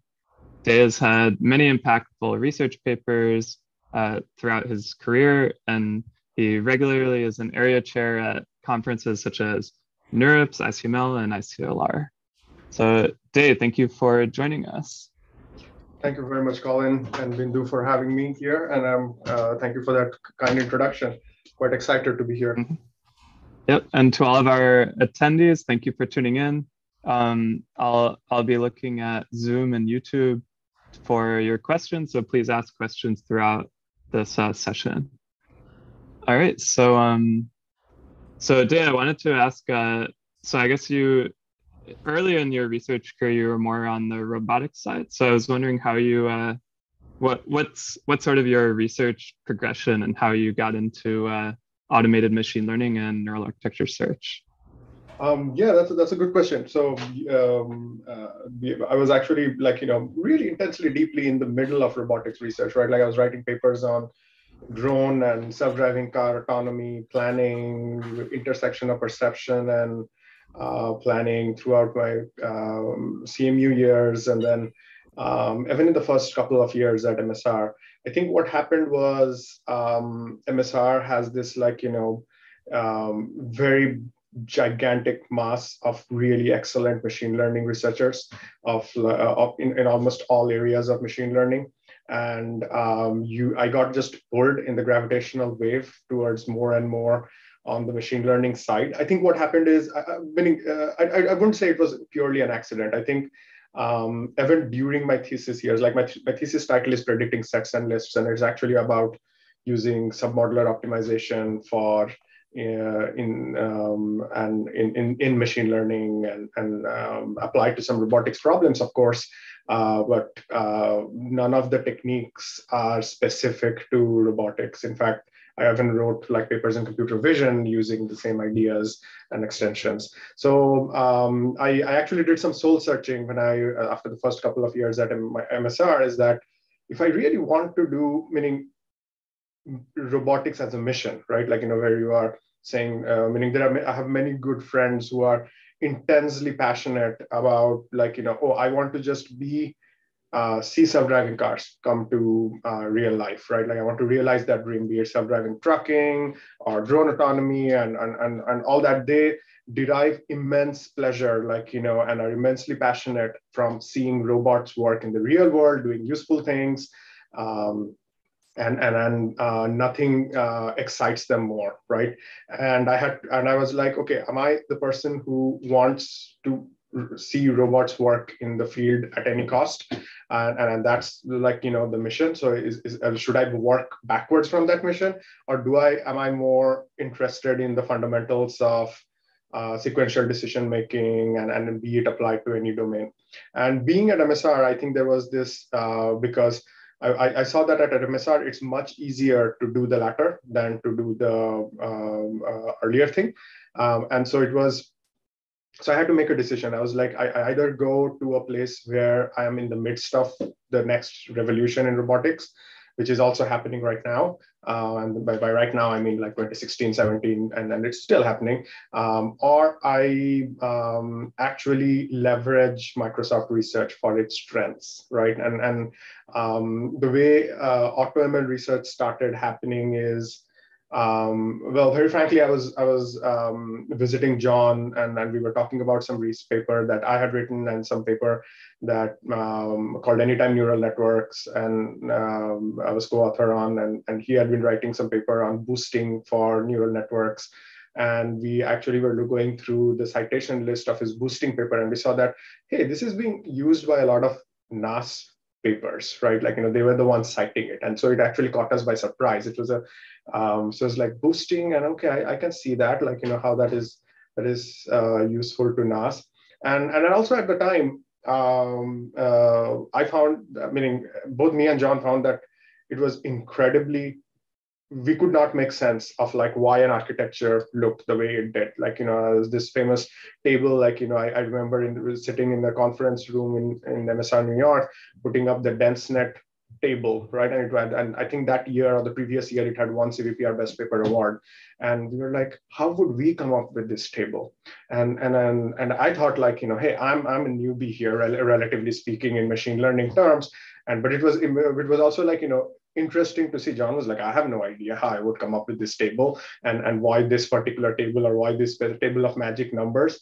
And and I also talked to uh, like other people who uh, were doing research in machine learning at the time far longer than I had, and and they, you know they, they all said like look this is empirical trial and error like you know yes there is intuition you build up and everything, and, and to me that seemed like a very unsatisfying answer. I was like I'm never going to I don't know what this magic intuition is. I don't have it clearly. Everybody else does, or uh, around me. So, uh, but uh, so so I think that's how was the motivation for AutoML because I personally found that I'm terrible at writing model.py by hand. I don't know what model to write down here, right? Like, you know, sure, I can download ResNet and fine tune it and whatnot, but um, that does not seem a very uh, fun research thing to do research in.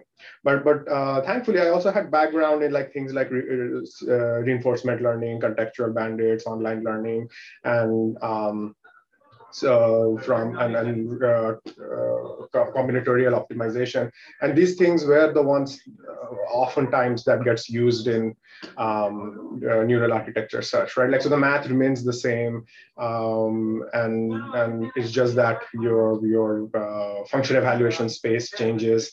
So these these was like okay you know what? I don't have to do actually much learning differently but it's a new fun problem. So it was also uh, refreshing for me. And and uh, strategically, it just so happened that I happen uh, Microsoft Research is situated inside a massively large company, and and, and that makes it very.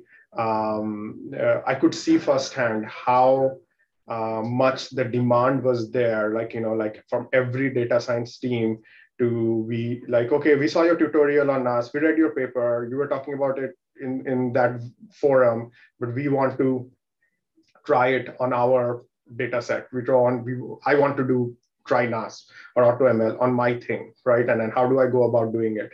And uh, so I could see that there was, that this is going to be uh, big, right? And, and I, I could see that this is also probably the future like like there's this quote from john that um, really inspired me. He used to say that you know back in the 80s we used to all write decision trees by hand.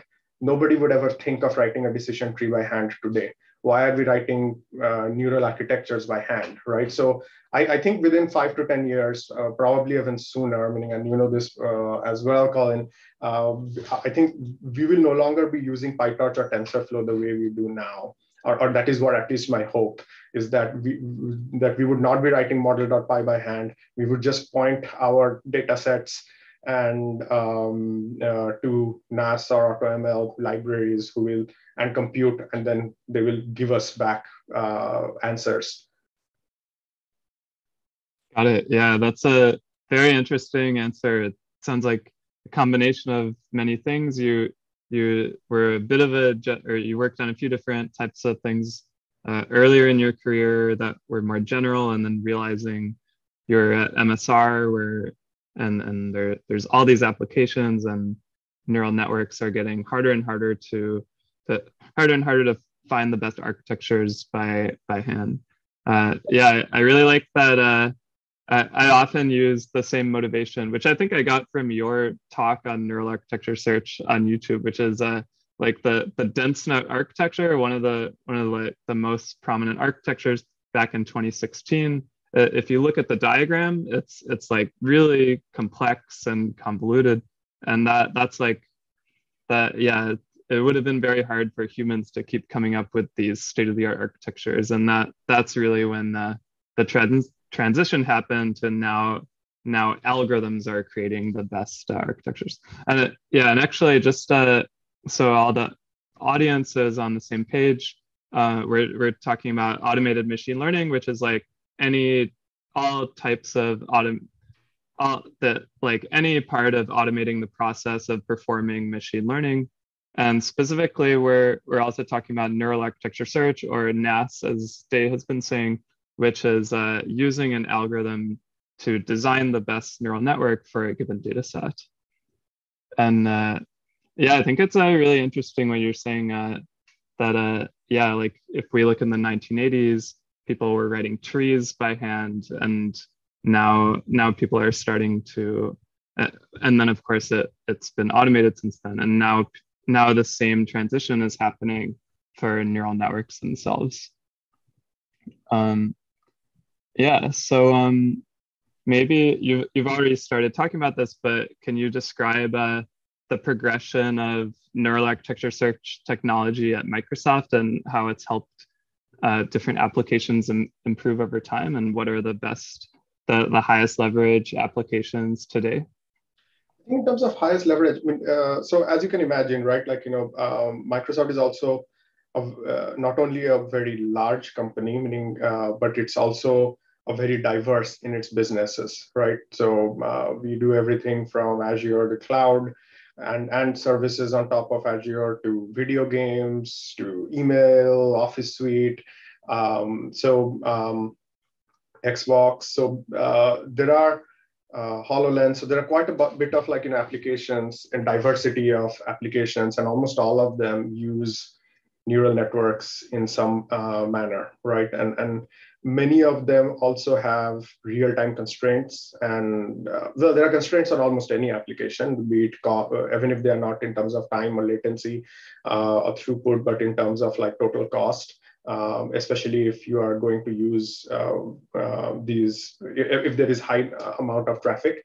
Um, but without going giving you specific uh, details, what uh, almost all of these applications, we, we saw tremendous um, demand for AutoML, right? Like, you know, the number of times I have received emails, uh, chats, people back pre-pandemic, people just walking up uh, uh, after a talk or, or some meeting and saying like, hey, I want to try NAS on, on my application. And I am the program manager who manages this service. And uh, we are really struggling for cogs and whatnot, right? And then this is this is a story which I believe if it is true at Microsoft, in some ways microsoft is so big that it's almost a microcosm of all enterprises like you know if we know that if this is a problem we are facing we are with, with high probability, this is probably true of at least all other large enterprises of similar size or even smaller.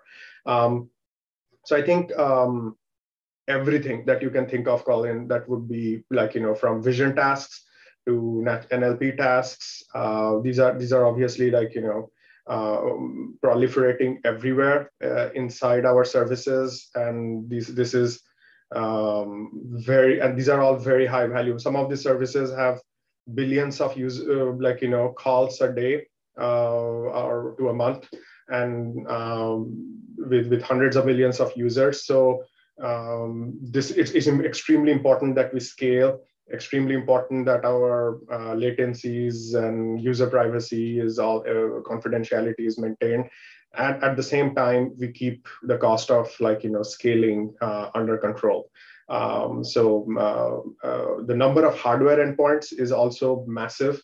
Uh, some services running on an ASIC FPGA, some services running on you know, commodity uh, Xeon CPUs, some, some services using uh, GP, GPUs uh, of a certain SKU, right? So, and, and then, and they want to move to like, you know, oh, we have the new version coming out and we would want to move from this server to this server. Um, so how do we do that, right? And, and um, is this the best model still?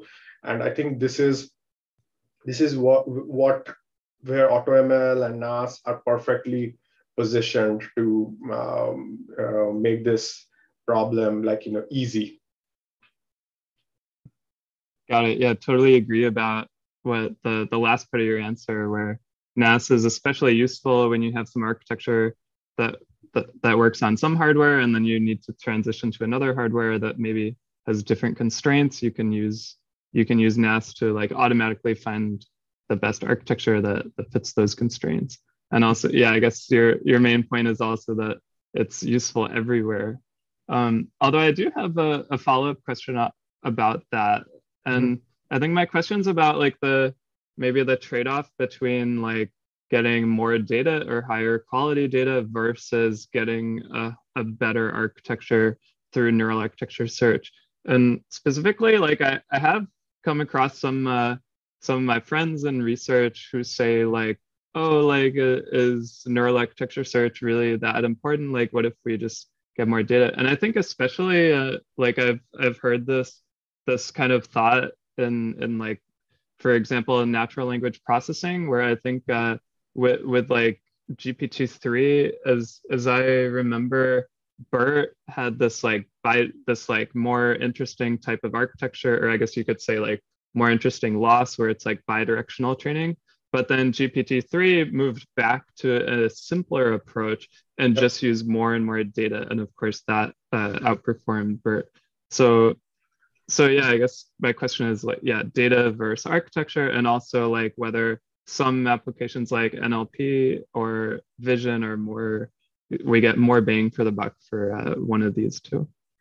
So um, I think data is always going to be extremely important. Like, you know, so um, uh, perhaps it's data versus architecture perhaps sets up a false competition because I don't think NAS or, or any AutoML method uh, releases any data science team from the burden of creating high quality, relevant, like you know, ethically sourced private data and, and all, all those other good stuff, right? So, so in some sense, uh, there is uh, that problem.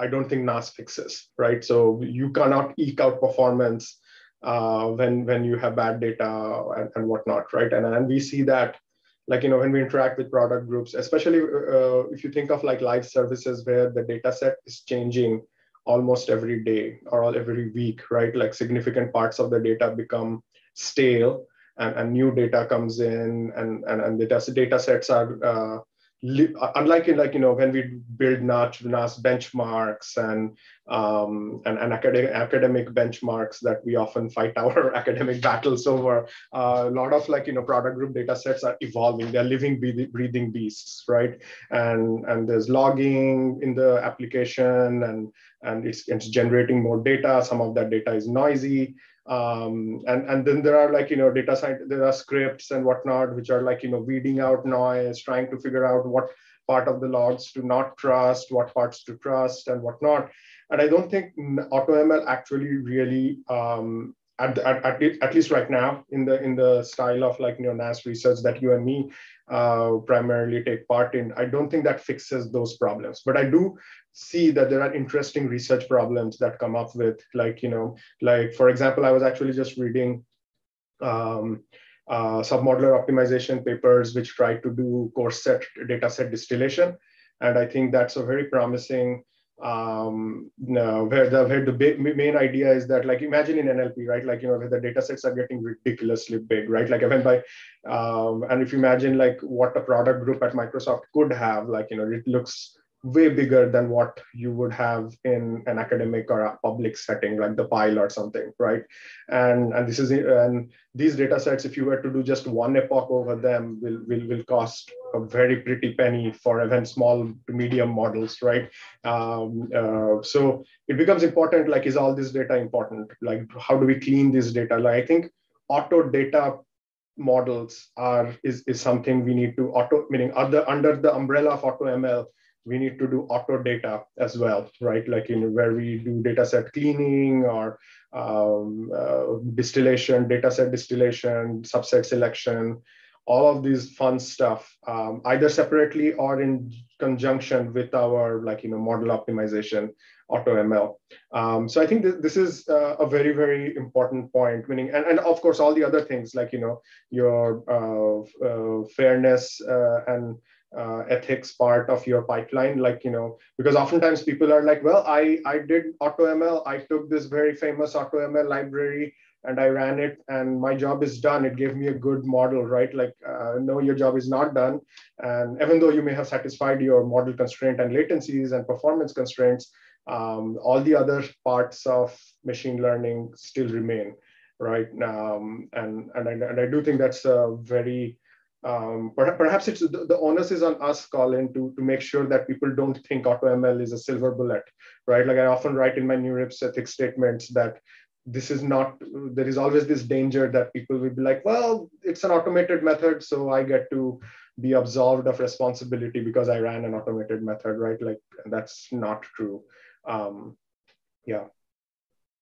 Yeah, definitely. Yeah, so I guess uh, AutoML and neural architecture search are one one very nice tool in our toolkit of many other things like uh, getting higher like uh, better data cleaning or, or or even just finding more data. Uh, yeah i also thought it was interesting what you said about subset selection especially for some of these applications where the data sets are getting really massive. And and I, I think that actually goes hand in hand with neural architecture search because if we can find some like subsets that are very much smaller and representative, then we can also rapidly find automatically find the best architecture too.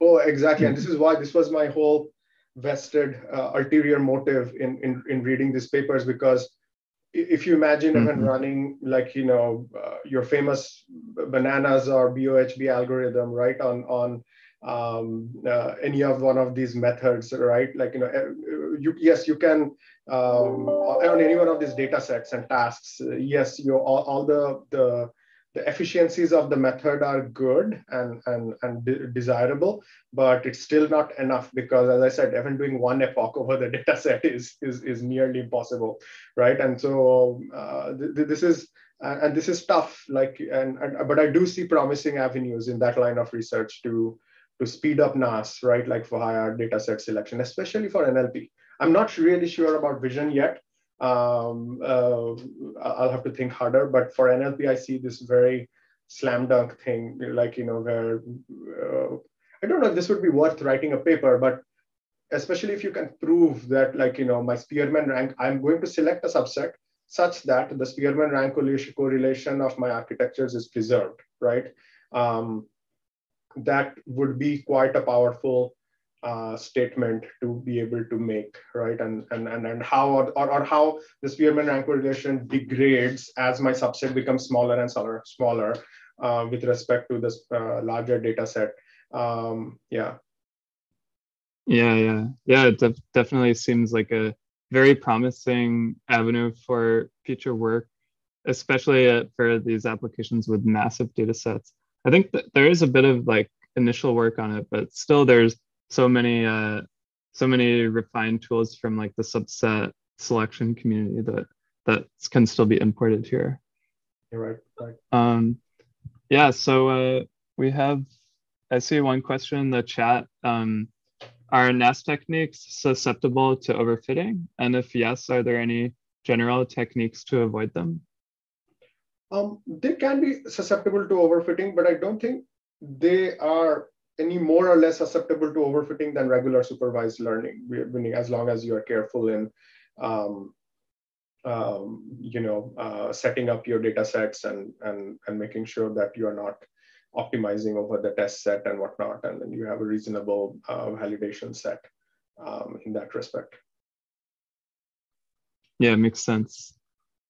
Um, all right, so um, one thing I wanted to ask, uh, how do you, I guess we've already sort of touched on this a bit, but how do you think uh, as the field of AutoML and neural architecture, neural architecture search progresses in the future, how do you think it'll like change the dynamics of how companies hire data scientists today? Like will, will AutoML just completely remove the need for any data scientists in like in 10 years from now or uh, yeah how do you how do you think it'll play out in the future? Yeah uh, meaning to uh, uh, to add to my like you know previous things of like you know that AutoML and nas doesn't like you know really release us from the burden of the entire pipeline um, being and, and all the other associated things like data as we're talking about is that uh, oftentimes and then this is you, you can see in like you know like uh, Saleema Amershi at uh, msr has this very fantastic paper on like you know ML and software engineering intersection on how data scientists uh, work uh, with software engineers and the end-to-end life cycle of like you know an industrial enterprise uh, feature that uses AI uh, or pipeline like you know how it, how it uh, progresses. And when I read that paper, um, uh, it actually I learned a lot because I often uh, live in slightly an ivory tower of pure research. But one of the things that I uh, that uh, st uh, struck with me stuck with me was that actual modeling in a pipeline is actually one of the least amounts of work. It's everything else that is the massive is dominates like data set gathering, cleaning, infrastructure for logging, infrastructure for serving, uh, making sure that your systems, uh, all the systems engineering to make sure that it's up and running. Um, those are the things that actually dominate. And um, so I don't think data scientists' jobs should, should feel any amount of threat from AutoML or NAS tools, right? So I think this is uh, my, in my point of view, this is if you are if you are a data scientist and you have a high business value uh, pipeline that you are in charge of, and you want to develop some model, my thing would be hopefully very soon instead of writing or, or fine tuning a model that you download from the uh, from model zoo and or a famous model the first uh, the first thing you do is okay i'm going to first just run a nas algorithm or an automl plus nas algorithm on my data set and go grab coffee right? And or, or, or maybe go to sleep and come back tomorrow morning or, and whatnot and and see what it gives me. Like you know in many ways i want it to be a very as as once the one of the earliest strongest things you can do right? So um uh, and uh, and and gives you a very very good baseline and a pareto frontier right? Like and i think the pareto frontier is very important in in industry because people are going to, for every point on the Pareto uh, curve, there is an associated cost and then there is an associated customer satisfaction. So that trade-off, unless you have a Pareto frontier, you don't get to see.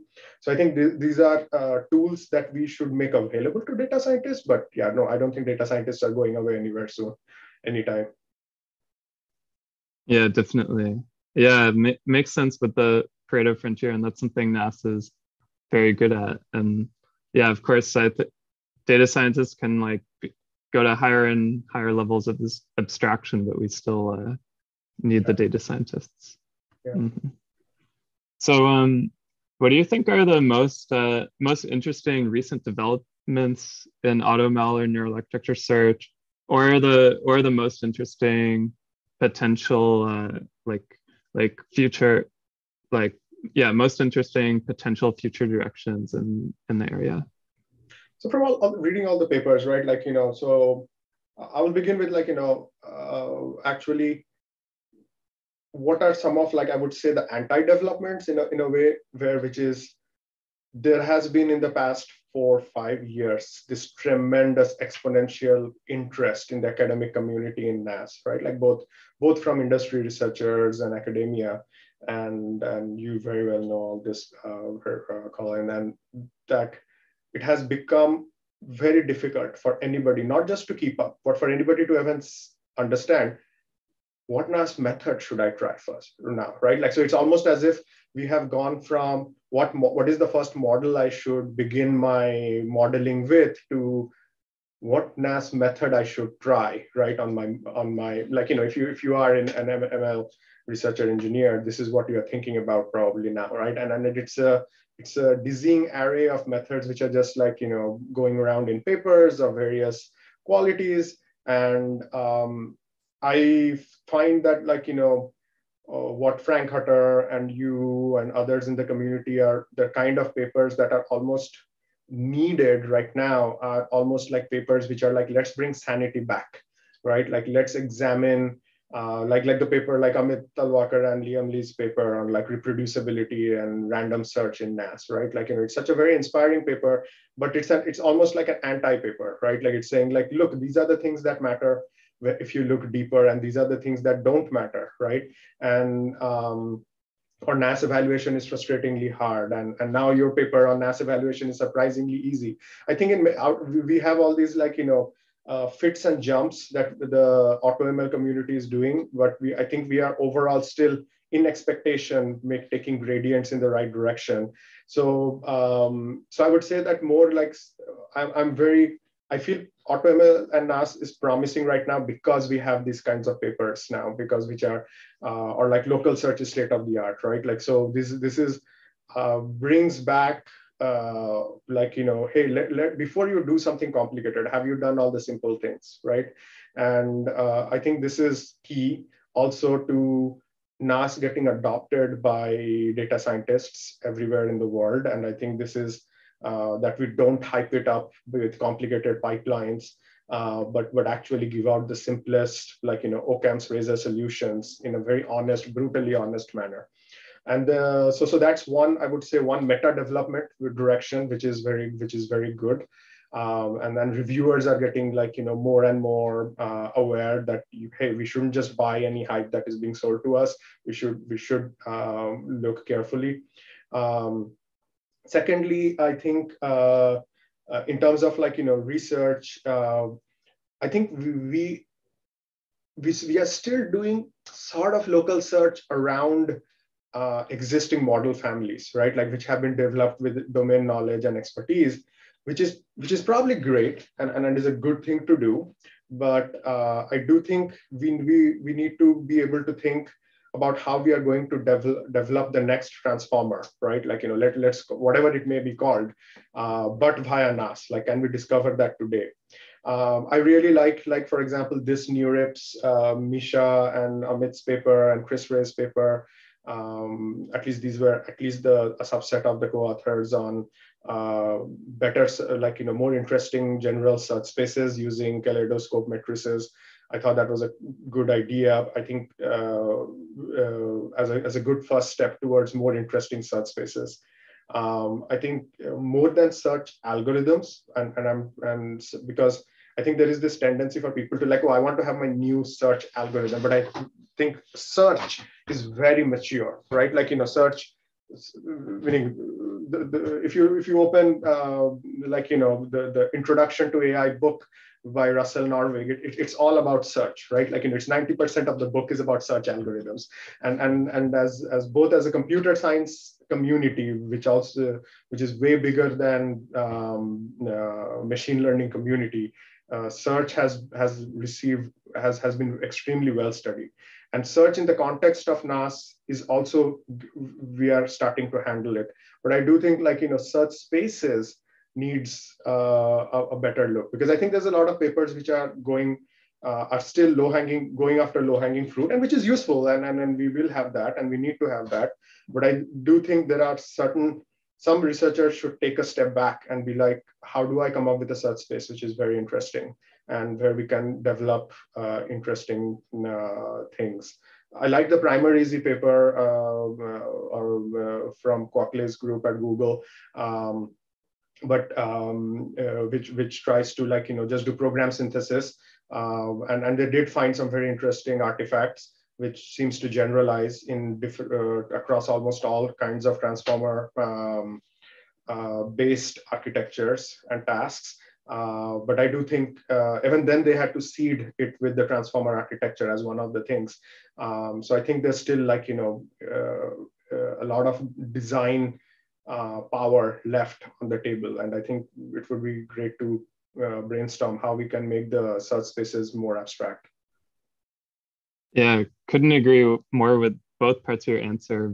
First, first is uh, the meta direction of bringing sanity back to uh, to NAS research, and also the the uh, yeah we're we're sort of like really just uh, getting diminishing returns on improving the search part of NAS, whereas maybe we should start focusing a lot more on the search space part of NAS. Of course, data means uh, what anytime we start to do neural architecture search, first we have to define a large set of neural architectures that we're searching over and then run an optimization algorithm. So a lot of papers are sort of refining the optimization algorithm, but really we should go back to the to step one and think more deeply about which architectures we're searching over. I think it, yeah, I think it would be really cool if uh, the field of NAS has some like really big win where we come up with like the new like transformer or something for for some other new type of task. Absolutely. Yeah i, I think so. I think we have a bunch of like silent wins right? Like you know like uh, people are increasingly downloading efficient net and um, instead of resnet right? Or, or they're downloading um, uh, uh, nas based model checkpoints uh, uh, but we had yet to discover a new complete class by ourselves, right? Like, you know, that, oh, this is a completely different beast, right? This is not an RNN, this is not a transformer, this is uh, not a CNN, um, yeah, uh, which, which, which would be, um, yeah, good to have. Yeah, right. Yeah, it would be really cool when, uh, when this starts to happen more. Yeah, of, of course, for NAS, uh, there's always the trade-off between like injecting human bias into our search space versus like ha- having more efficiency in our in our search. But but yeah maybe as as the techniques get better and as hardware improves we can really have much less human bias and then really start to discover more novel types of architectures. Um, yeah. Yeah. So uh, another question from the chat. Can can you comment about explainability in nas today? And whether it's a good area for future future research? Um, yeah, I think I think that's a, a, slam dunk. I think that needs to happen. Like you know, um, uh, our uh, I think uh, if I'm not mistaken, Marius Lindauer at um, in has uh, uh, papers on interpretability and NAS intersection, and and might there might be a survey on it uh, out too. Um, but yes, absolutely. Like I think that that's that needs to happen because uh, the architectures from NAS can get, get even weirder, weirder in the human sense, not weirder for a computer, but I think that's um, explaining uh, decisions based on models you find from AutoML uh, is probably even more important. Definitely, yeah. I think some of the motivation for that too is also to so like data scientists can trust these techniques more, since it seems uh, it seems more common than you'd expect that uh, people are still just like doing their own writing their own grid search code by hand rather than like downloading Archai or, or, or something. Uh, yeah so definitely ex- explainability can uh, can be really beneficial. Um yeah we're we're actually almost out of time already. Um i see i see one question in the q&a I guess most of this uh, or the, the session's been more on AutoML, but Dey is also a very accomplished RL researcher. And the, this question's about RL. So let me see, it says, in the field of biomedical control systems, um, such as neural prosthetics, the controller needs to continuously adapt throughout its life um, to changes both within the biological system and environmental interactions um, unsupervised ML, such as reinforcement learning, looks attractive. Can you please indicate any recent approaches to accelerate the rate of learning in RL control? Um, so, so if I understand the question, uh, like, you know, for, for these motor controllers in neuroprosthetics, um, the question is, can, can that online adaptation be made more efficient? Yeah, I guess also maybe the the question is asking like any interesting latest approaches and uh, yeah the most efficient RL algorithms. Um, meaning what the specific domain, uh, I don't think I, I would I, I would mm. know meaning because there are domain specific optimizations and whatnot that can be done. Um, but like you know, but anything like SAC or or um, PPO variants uh, are, are SAC, especially for offline RL, like if you meaning, which may be important for you uh, to do in, in terms of like, you know, if you don't want to online adapt in a very mission critical, safety critical environment. So offline RL al uh, algorithms uh, like SAC and variants are probably your your first uh, go-to. Um, mm -hmm. But uh, but at this uh, PPO, if you are if you are willing to be do things online, is, is not a bad thing to start with yeah but I, I, I guess like you know for anything more sophisticated it would depend upon the domain and then what exactly is how the data comes in how it varies mm-hmm. yeah uh, actually that reminds me of this uh, maybe newer field in uh, nas for rl so i guess yeah. Uh, yeah i think i saw a few papers on this but uh yeah it makes sense that it can be quite domain specific Mm-hmm. Meaning there is the AutoRL uh, survey paper by Frank and others. Um, so that may be a mm-hmm. good starting point to see how not, uh, yeah. Uh, yeah, definitely. Um, yeah, let me see. Um, so uh, I wanted to ask, uh, do you have any uh, exciting project that you're working on right now that that you would uh, you want to talk about? Um, uh, so we are, we are excited about like you know doing all the transformer backbone search using proxies and and um, that's one thing. Um, but at the same time um, like you know i think we are spending a lot of time right now including my, uh, my time on building up uh, Archai and uh, making it more robust documenting it uh, adding more capabilities especially that uh, we see demand for in microsoft uh, within as well as like you know outside um, so um, so i would say like right now i'm in this weird phase where i'm trying to not push more paper too many new papers out at the moment as as opposed to building the platform, which is actually very interesting to me because I'm learning a lot of software engineering. I'm working with very accomplished software engineers who, and I'm learning software engineering from them and, and they often like you know try to be very nice at my design suggestions and not laugh too hard and and then show me how uh, they would do it and why it's better. And so it's, it's it's a very fun thing for me to to learn that um, as well as like you know uh, push a platform um, or, or a github uh, or tool like you know to and make it more mature um, so uh, so I'm, I'm excited about that, and, and then I'll, I'll probably swing back to more research uh, researchy things in, in some time. Yeah, got it. And uh, and Archai is all uh, open source, right? In fact, maybe mm-hmm. one someone can uh, post it in the chat later on. Yeah, yeah. Um, I can post a link, but um, yeah, it's it's all on GitHub, Microsoft, uh, mm-hmm. slash github.com slash Microsoft slash archai, A-R-C-H-A-I, and it's MIT licensed. And yeah, everything we do is there and, and in, in various branches, but we'll, we'll merge into main soon. Mm-hmm. Great, yeah. All right, I, I guess we are over time, but uh, any any parting thoughts about anything we've discussed? Well, I, I, would like to ask you, what are you excited about in, in, in NAS, uh, Colin? Because you are quite an accomplished NAS researcher yourself, an AutoML researcher. And what, what do you want, uh, are excited about right now? Um, yeah, one, uh, one, one thing I often say is uh, NAS plus HPO. So I guess uh, there, there's been so many papers on, on finding the best architecture for a given problem. But, uh, but typically we, typically a lot of people have this assumption where all the hyperparameters are fixed. But, uh, but actually this is like quite a lot of bias in like what architectures will discover.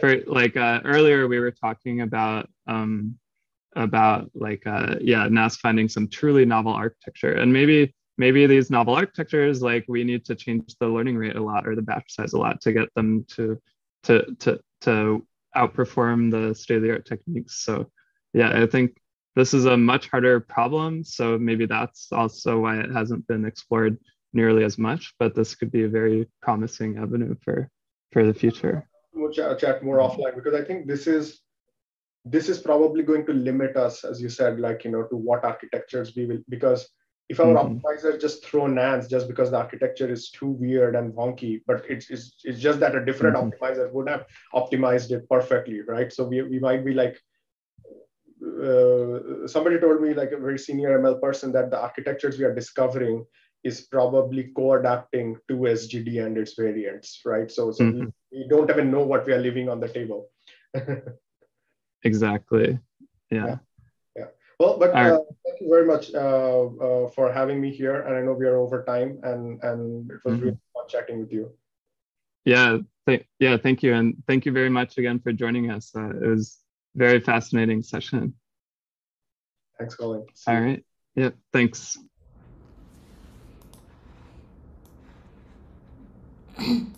Well, thanks everyone uh, for coming, and thank you, Colin, for uh, that excellent session. Uh, overall, uh, we, we're very happy to be wrapping this up. We'll be back, of course, in, sometime in June or July, uh, hopefully with uh, equally interesting conversations. Uh, in the meantime, uh, you should uh, also check out some of the workshops we do. We actually offer ML operations workshops as well as platform workshops, and you actually get a ML operations certificate alongside a, pla- a platform certificate for attending our workshops. Uh, again, uh, you can uh, access them either from abacus.ai or state of the art